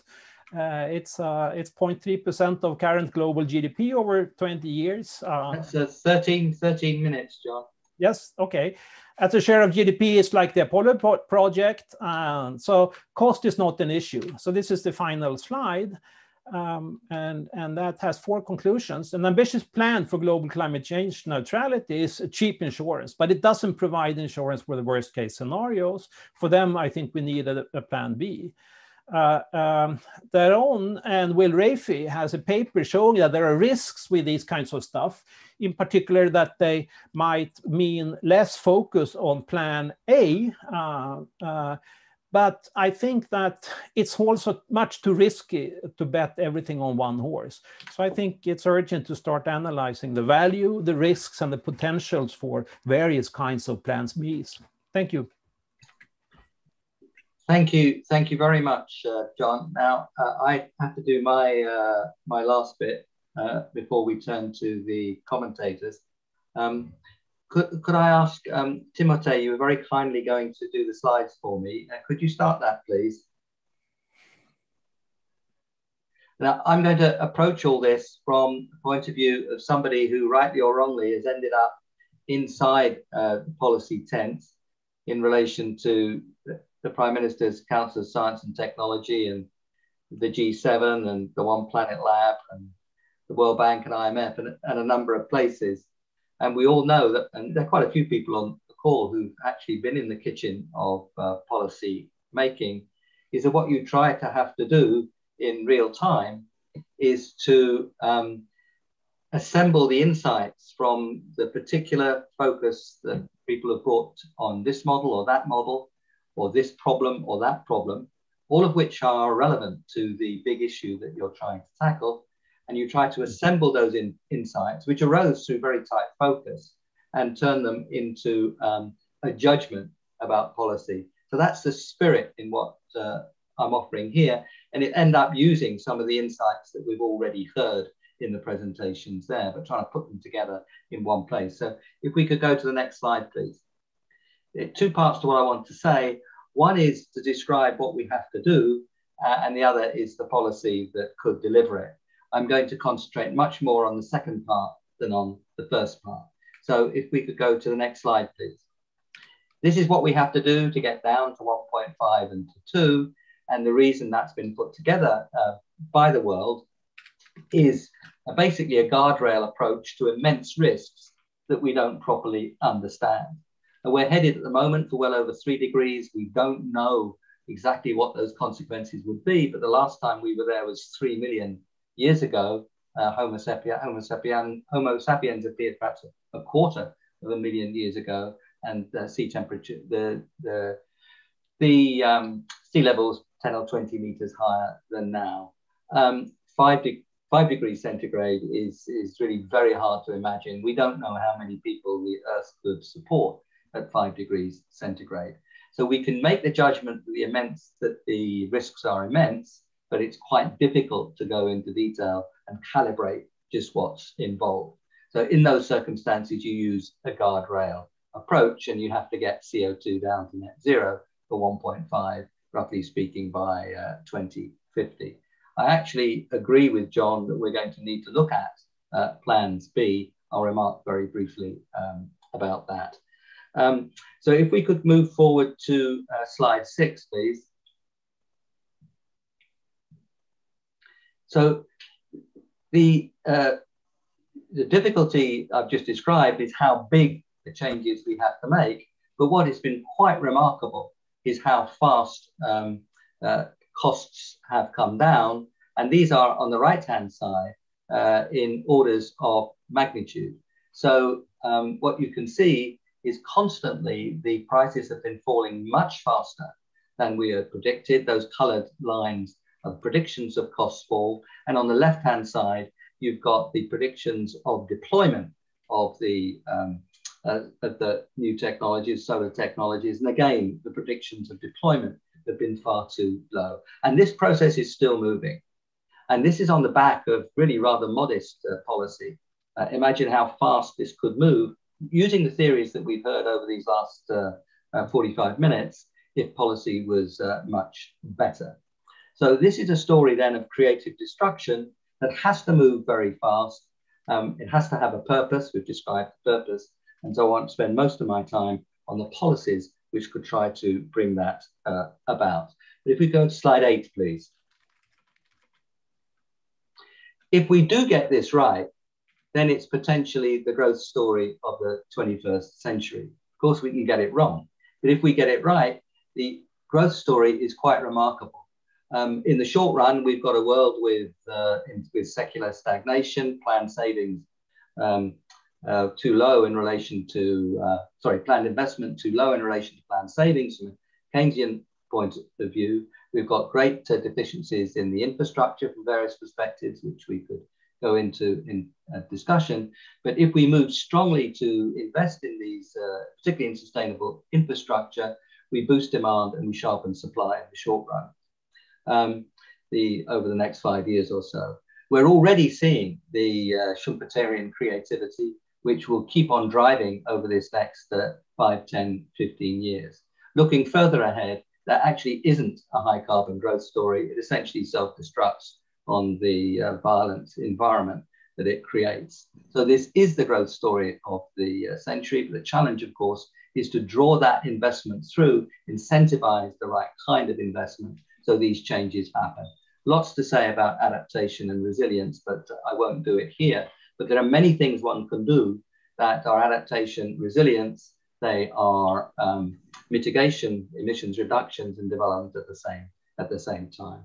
So if we could move to slide 10, please. So let's move on to how we can actually do all this. Well, clearly we have to invest strongly and it has to be innovative investment.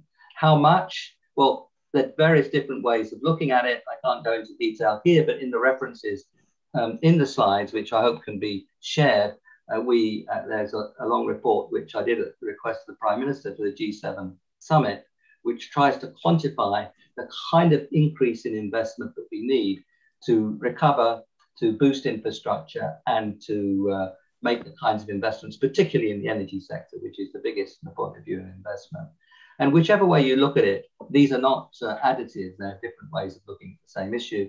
You find that um, you're talking about increasing the rate of investment over this next decade and probably a fair bit beyond that by two percentage points or so of GDP.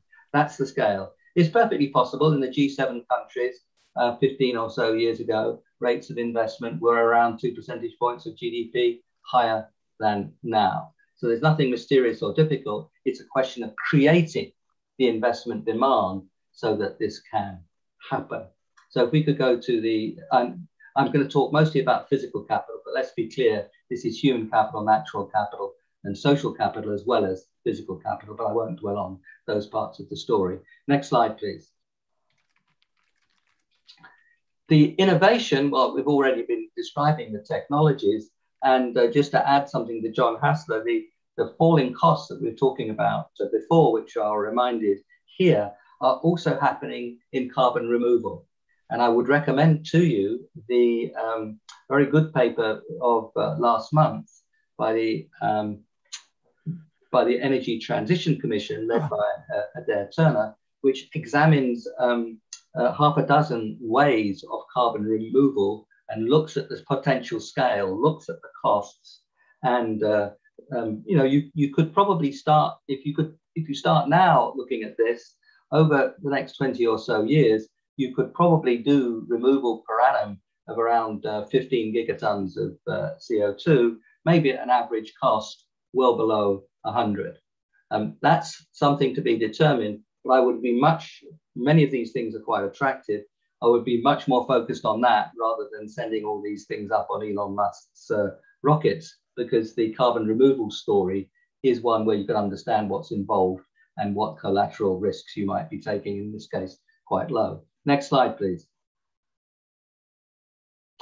So uh, I can't dwell on this, but the political economy of these processes, if you're changing the structure of your economy very quickly, then that's involved with dislocation, dislocation of consumers through changing relative prices, dislocation of workers. There's a real political economy story and a justice story there that you have to handle. Uh, next slide, please. Now, this is basically reminding that we have at the top of the list the uh, market failure associated with greenhouse gases. That's where we start. That's number one. But there are at least five other very important externalities. R&D we've uh, already been considering. I worked well on that.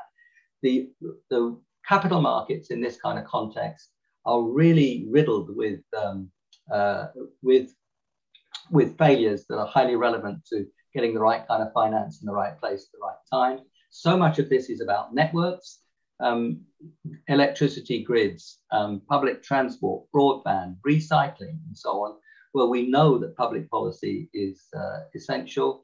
Information of what you buy and what is available are big issues. And this last one, co-benefits, which is quite a flat um, term, the costs of air pollution from burning fossil fuels are just immense. We probably kill ballpark 10 million a year, number of deaths per year in the world, a bit over 50 million. So 10 million are associated with air pollution, some inside the house, some outside the house. But that's a huge story of uh, co-benefits. So when we're thinking about policy, we have to think of this whole series of market failures. We also have to recognize that key markets are absent. And we should all know that um, a competitive equilibrium with absent markets uh, would not be expected to be Pareto efficient, just as an, an equilibrium with uh, market failures wouldn't expect to be Pareto um, efficient. And where you have absent markets, expectations are crucial. And you know whether you, are looking at uh, Hayek or Keynes or Harrod or, or, or wherever, the expectation story is crucial. And that means the declaration of the paths that we intend to follow uh, at the community level and at the world level are extremely important in drawing through the kinds of investment that we need. And collaboration is extremely important around those paths because the more we set off with the same kind of objectives, the more increasing returns to scale that we will uh, that we will uh, find both in discovery and in actual production, as we've seen very clearly in the numbers that uh, I illustrated earlier. Next slide, please. Um, there's a lot to say about fostering innovation beyond the kind of stories, very persuasive stories that we've already heard. Um, the electric power story, we can see what to do in many cases now, that it's much cheaper already in most in many places or most places than fossil fuels. But there's still a lot of obstacles in the way, for example, through the operation of grids. There's a big story of diffusion through understanding the obstacles to that diffusion actually happening. There are a lot of hard to abate sectors or significant hard to abate sectors around steel, cement, plastics, air and sea transport. There, uh, we really do need the, the process of discovery to kick in hard. The regulation and standards we've seen can be enormously important. Think of the incandescent light bulb being regulated out and leading very quickly to, uh, to LED. If you want to move fast, regulation can be, uh, can be very valuable. Also, we have to remember that a lot of the regulation that we uh, created was around monopoly, was around protecting consumers from privatized industries which were natural monopolies. We now have a challenge of regulation, which is to foster uh, fundamental change in the structure and techniques of production. And we have to recognize you can't get that simply by regulating one sector at a time. There's lots more to say on that. But if you, we're very good at offshore wind in the UK, you've got to get it onshore and you're dealing with local planning issues. You've got to move it around. Uh, if you're to have, if you're going to have electric vehicles, you've got to get the charging stations in there. Very different parts of the state will have to come in on that story, and they simply don't work together at the moment. So lots more to discuss there. Next slide, please. So this is the uh, an attempt at looking at a kind of agenda that we have to deal with. Much of it is happening. We've seen it in the last 45 minutes that we really are uh, tackling this.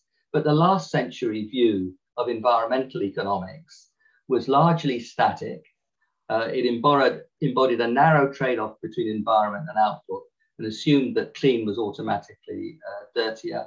You dealt mostly with a single market perfection, and you had a simply, simplistic view of free rider.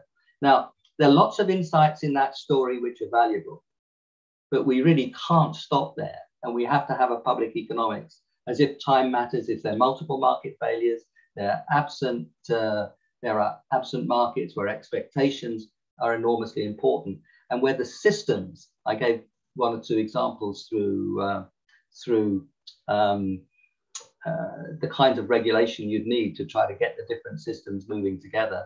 But there are big systems in there of uh, cities, uh, energy, transport, land, and how they interact one with another, where policy has to be uh, integrated. The tipping point story, I think we're starting to see very powerfully in both in, in, in the world and in the kind of models that we've just been uh, looking at. I really do think the absence of markets and the multiple market failures are something which we haven't done enough of, and we haven't done enough of the various complementary complementarities, and not only between technologies, but also between different forms of capital. Uh, next slide, please.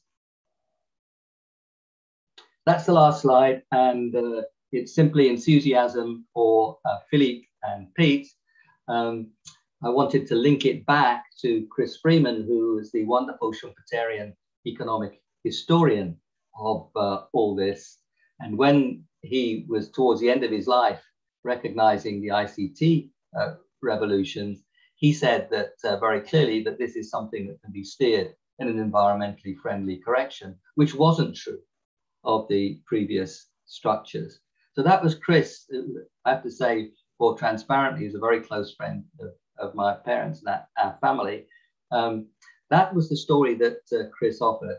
And I think that uh, Philippe and, and Pete and uh, so many others of you on this have actually taken that spirit forward because this now is a story where the uh, innovation and creative, creative destruction can be done with a purpose, must be done with pace, and will need strong focused public policy, which actually covers the whole economy. My apologies for overrunning um, and uh, let me uh, stop.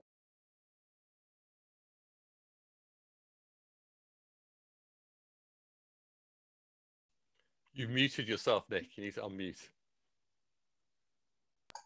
I, I muted myself in shame for over overrunning. But if we could, um, if we could turn now to our five splendid discussants Ralf, Roland, Patrick, Christian, and Roger. Ralf, please. Uh, hello. Um, let me try to share my screen as well.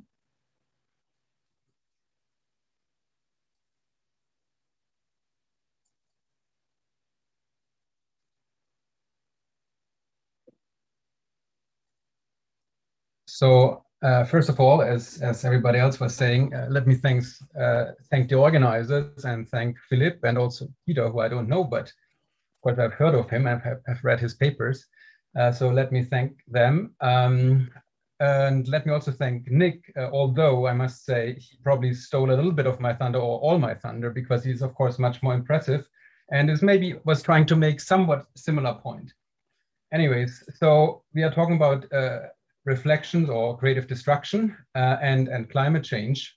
And uh, you know what, what is sort of standard creative destruction uh, is that we have creation first. We have a new innovation that comes in, and that will dis- destroy the old. Uh, and uh, as a consequence, you know, while destruction is bad, you know, we have growth, that's good. As we have heard in, in many presentations today, we might have uh, more inequality. We might also have less inequality. It's a bit ambiguous. But, you know, the overall net effect is sort of uh, that we have more growth. And hopefully, you know, even if we have more inequality, at least in, in theory, the, the growth should potentially be able to, to compensate uh, the losers, even though it doesn't always happen.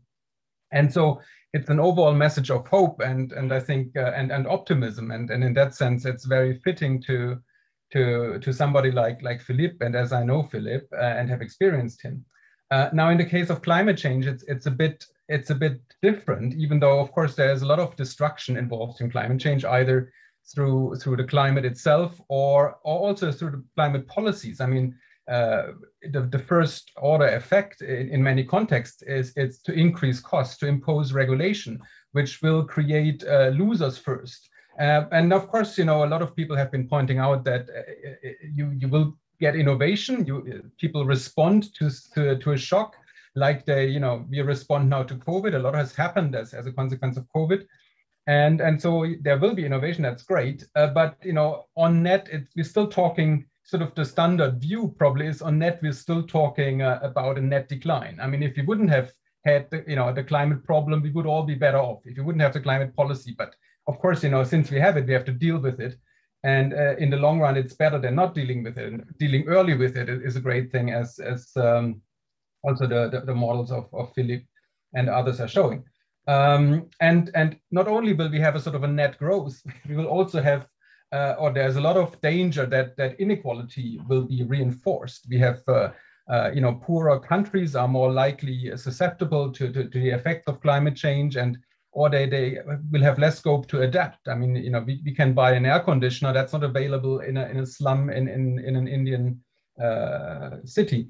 Um, so that that is sort of the worry. Um, uh, so, but is that, you know, is that necessarily what has to happen? And, and I think what what sort of um, Nick already has done much better is to point out uh, to a number of market failures that are sort of uh, simultaneously happening. And so if we can address some of these market failures as we address climate change, or if some of them are sort of uh, in a sort of particularly auspicious way, uh, then we might be able to actually come out of this stronger, uh, not only as sort of, you know, uh, as characters, but also in terms of economic growth. And, and sort of one sort of uh, avenue how this could work, which sort of uh, was, uh, I mean, Philippe, um, Antoine briefly mentioned it, comes out of our joint work.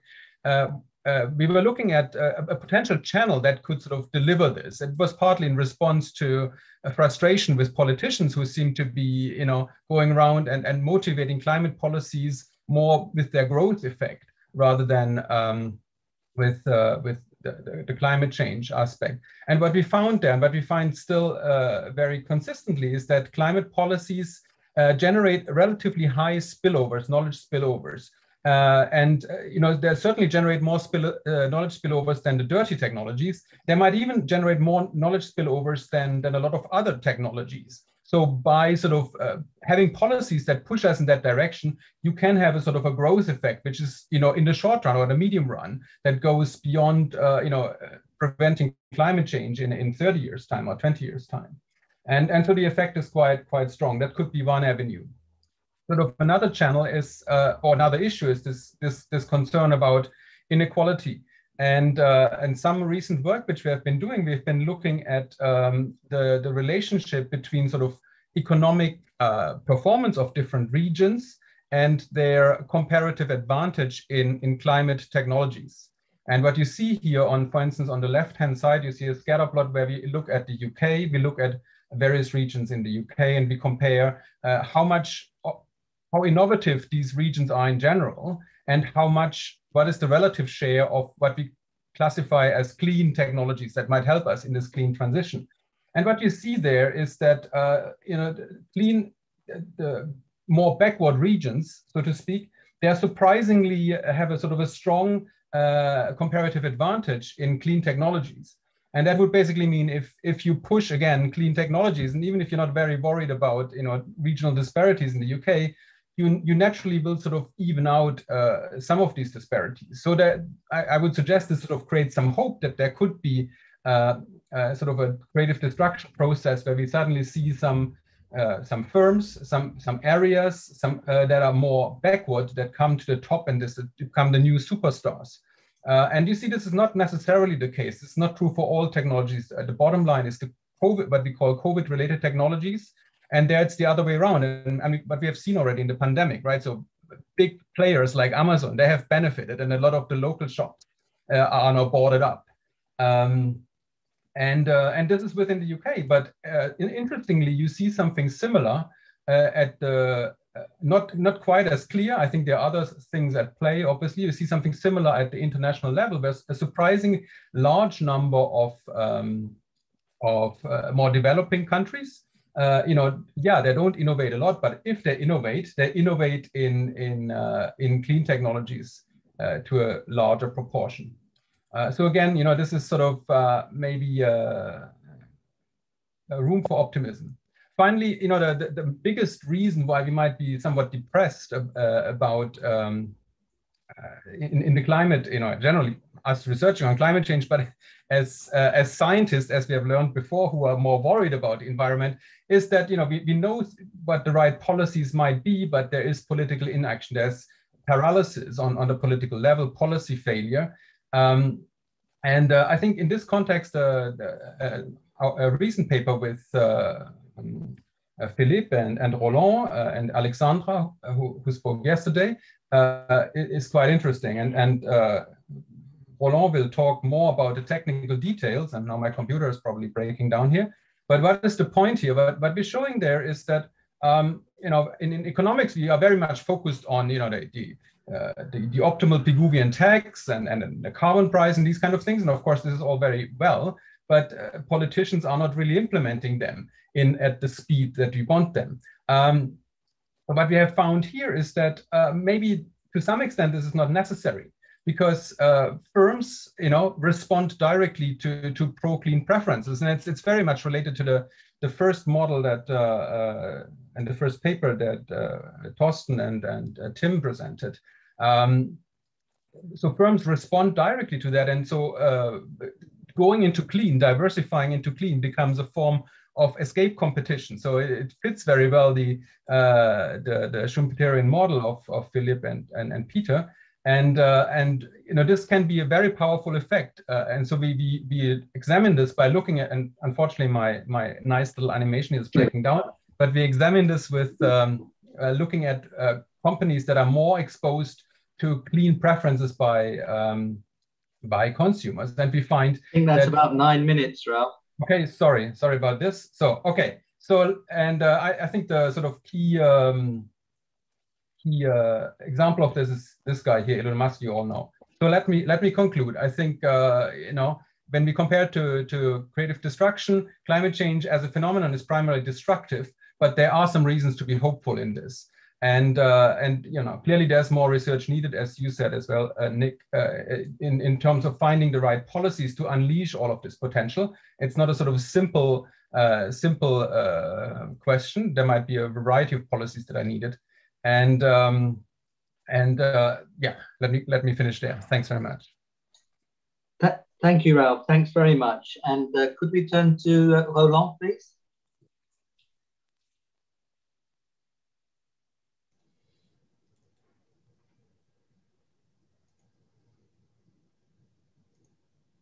Can you see my screen? Yes. All right. Okay, so it's terrific to be all gathered to celebrate the work of Peter and uh, Philippe, Philippe and Peter. I've um, had the pleasure uh, of meeting Peter a couple of times. Uh, Philippe uh, and I have been friends ever since we were both graduate students in Cambridge. Nonetheless, we never managed to write a paper together. Perhaps that tells you how much of a hermit I am until a couple of years ago when I spent a wonderful uh, sabbatical at the Collège in the center uh, that will now be the Farhi Center, hosted by Philippe.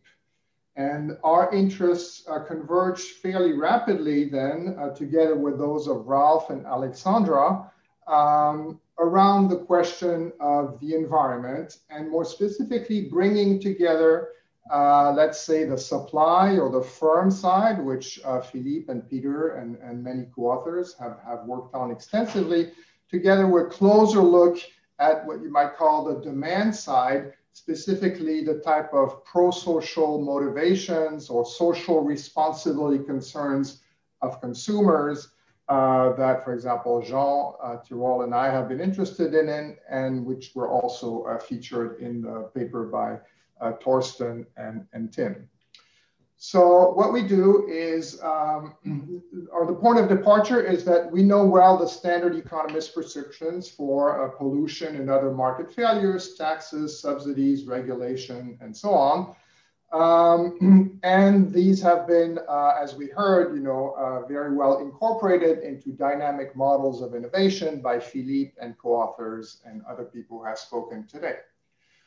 The problem is that when you propose a carbon tax or raise the price of fuel or uh, regulation, what you often get is this gentleman here uh, that we see in France, this gilet jaune, uh, and as you know, demonstrating sometimes violently, and basically the government had to give up.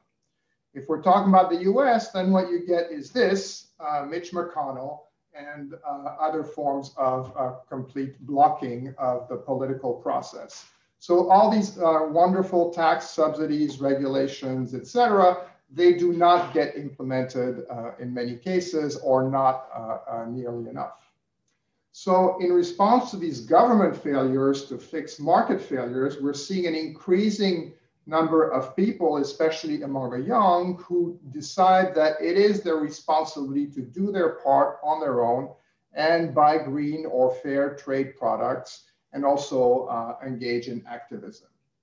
So in this paper, we ask, can these at least stated uh, uh, pro-social or um, uh, um, values actually incentivize firms to innovate clean uh, in the clean direction? And secondly, what is the role of market competition in uh, generating this response? So we start with a simple model with two key ingredients. Consumers have a higher willingness to pay for cleaner goods, everything else equal, the ones that pollute less when you consume or produce them. And notice this is a bit of a behavioral element, even though uh, each individual has zero in fact, impact on the individual, uh, on the global emissions or climate, they're willing to pay more for uh, an electric car, let's say. Secondly, on the production side, we have an Aghion-Howitt type uh, model where firms compete via prices uh, and by investing in step-by-step R&D to develop greener goods. Three positive predictions. First, when consumers have stronger social responsibility concerns like the ones I've described, we'll have a higher share of clean innovation. That's not surprising. Secondly, the effects of competition are more subtle or more muted. In fact, we already know from the previous work of Philippe and co-author that more competition can lead to either more or less innovation, depending on which of these two effects dominates. In our model, the escape price effect dominates, so uh, more competition leads to more innovation and specifically clean innovation, but we realize that this is not something we should expect to be robustly in the data necessarily. The thing that is the distinctive, distinctive prediction of the model is that consumer motivation and competition are complements in spurring clean innovation. Uh, besides these predictions that we're going to test, the model also uh, goes beyond and says, well, innovation, even clean innovation, is not an end in itself. What we ultimately care about are total emissions and the welfare function they go into. And here, uh, competition is uh, also ambiguous. More competition means more lower prices, cheaper cars and bikes and trucks. That's bad for the environment. Uh, but at, if it does for greener innovation, that is a beneficial quality effect. This trade-off is reflected in these curves, where you can see as competition rises, uh, pollution or uh, uh, environmental degradation first rises, then falls, and in places where people have high pro-social attitudes with respect to the environment, uh, this trade-off is ameliorated. empirically, we bring together the, the database on uh, patents in the auto industry that has been used by Philippe, Ralf, and other co-authors before, which allows to distinguish between clean innovations like uh, electric cars and dirty innovations like SUVs, and also other categories like gray. And here, what's interesting is that uh, we see that in recent years, up to when the data ends, which is uh, 2015, there has been a decrease in uh, the share of patents uh, on, on clean, which is not what one might have expected. So it could be due to the falling price of oil. It could be to the 2008 recession, uh, but it's also going to be due uh, in our accounting to something else, which is what happens in the social values and which is also surprising. So here we use data from the World Value Survey and the ISS which have questions that come close to people's willingness to pay individually for things that are environmentally better. Uh, namely, how much are you willing to pay in taxes or how much of your income are you willing to pay? And the surprise here is um, that we see a decline or even a collapse of this stated willingness to pay in many countries. Uh, and it is not starting in 2010. It starts uh, in some countries earlier and is continuous. And that's something that is surprising and not well known. Uh, is it uh, environmental fatigue or is it something else? We don't know. Hopefully it's been reversed in recent years or it will, but as we see, it will account for part of the decline in green patents. So empirically, we for each firm, we compute a measure of exposure to the pro-social or environmental values in the countries where it operates, to the competition in the countries where it's operate, and to the interaction. And we have both uh, country level and individual level measures of competition. The results are very much in line with the model. Uh, here on the firm level, you can see that uh, exposure to um, to, to, to countries or markets where people say they're willing to pay more for clean stuff increases the relative growth rate of clean versus dirty patents. It increases clean and decreases dirty, and it increases the share of clean. Competition has somewhat ambiguous effect. It increases clean. It also increases dirty somewhat. The net effect is positive, but not significant and values times competition, this interaction is strongly uh, significant always, uh, particularly in reducing dirty and as a result in changing the proportions.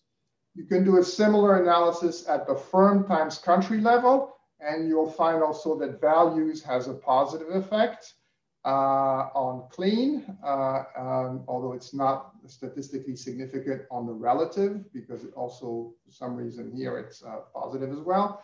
And the thing that's always robust is this interaction effect, which is kind of like the signature of the model uh, that, uh, that confirms. Uh, that's nine minutes, Roland.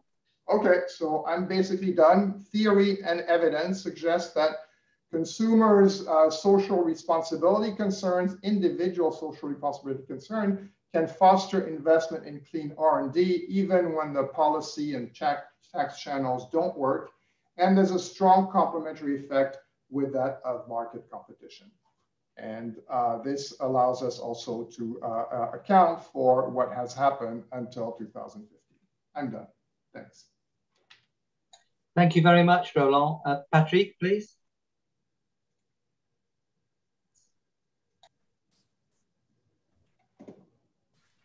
Thank you, Nick. Uh, it's really a great pleasure to be here. Um, it's also getting late and uh, attention is fading. So allow me to start on a lighter note for the occasion. And I want to bar, uh, start by borrowing a line uh, from Bob Solow's remark at an event we had a few years ago at Columbia, celebrating uh, Joseph Stiglitz 50 years as an economist. And um, Bob, pointing out that he had known Joe as a graduate student, said that he felt like Groucho Marx, who famously said that he knew Doris Day before she was a virgin. In my case, I also met Philippe when he was a graduate student at Harvard. And when I met Philippe, he was a mathematical economist. Most of you don't know that his first publication is in the Journal of Economic Theory in 1985 with the title On the Generic Inefficiency of Differentiable Market Games. Let me read you two lines from the abstract. It is shown that a differentiable market game remains generically inefficient when its strategic outcome function is perturbed smoothly. The proof is based on Thom's transversality theorem. And uh, I believe maybe only Roger will know what that means uh, here on the panel. Well, Philippe has come a long way. Um, he has infinite intellectual curiosity and it didn't take much to get him interested in applied theory at the time, which was mostly industrial organization and contract theory. And of course, a few years later, his curiosity led him to growth theory and to creative destruction when he began a very fertile collaboration with Peter Howitt that we are celebrating at this conference. My research with Philippe was on topics we thought were important at the time. And the 1980s and early 1990s were an era of triumphant market economies with individual initiative and creativity seen as opening limitless possibilities. The notion of creative destruction is the engine of the heart, at the heart of uh, the dynamism of markets. Or, or as Ned Phelps put it recently in, in a wonderful book, mass flourishing, that is meaningful work, self expression, personal growth is the fundamental, fundamental aspiration that is the source of our wealth. And, you know, uh, uh, there was a lot to that uh, story. Um, it, it helped that uh, at the same time around, around then, uh, centrally planned economies collapsed, collapsed and um, it looked like um, the only thing that would work is market economies. People refer to this period as the end of history, the great moderation, Washington consensus. And then stuff happened. First, we had the crash in Japan in 1990. Then we had the Asian financial crisis in 1998. And then we had the global financial crisis of 2007, 2009. And with all these shocks, the promise of market economies was replaced by uh, Hyman Minsky's financial instability hypothesis. Of course, I'm, I'm, I cannot go into many other developments, so I just want to focus on that. So markets could not be trusted to self-correct. A strong regulatory straitjacket was needed to stabilize markets. Minsky's hypothesis has been extended by Mark Carney to greenhouse gas emissions and climate change, the biggest market failure in history. And today, people fear a climate Minsky moment. So creative destruction and mass flourishing today no longer hold the promise they held 30 years ago we see the limits of growth in climate change.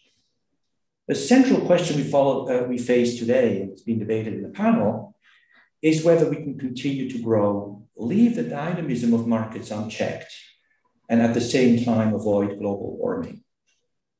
Now, under a business as usual scenario, we are headed to a climate catastrophe, as we know.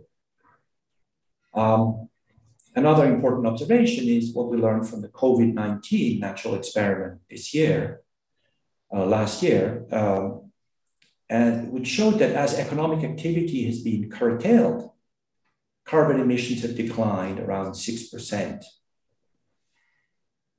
Um, now, 6% is the yearly rate of emission reduction we need to sustain until 2050 to have any hope of meeting the 1.5 degree uh, centigrade target. Can we do this? Can we reduce carbon emissions at a rate of 6% per year, year by year until 2050? Well, the bad news is we won't do it in 2021.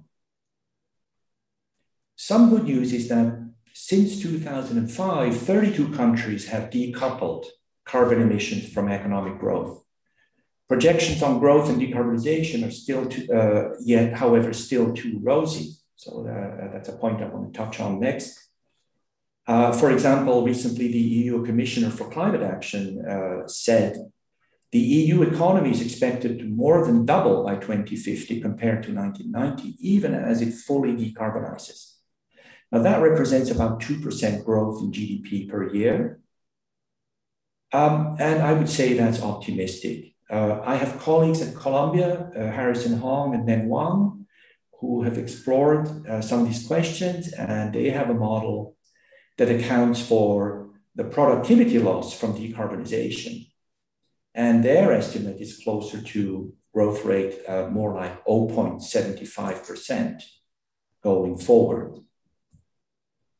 Now, let me conclude with three remarks. Uh, first, uh, I want to quote from the Dasgupta review on biodiversity, uh, where, uh, you know, uh, for those of you who had the patience to read deep into the very long uh, review, it's written that it would be entirely counterproductive to seek economic growth that damages nature in order to provide the necessary finance for investment in R&D. So I take that as an important warning. Uh, the second remark I want to make in closing is that uh, the COVID uh, episode gives us another uh, important lesson, and that is that we need a Manhattan Project or an Operation Warp Speed for climate technology. And in particular, as, as several have mentioned uh, already on the panel today, we need an Operation Warp Speed for carbon capture and sequestration technologies they're currently really very far from being uh, cost effective.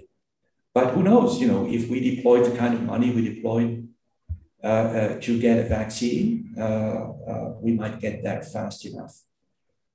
Um, now, final, my final comment, uh, my final remark is a line from Mark Carney's speech at last week's Green Swan conference, where he said, I quote more or less verbatim, we need to take climate change into account in every financial decision. And I'm tempted to add that we need to take climate change into account in every economic transaction and in every field of economics. So, with that, uh, Philippe and Peter, congratulations uh, for all, all you have done. And it's a great pleasure to be able to contribute uh, to this conference. Thank you. Thank you so much, uh, Patrick. Um, we have two contributions left, which we must uh, listen to. We're already three minutes past nine, but I hope you'll bear with us for these last two contributions from Christian and from Roger, which I'm sure will be uh, not only important, but also exciting. So, Christian, please. Thank you, thank you Nick. Thank you.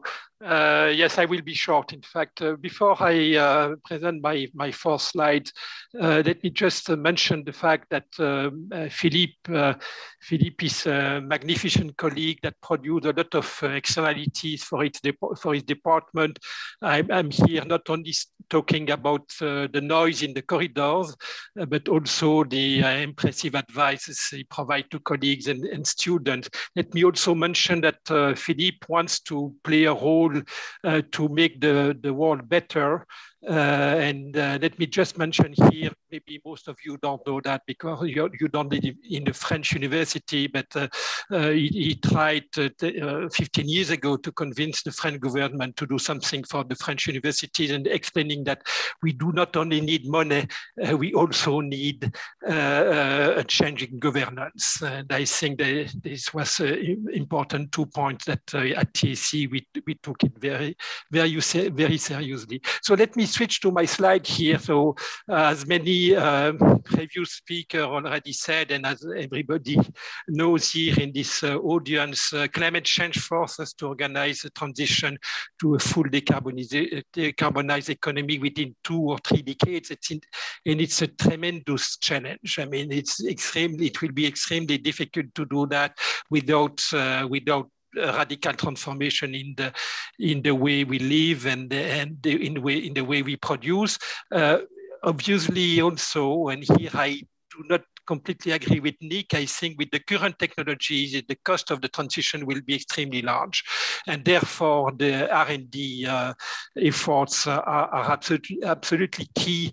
Uh, and that's where uh, uh, the Aghion-Howitt modeling is extremely important because typically economists in the field took pro technological progress as an exogenous dynamics, which is obviously not, not, not completely uh, uh, the case. So uh, the problem is how do we organize this mixture of uh, price instrument like carbon pricing and and subsidies for R&D. And I want to spend my three remaining minutes on specifically that that issue. So indeed, as explained by the different paper by uh, by uh, Philippe, uh, Daron, David, and others, we need to combine the Pigovian carbon carbon pricing scheme with the with the subsidy, uh, in particularly early subsidies for uh, for green R&D.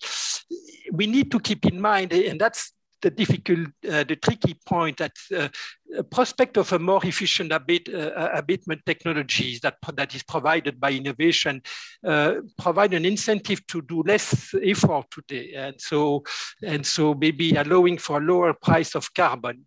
Um, so I would like to take into account of this uh, trade-off and introducing some form of uncertainty there. Uncertainty is obviously important. If you go back to the, to the fifth report of the IPCC and you look at, at what are the prospects of a carbon price or marginal abatement cost, uh, they estimated to be compatible with the two degrees Celsius by, year, by the year 2030. You get here the distribution of that uh, marginal abatement cost anticipated for 2030. So you see there is an enormous disagreement that I translate into uh, uh, uncertainty about really what will be the the look of the of the economy even in, in nine years from now. Not to, not talking about what happened by 2050. Here, uh, look at just the last column. Uh, in France, we had the commission uh, under the France strategy, under the government that uh, estimated the carbon price compatible with the objective at two degrees Celsius. So it's a, not, not a cost benefit approach, it's a cost efficiency approach where you take the target, the, the ecological target as given, and you just compute the, uh, the, the schedule of the carbon price to make it compatible with the target. And so you see here that they anticipate that for 20 2020, we should have a carbon price of 69 euros per ton of CO2, growing to 775 euros by the year 20, 2050. So, so you see in that framework, there is no much strong optimism uh, about the technologies that will be available in the future. In spite of this absence of optimism, uh, the, the price, the early price is relatively low. And in fact, they compensate the pessimism on the technology by saying, okay, we do not do uh, much anyway today, but we will do a very large price in the future to compensate for, uh, for the absence of effort today. So, so the combination of this uncertainty and this waiting game, let me, let, let me translate that into a, a decision process. So, so, should we rely on future green innovation to abate little today, which is, well, I caricature here, but uh, something like a Biden bet. Uh, so don't ask the, the Americans to do much effort today. Let us allow, let allow them to continue to, to use their SUV, but uh, let us invest in, in, in innovation, in R&D. So is it optimal? Uh, well, under assuming no uncertainty at this stage, okay, under the uh, carbon intertemporal carbon budget compatible with the with the two degrees Celsius, normally the carbon price should grow at the risk-free rate. That's the Hotelling rule. Okay, so so the interest rate today is not eight percent. So the so the so this this uh, the, the, change from 69 to 775 is a growth rate of the carbon price, real carbon price of 8%. So you see that in France, we are playing the, the waiting game. Uh, maybe that could be explained by the fact that future uh, innovation are, uh, are uncertain. Uh, and so in order to determine at what, at what rate the carbon price should increase, I should go back to the standard CAPM approach, asset pricing problem, where I should think about what's the uh, what's the uh, possibility of uh, having the uh, early abatement effort uh, being a hedge, an insurance, uh, against the, the macroeconomic future macroeconomic risk. And uh, I will not present my paper, which is uh, whose title is the cost efficiency carbon pricing puzzle. But the outcome of that is that, yeah, well, indeed, uh, abating early is not a hedge against the macroeconomic risk, but However, uh, the growth rate of the carbon price, what is socially desirable, uh, is not does not correspond to the 8%. It's much less than that. It's probably something like 3.5% or 4% per year, real term. And therefore, when I go back to this rule, uh, if, I, if I want to get to the uh, uh, 2 degrees Celsius, and if I ask the growth rate of the carbon price not to be the 8% as here, but rather 4%, of course, I need to start from a much larger carbon, early carbon price. So let me stop here just to say uh, uh, uh, the, the, the, important, the, the, relationship between carbon pricing is innovation is still, still, still a key uh, uh, uh, trade-off. And I think we need to introduce more the, the, the, natural uncertainty that prevails about the outcome of R&D, particular green R&D in the analysis of what is the optimal schedule of carbon price for the next 30 years. Thank you very much. Thank you very much, uh. And I'm sure that if we went, went round the table and asked people to write down a list of what we had to do, the carbon price and R&D would be the top two on most people's list, certainly on, on mine, and I suspect on virtually everybody else. But the list, of course, doesn't stop doesn't stop there. Uh, now, uh, you mentioned uh, 50 years, Patrick. Um, actually, the, the, the, the next and last speaker has been a good friend for about 50 years. So it's an enormous pleasure for me to uh, introduce a friend of half a century, uh, Roger, à toi.